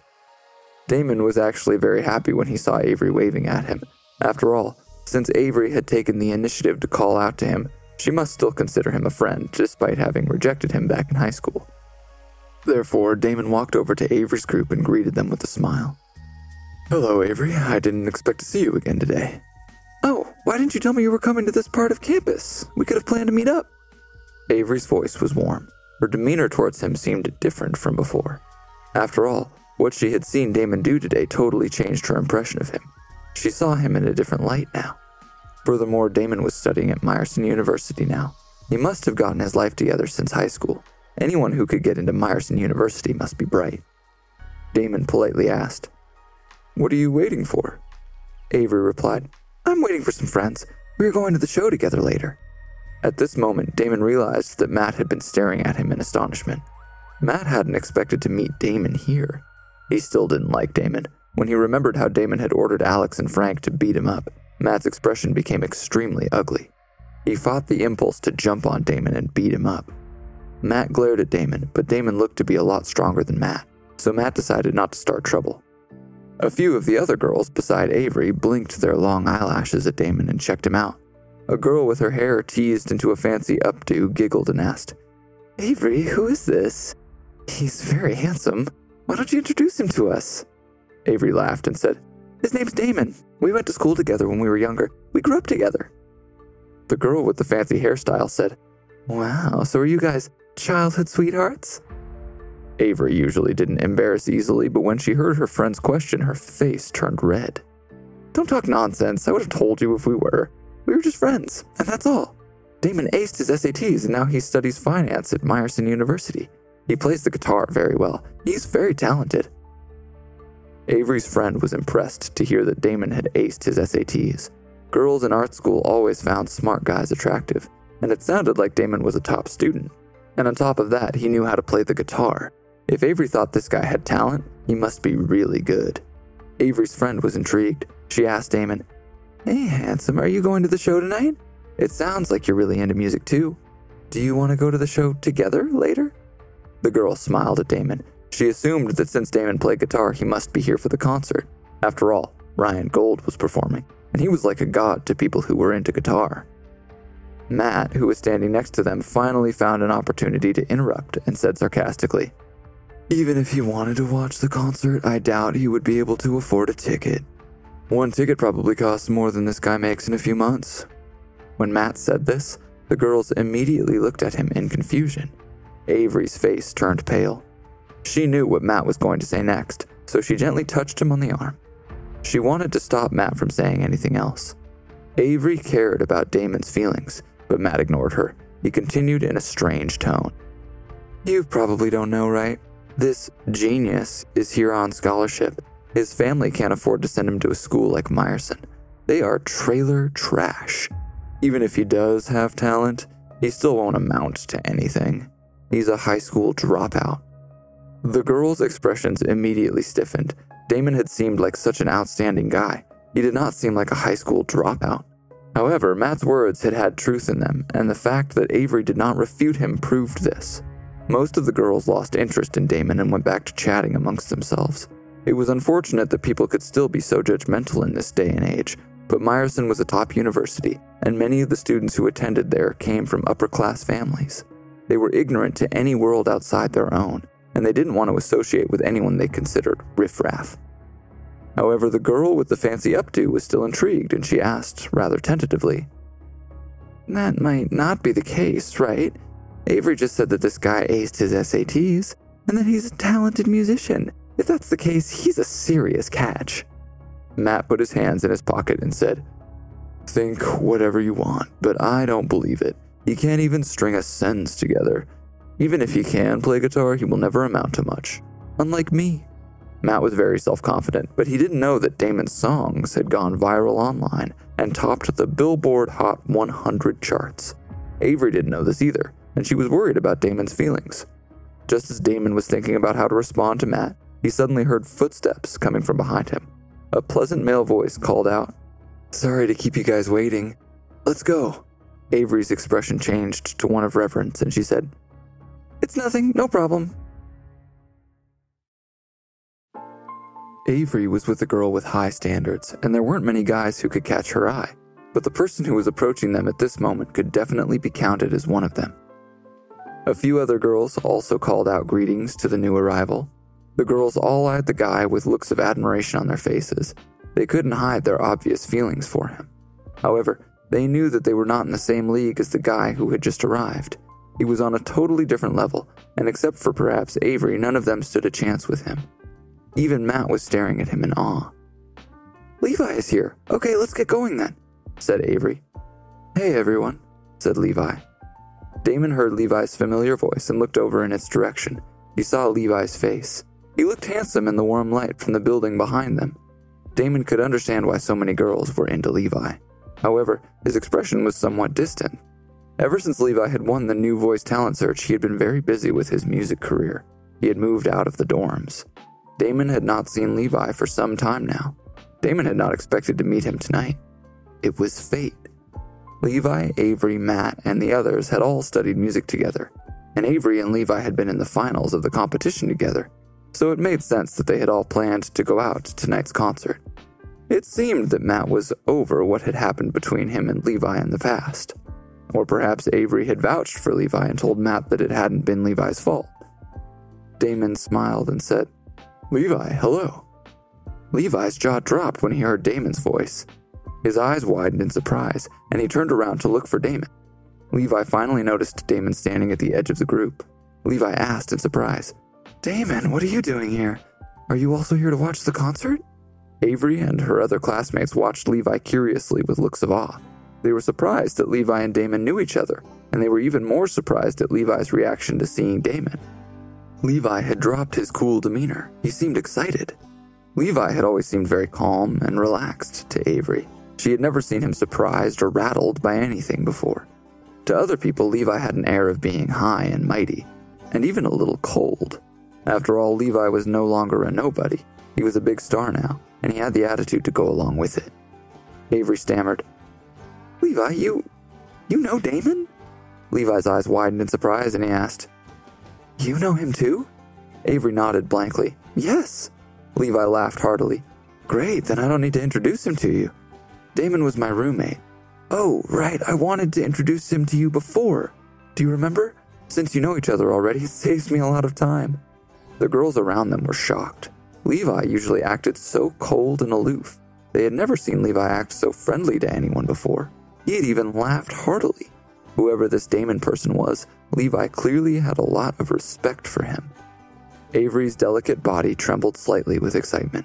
She remembered how Levi once said that he shared his dorm with a very talented classmate. Levi had consulted this classmate for advice on many of his songs. At that time, Avery had thought that Levi was joking. She never thought that she would have the opportunity to meet this mysterious classmate in person. Could it be that the mysterious classmate was actually Damon? Thinking about this shocked Avery. It felt like she had grabbed onto a live wire. It was enough to make Avery's entire body tremble with excitement. After all, until now, she had considered Levi more talented than Damon. She kept thinking about what Levi had said. Avery remembered something that had left a deep impression on her. It was a memory of Damon back in senior year. He had been helping Veronica prepare for the SATs during lunchtime. Damon had helped Veronica prepare for her exams at the expense of his own grades. He had sacrificed himself for a friend. Avery hadn't thought much of it at the time, but now all these memories of Damon were starting to paint a bigger picture of him in her mind. Although Avery had known Damon forever, it seemed that there were a lot of things that she didn't know about him. She was shocked. Levi observed Avery's expression. It seemed like she still had a lot to learn about Damon. Levi exclaimed, what? Don't tell me you don't know that Damon is a talented guitar player and that he writes amazing songs. Avery said in a wooden tone. I do know a little about him, but clearly not everything. The only time that Avery had seen Damon play guitar was the time when he played Time Flies, when they were at Bridgeton High School together. His playing had fascinated her, but at the time, she hadn't given it much more thought. She had simply felt that Damon played very well. She hadn't realized that he had pursued his talent. Levi still had more to say. Oh, and let me tell you something else. Damon was one of the friends who I thanked when I won the music competition. Although Damon had repeatedly emphasized to Levi that he did not want anyone to know about his contribution to Levi's win, now that Levi had come out and said it in front of everyone, Damon could hardly blame him, right? Avery's eyes widened and she looked at Damon, then back to Levi. From the looks on their faces, she could tell what Levi had said was no lie. Damon did not know what Levi had said to Avery after winning the championship, but Avery clearly remembered every word that Levi had said at the time. Levi had called Damon both a teacher and a friend. Levi had said that without Damon, he would not be where he was today. In other words, Damon had helped Levi tremendously. Avery did not know what to think. Her heart was pounding. She had always considered Levi a musical genius, but it turned out that he actually owed much of his talent to Damon, a boy whom Avery had never thought very highly of and had even slightly disliked at times. Although Avery would never have said this out loud, it was more or less how she felt inside. To Avery, the story had just taken a ridiculous turn. It was too crazy to be true. It felt like a TV show, but it was real life. All the other girls who had been listening were also shocked by Levi's words. The girl with the fancy updo, who had already had a good impression of Damon, couldn't help but ask, Levi, do you really think that the reason you won the competition was because Damon was helping you? Matt was waiting to hear Levi's response. He hoped that Levi would shake his head, but Levi nodded. Matt's hopes were shattered. After all, Levi had just claimed that he would never be as talented as Damon. No one in the group could believe that their idol was actually giving all the credit for his talent to Damon. To Matt, it felt like a slap in the face. Although Levi might just have been being modest, his words still went to show how much respect he had for Damon's talent. This must mean that Damon was at least as musically talented as the rest of them, right? Matt bristled at this thought and retorted confidently Even if Damon does have musical talent, there is no way that he is better than Levi. Matt had clearly taken offense to the situation. Matt didn't like the idea of Damon being as good a musician as he was. He thought that he was better than Damon. He didn't want the girls to view them on the same level.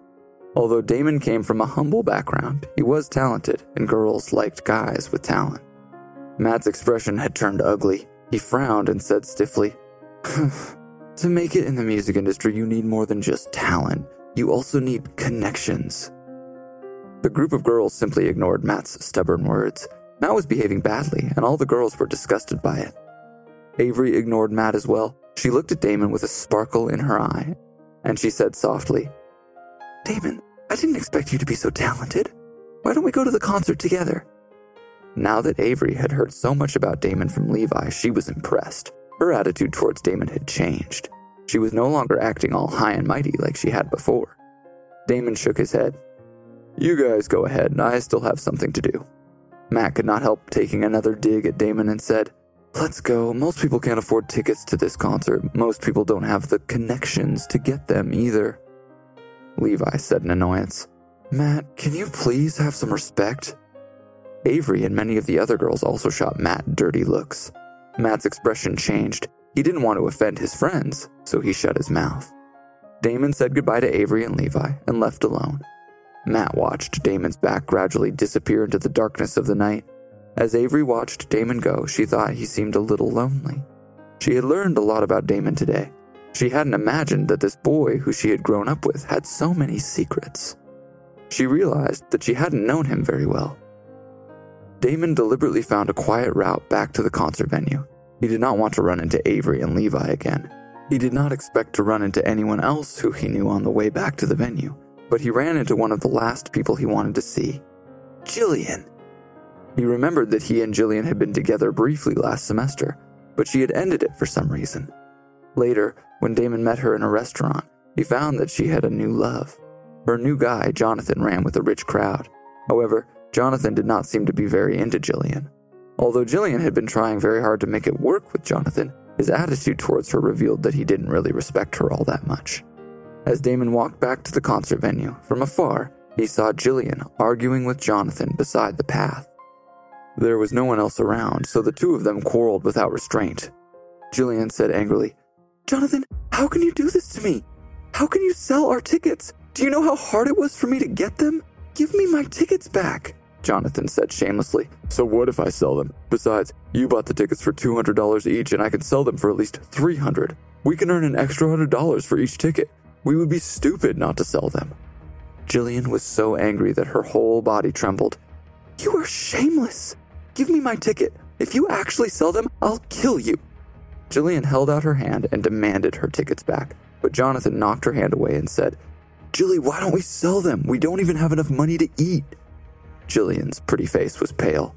Did you gamble away all the money on our meal cards again? We can't even eat now? How could you do this again? Jonathan said angrily. Damn it, how can you still be angry? I just bought you McDonald's. My dad is going to send me a $1,000 in a couple of days. When I get it, I will put money back on your meal card. However, Jillian did not believe Jonathan. He was always full of lies. Jillian shook her head.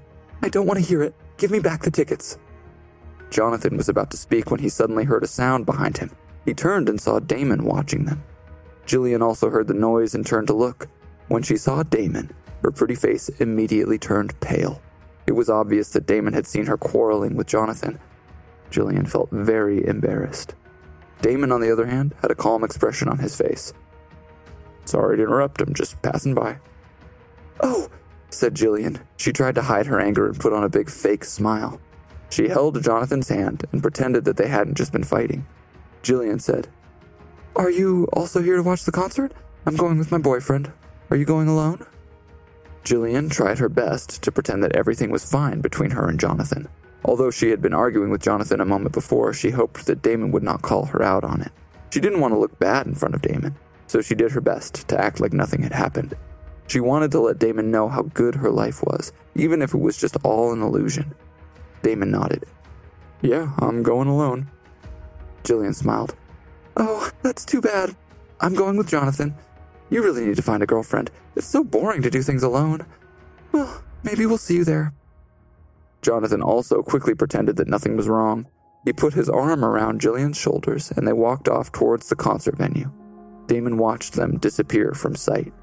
Damon took out a cigarette and had a smoke. He wondered why so many people tried to pretend that their lives were awesome and their problems didn't exist. Maybe they were afraid to face the truth. Living like that seemed so tiring. Damon was lost in thought when a loud noise suddenly attracted his attention. Someone was shooting off fireworks. The concert had finally begun. The fireworks were part of the opening act. The scale of this concert was huge. It was the largest and most extravagant event that Tony Music Entertainment had ever put on. A lot of famous names were performing tonight. It was a very big deal. Plus, it was the first time that Ryan Gold would appear in front of a live audience. Damon heard the sound of the show starting in the distance. Damon was still sitting in a corner of the garden smoking when his phone rang. It was Ricky. He had been looking all over the place for Damon. He urged Damon to hurry backstage and get ready. After Damon finished smoking, he walked towards the entrance to the venue. A few security guards were still guarding the door. Some students without tickets were still waiting outside. They had heard that Ryan Gold was here, and these fans were to try their luck and see if they could meet their idol. However, Damon naturally did not know what these people were doing. He asked them to let him through, but they did not know who Damon was, so they were a little unwilling to let him pass. Some people even said, If you want to meet a star, go to the back of the line. Can't you see that we're all waiting here? After Damon finally squeezed past the crowd and got to the door, he saw the same cute girl from earlier that afternoon. Damon smiled at her and said, I need to get back in. Instantly, the cute girl, as well as the security guards who knew Damon's identity, stepped aside to let him through. Their eyes were filled with admiration. As Damon walked past her, the cute girl mustered her courage and took out a pen and a piece of paper that she had been carrying in her pocket.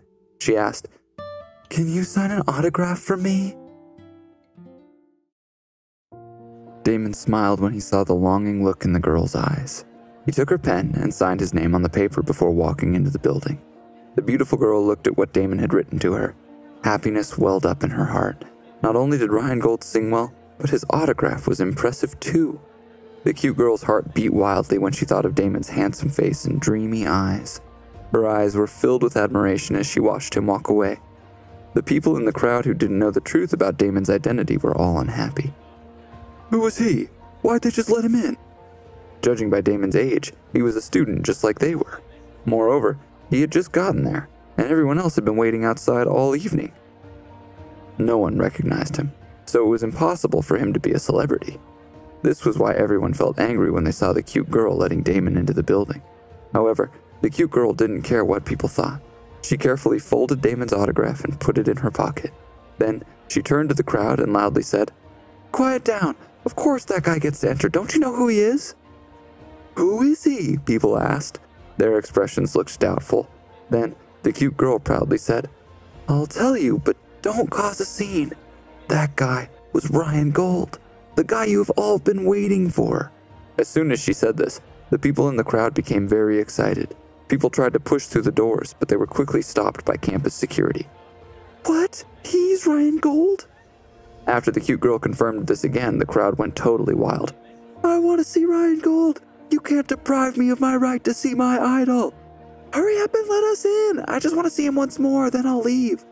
Oh my god, did you see that just now? It was Ryan Gold. He was so handsome. I can't believe he just walked past me like that. We want to see him again. Let us in. The crowd outside began to chant. The security guards called for backup. People were trying to get through the door. They didn't care about the performance. They just wanted a chance to see Damon again. The angry crowd frightened the cute girl, and she hid behind the security guards. More security guards had arrived, and they formed a human wall to keep the crowd back. It wasn't easy for them to maintain order. The crowd was nearly rioting. Avery had just arrived at the entrance to the venue with Levi, Matt, and the others. She had arrived just in time to see someone who looked a lot like Damon disappearing through the doors. Avery furrowed her pretty brow and walked over to the cute girl standing with the security guards at the entrance. Ashley, did you say that that was Ryan Gold? Yeah, that's right. Avery's heart skipped a beat when she heard Ashley's response. Avery shook her head in disbelief. She must have been mistaken. After all, she had only seen the back of Ryan Gold's head. Although Damon was talented, he could not possibly be Ryan Gold. Ryan Gold was like a god. At that moment, more fireworks appeared in the sky above the venue. They shot into the sky and exploded in colorful bursts. The effect was dazzling. Everyone was amazed by their beauty. Many people even took out their phones and started filming. Then they heard a loud, clear male voice begin to sing from inside the venue. The voice was singing a cover of a popular classic. The moment the guy began to sing, the entire venue erupted in excitement.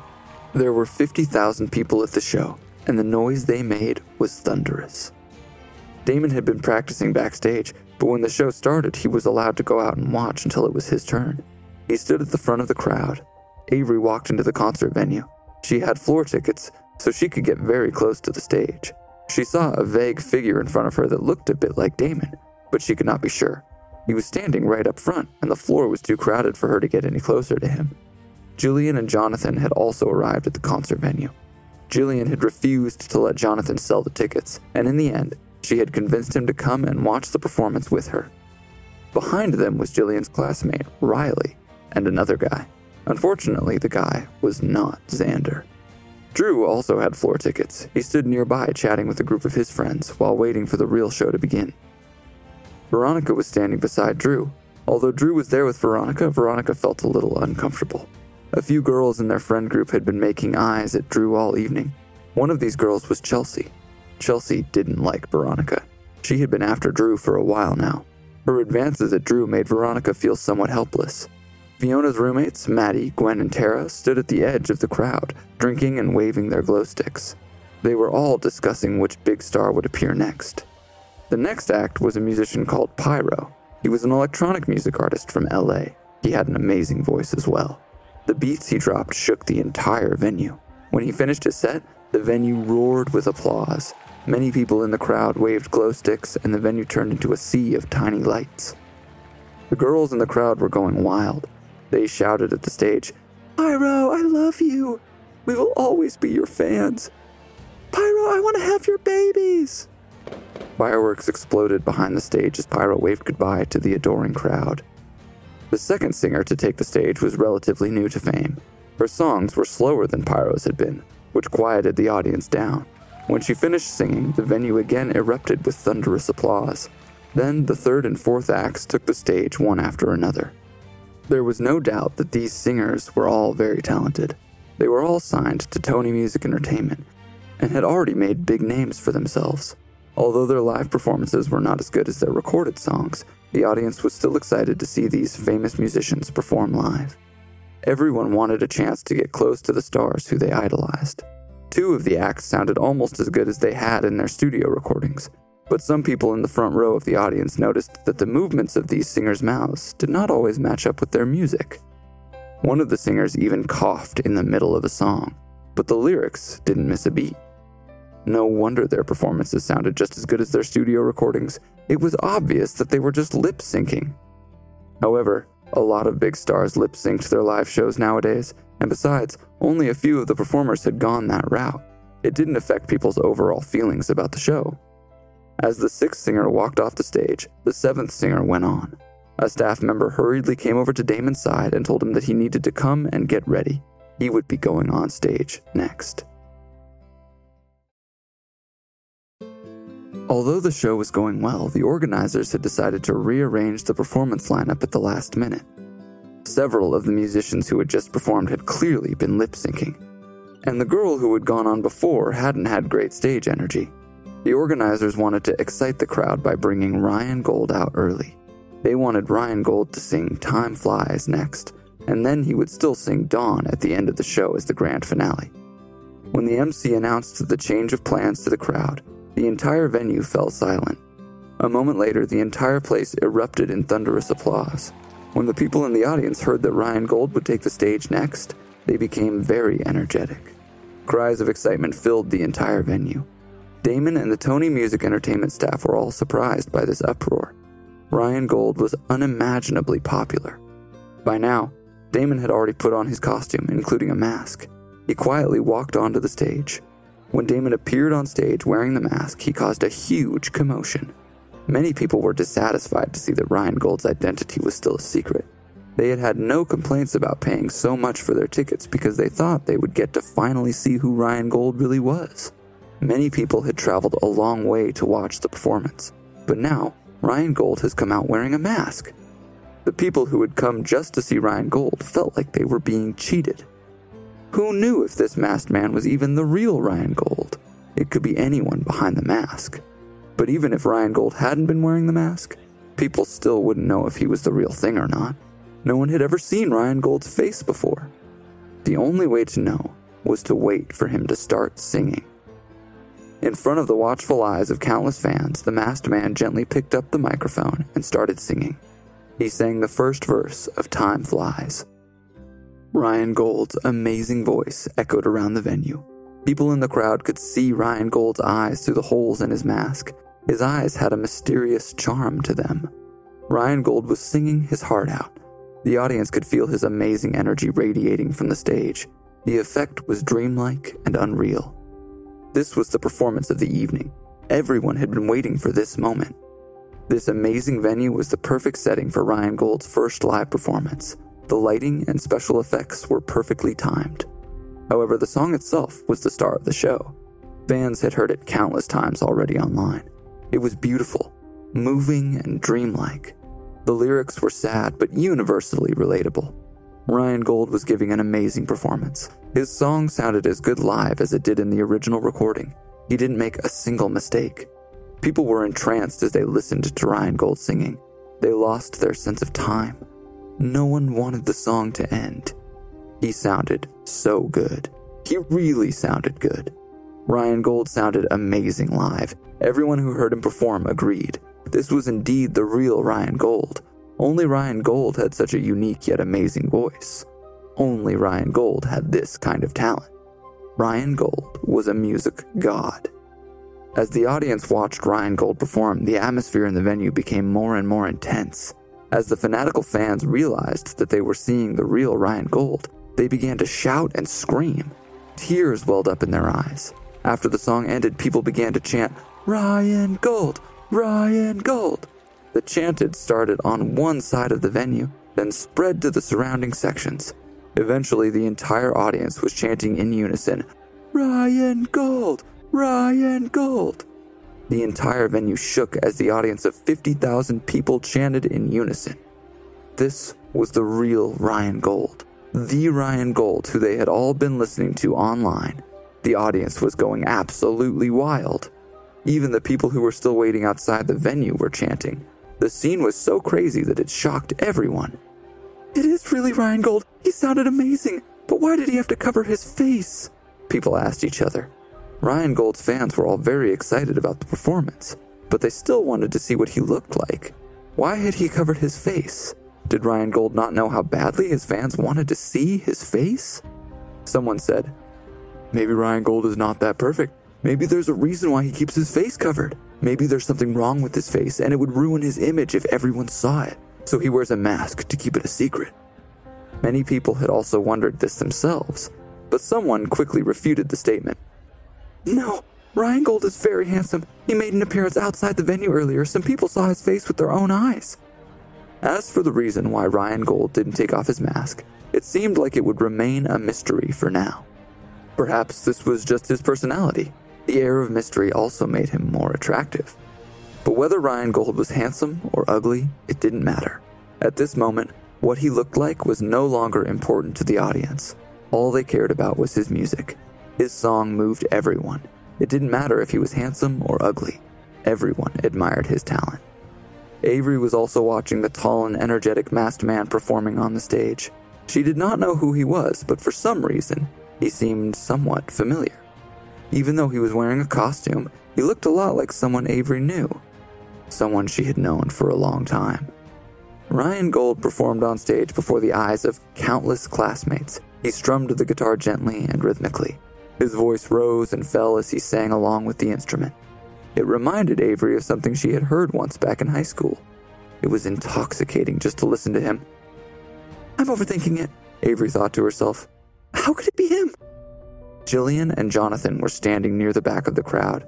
As Jillian listened to the song, she also felt that something about Ryan Gold was very familiar. However, she could not put her finger on it. Levi stood beside Avery and watched Ryan Gold performing on the stage. Levi's brows were tightly knitted as if he were deep in thought.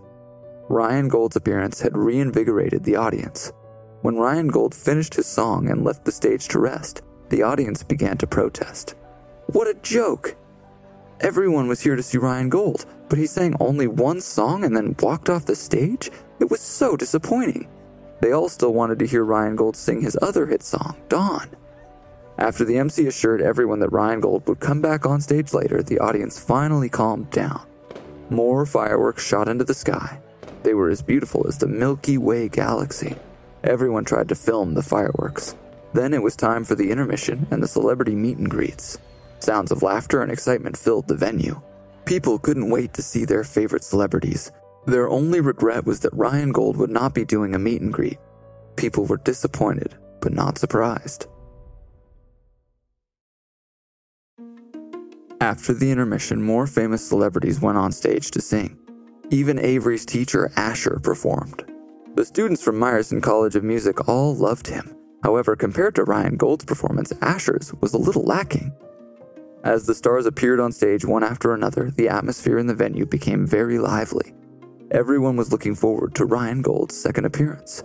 No one wanted to miss it. Finally, it was time for Ryan Gold to perform the grand finale. As he sang his song Dawn, a huge and beautiful fireworks show filled the sky above the venue. The excitement in the venue peaked. The crowd roared. Everyone could see how incredibly popular this new singer was. It didn't matter that Ryan Gold had only recently risen to fame. Everyone loved him. His songs were instant classics. People would be singing them for years to come. He had so much potential. Perhaps his songs would be the music of a generation. Ryan Gold finished singing Dawn. The audience was mesmerized. It took people a while to regain their senses. The fans were so wrapped up in listening to the music that they had forgotten where they were. However, all good things must come to an end. The MC took the stage once again, and all the celebrities joined him to sing an encore together. Fireworks lit up the sky above the venue one last time. Finally, the stage went dark. The show was over. The floor lights went on, and concertgoers began to make their way toward the exits. Friends said goodbye to each other. They all wanted to discuss the show, so they agreed to meet tomorrow. Without a doubt, the big show had gone off without a hitch. The Tony Music Entertainment staff were celebrating their sweet success. The organizers were already making plans to have another show like this in the future. After the show had ended, Ricky came to look for Damon. He hoped that Damon would agree to participate in the next event that they organized. If Damon was willing, Tony Music Entertainment would continue to promote Damon. Ever since they had tasted the sweetness of Ryan Gold's success, they saw it as a huge business opportunity. Damon's two songs were definitely phenomenal. Their influence had gone far beyond many people's expectations. Ryan Gold was already more popular than many other famous celebrities. Tony Music Entertainment didn't want to let go of this cash cow. However, Damon did not accept all of their terms. He refused to participate in any activities that might reveal his identity. Damon was in need of money, and working with Tony Music Entertainment paid well. Damon needed the money to expand KC Games. He and Will needed to hire more people to help them develop a large scale game. They were also in the process of upgrading Airblaze. The expansion for Airblaze was nearly ready to be launched, and they were already thinking about starting work on a second mobile app game. Damon needed to find time to start working on the storylines for these new games. He had already decided on a name for his new large scale game. He would call it The New Century. Any popular large scale game that wanted to have staying power needed a good story behind it. It needed to be relevant. The benefits of this were self evident. Damon had a lot of things on his plate. Fortunately, Damon had a quick brain and a lot of energy. Normally, having so many projects on the go would exhaust even the most productive of people. After bidding farewell to Ricky, Damon slipped out of the venue through the back door along with the rest of the crowd. Damon had been wearing a mask on stage. Now that he had taken off the mask, no one recognized him. He walked out the main exit and saw that the street outside was crowded with people. Many people were still waiting to see Ryan Gold. Some of them were holding signs. The signs read, Ryan Gold, I love you. Ryan Gold, I am your biggest fan. Ryan Gold, look over here. Ryan Gold, marry me. Fans had written all kinds of slogans. Damon craned his neck and looked around. It turned out that someone had leaked the information that Ryan Gold was going to leave through this exit. Therefore, anyone who wanted Ryan Gold's signature had come to wait outside this door. No wonder people were crowded together out here like sardines. Damon saw Avery in the crowd. Matt and Levi were nowhere to be seen. In general, girls were more obsessed with meeting Ryan Gold than guys were. Jillian stood not far from Avery, Jillian was craning her neck to look inside. Jonathan stood behind her with an impatient look on his face. Seeing Damon, Avery called out to greet him. Damon, why didn't you come to watch the concert with us? Damon looked at Avery strangely, but he did not answer her question. Instead, he asked, Why are you here? Avery's pretty face turned red, and she said softly, I'm waiting for Ryan Gold to come out. She wanted Ryan Gold's autograph. She was Ryan Gold's loyal fan. Damon was surprised. Can't you go inside and meet him? Avery was a little famous herself now, plus her teacher Asher had been famous for a long time. He must have the connections to get Avery a one on one meeting with Ryan Gold.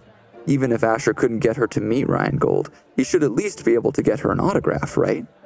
Avery blinked at Damon and nicely said, I wanted to go backstage to meet him, but the organizer said that Ryan Gold had just left, so I ran out here to see if I could catch him on his way out. Jillian, who was standing beside Avery now, turned her head to look at them. She looked at Damon and then at Avery. Her lips moved like she was about to say something, but in the end, she remained silent.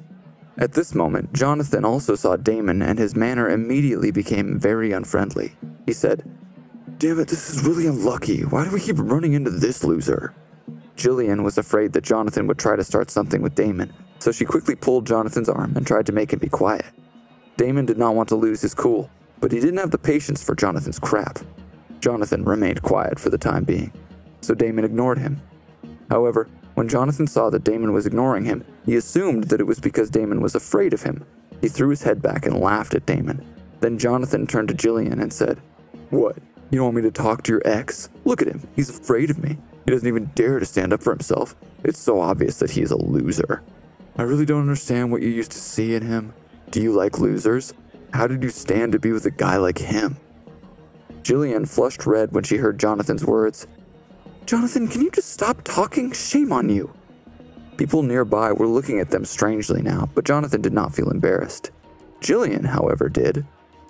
Damon couldn't restrain himself anymore. His anger had been building up. He turned to Jonathan and said in a deep voice, Are you talking about me? Everyone thought that Jonathan had gone too far, too. After all, Damon was her good friend. She didn't like to hear other people bad mouthing her friends. Jonathan was looking for a fight. He pointed at Damon and said, Yeah, I'm talking about you. What are you going to do about it? You're a loser. If you dare to touch me, I'll skin you alive. Jonathan and Damon were about to fight. The people in the crowd around them could see that a fight was about to break out, so they all backed away. Many of the bystanders disliked Jonathan's arrogant attitude, and they hoped that Damon could teach this guy a lesson. Some of the bystanders even took out their phones and prepared to film the fight. Other people got ready to call campus security if things got out of hand. Everyone was watching to see what would happen next. Jillian was afraid the two of them would really fight, so she quickly tried to pull Jonathan away. She said to Damon, You should get out of here. A few of Jonathan's friends were nearby in the crowd. Damon was by himself. If a fight broke out, Jonathan's friends would probably come to back him up. Damon would definitely be at a disadvantage. Jonathan heckled Damon. Come on, don't hide behind your ex. Come and get me, if you dare. Come on, trash. Damon started laughing. He wasn't afraid of Jonathan. Damon had been in fights before. He was no stranger to violence. Damon was fierce, and he knew he could make his opponents give up and beg for mercy. Damon took a step forward. He was so fast that the crowd did not even see him attack. He was a shadowy blur of movement. Then, everyone heard a loud crack, and Jonathan staggered backwards and fell heavily onto the ground. His two front teeth had been knocked out. Damon packed a powerful punch. Those who had seen Jonathan behaving badly before applauded. Damon had some smooth moves. He had taken Jonathan down with one blow. Jonathan needed to be taught a lesson. He deserved to lose the fight. Jonathan staggered to his feet. He was clearly in pain. Suddenly, two young men emerged from the crowd behind Jonathan. They glowered at Damon. The guys were Jonathan's friends. They had all come to watch the concert together. Now that Jonathan was in trouble, they couldn't just stand by and ignore the situation. However, Damon was fearless. He stood up straight and smiled coldly at the two newcomers. Jonathan spat out a mouthful of blood. Jillian tried to pull Jonathan away, but he pushed her back into the crowd. Jonathan and his two friends formed a triangle around Damon. Avery saw what was about to happen, and she cried out in alarm. She pulled out her phone and was about to call her classmates to come help when campus security ran over. The guards had been on crowd control outside the venue. One of the security guards angrily said, What's going on here? What's going on? Knock it off! When Jonathan saw that campus security had arrived, he began to complain loudly. This guy hit me! The security guard's expression darkened as he asked Damon, Did you start this? Damon said coldly, You should ask the people who were watching. They will tell you who started this.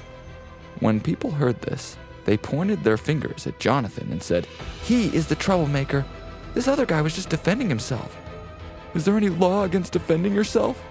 If you have a sense of justice, you won't punish someone for defending himself. He was provoked. The security guard said impatiently, I don't care who started it. I just want to know who hit who. Come on, I'm taking you both to the security office. Don't cause any more trouble for me. The security guard grabbed Damon first. After all, it had been Damon who attacked first. The people who had seen the whole thing happen protested. They knew that Jonathan had started the fight. Avery stepped forward and said, Excuse me, I think you should hear the whole story before you take him away. Oh, are you on about justice too? Are you an accomplice here? Well, you can come to the office too. The security guard waved the baton in his hand and motioned for his two colleagues to take Avery away as well. Damon was furious.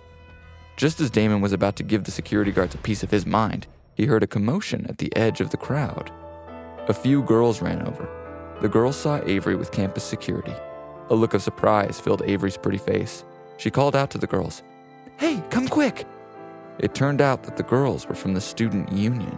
They had heard the commotion and rushed over to see what was going on. One of the girls was Avery's friend, Ashley, but Avery didn't have a chance to say anything. Ashley put her hands on her hips and asked, What's going on here? Are you fighting? We have rules here, you know. Jonathan pointed at Damon and said, That guy started it. Jonathan frowned. Damon, on the other hand, looked calm and composed. When Ashley saw Damon, her eyes suddenly lit up, and she cried out in surprise, Ryan Gold, is that you? When the people in the crowd heard Ashley's words, they fell silent. Everyone was stunned. Then people began to whisper to each other, Did she just say Ryan Gold? Where is Ryan Gold? The people in the crowd were all still waiting for Ryan Gold to come out. They wanted to see him. They were hoping to get his signature. Avery gave Damon a confused look. What are you saying, Ashley? This guy's my high school classmate. Who are you calling Ryan Gold? Jonathan, Jillian, the security guards, and everyone else all looked at Ashley with expressions of surprise and doubt. They weren't sure whether or not to believe her. Campus security had forgotten all about detaining Damon, Jonathan, and Avery. This was the student union's problem now. Damon smiled helplessly. He hadn't expected to be put on the spot like this. Ashley pointed at Damon and stammered, Avery, this guy is your high school classmate? Avery nodded. Ashley's mouth fell open in surprise, and she said, Oh my god, you really don't know who he is, do you? Avery shook her head in confusion.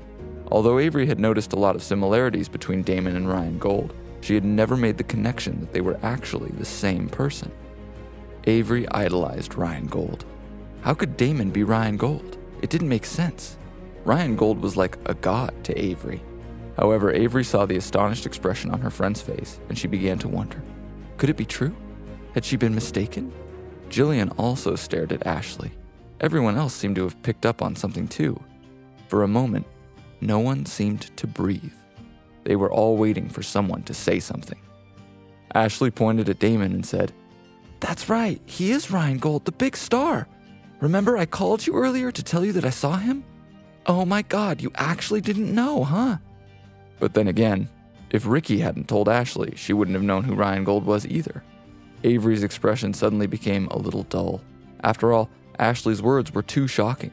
Avery's heart felt like it was going to jump out of her chest. Was it all a huge joke? Was everyone in on it? The truth was too absurd. Was Ashley mistaken? How could Damon be the musical sensation Ryan Gold? Wasn't he too young? It was hard to believe.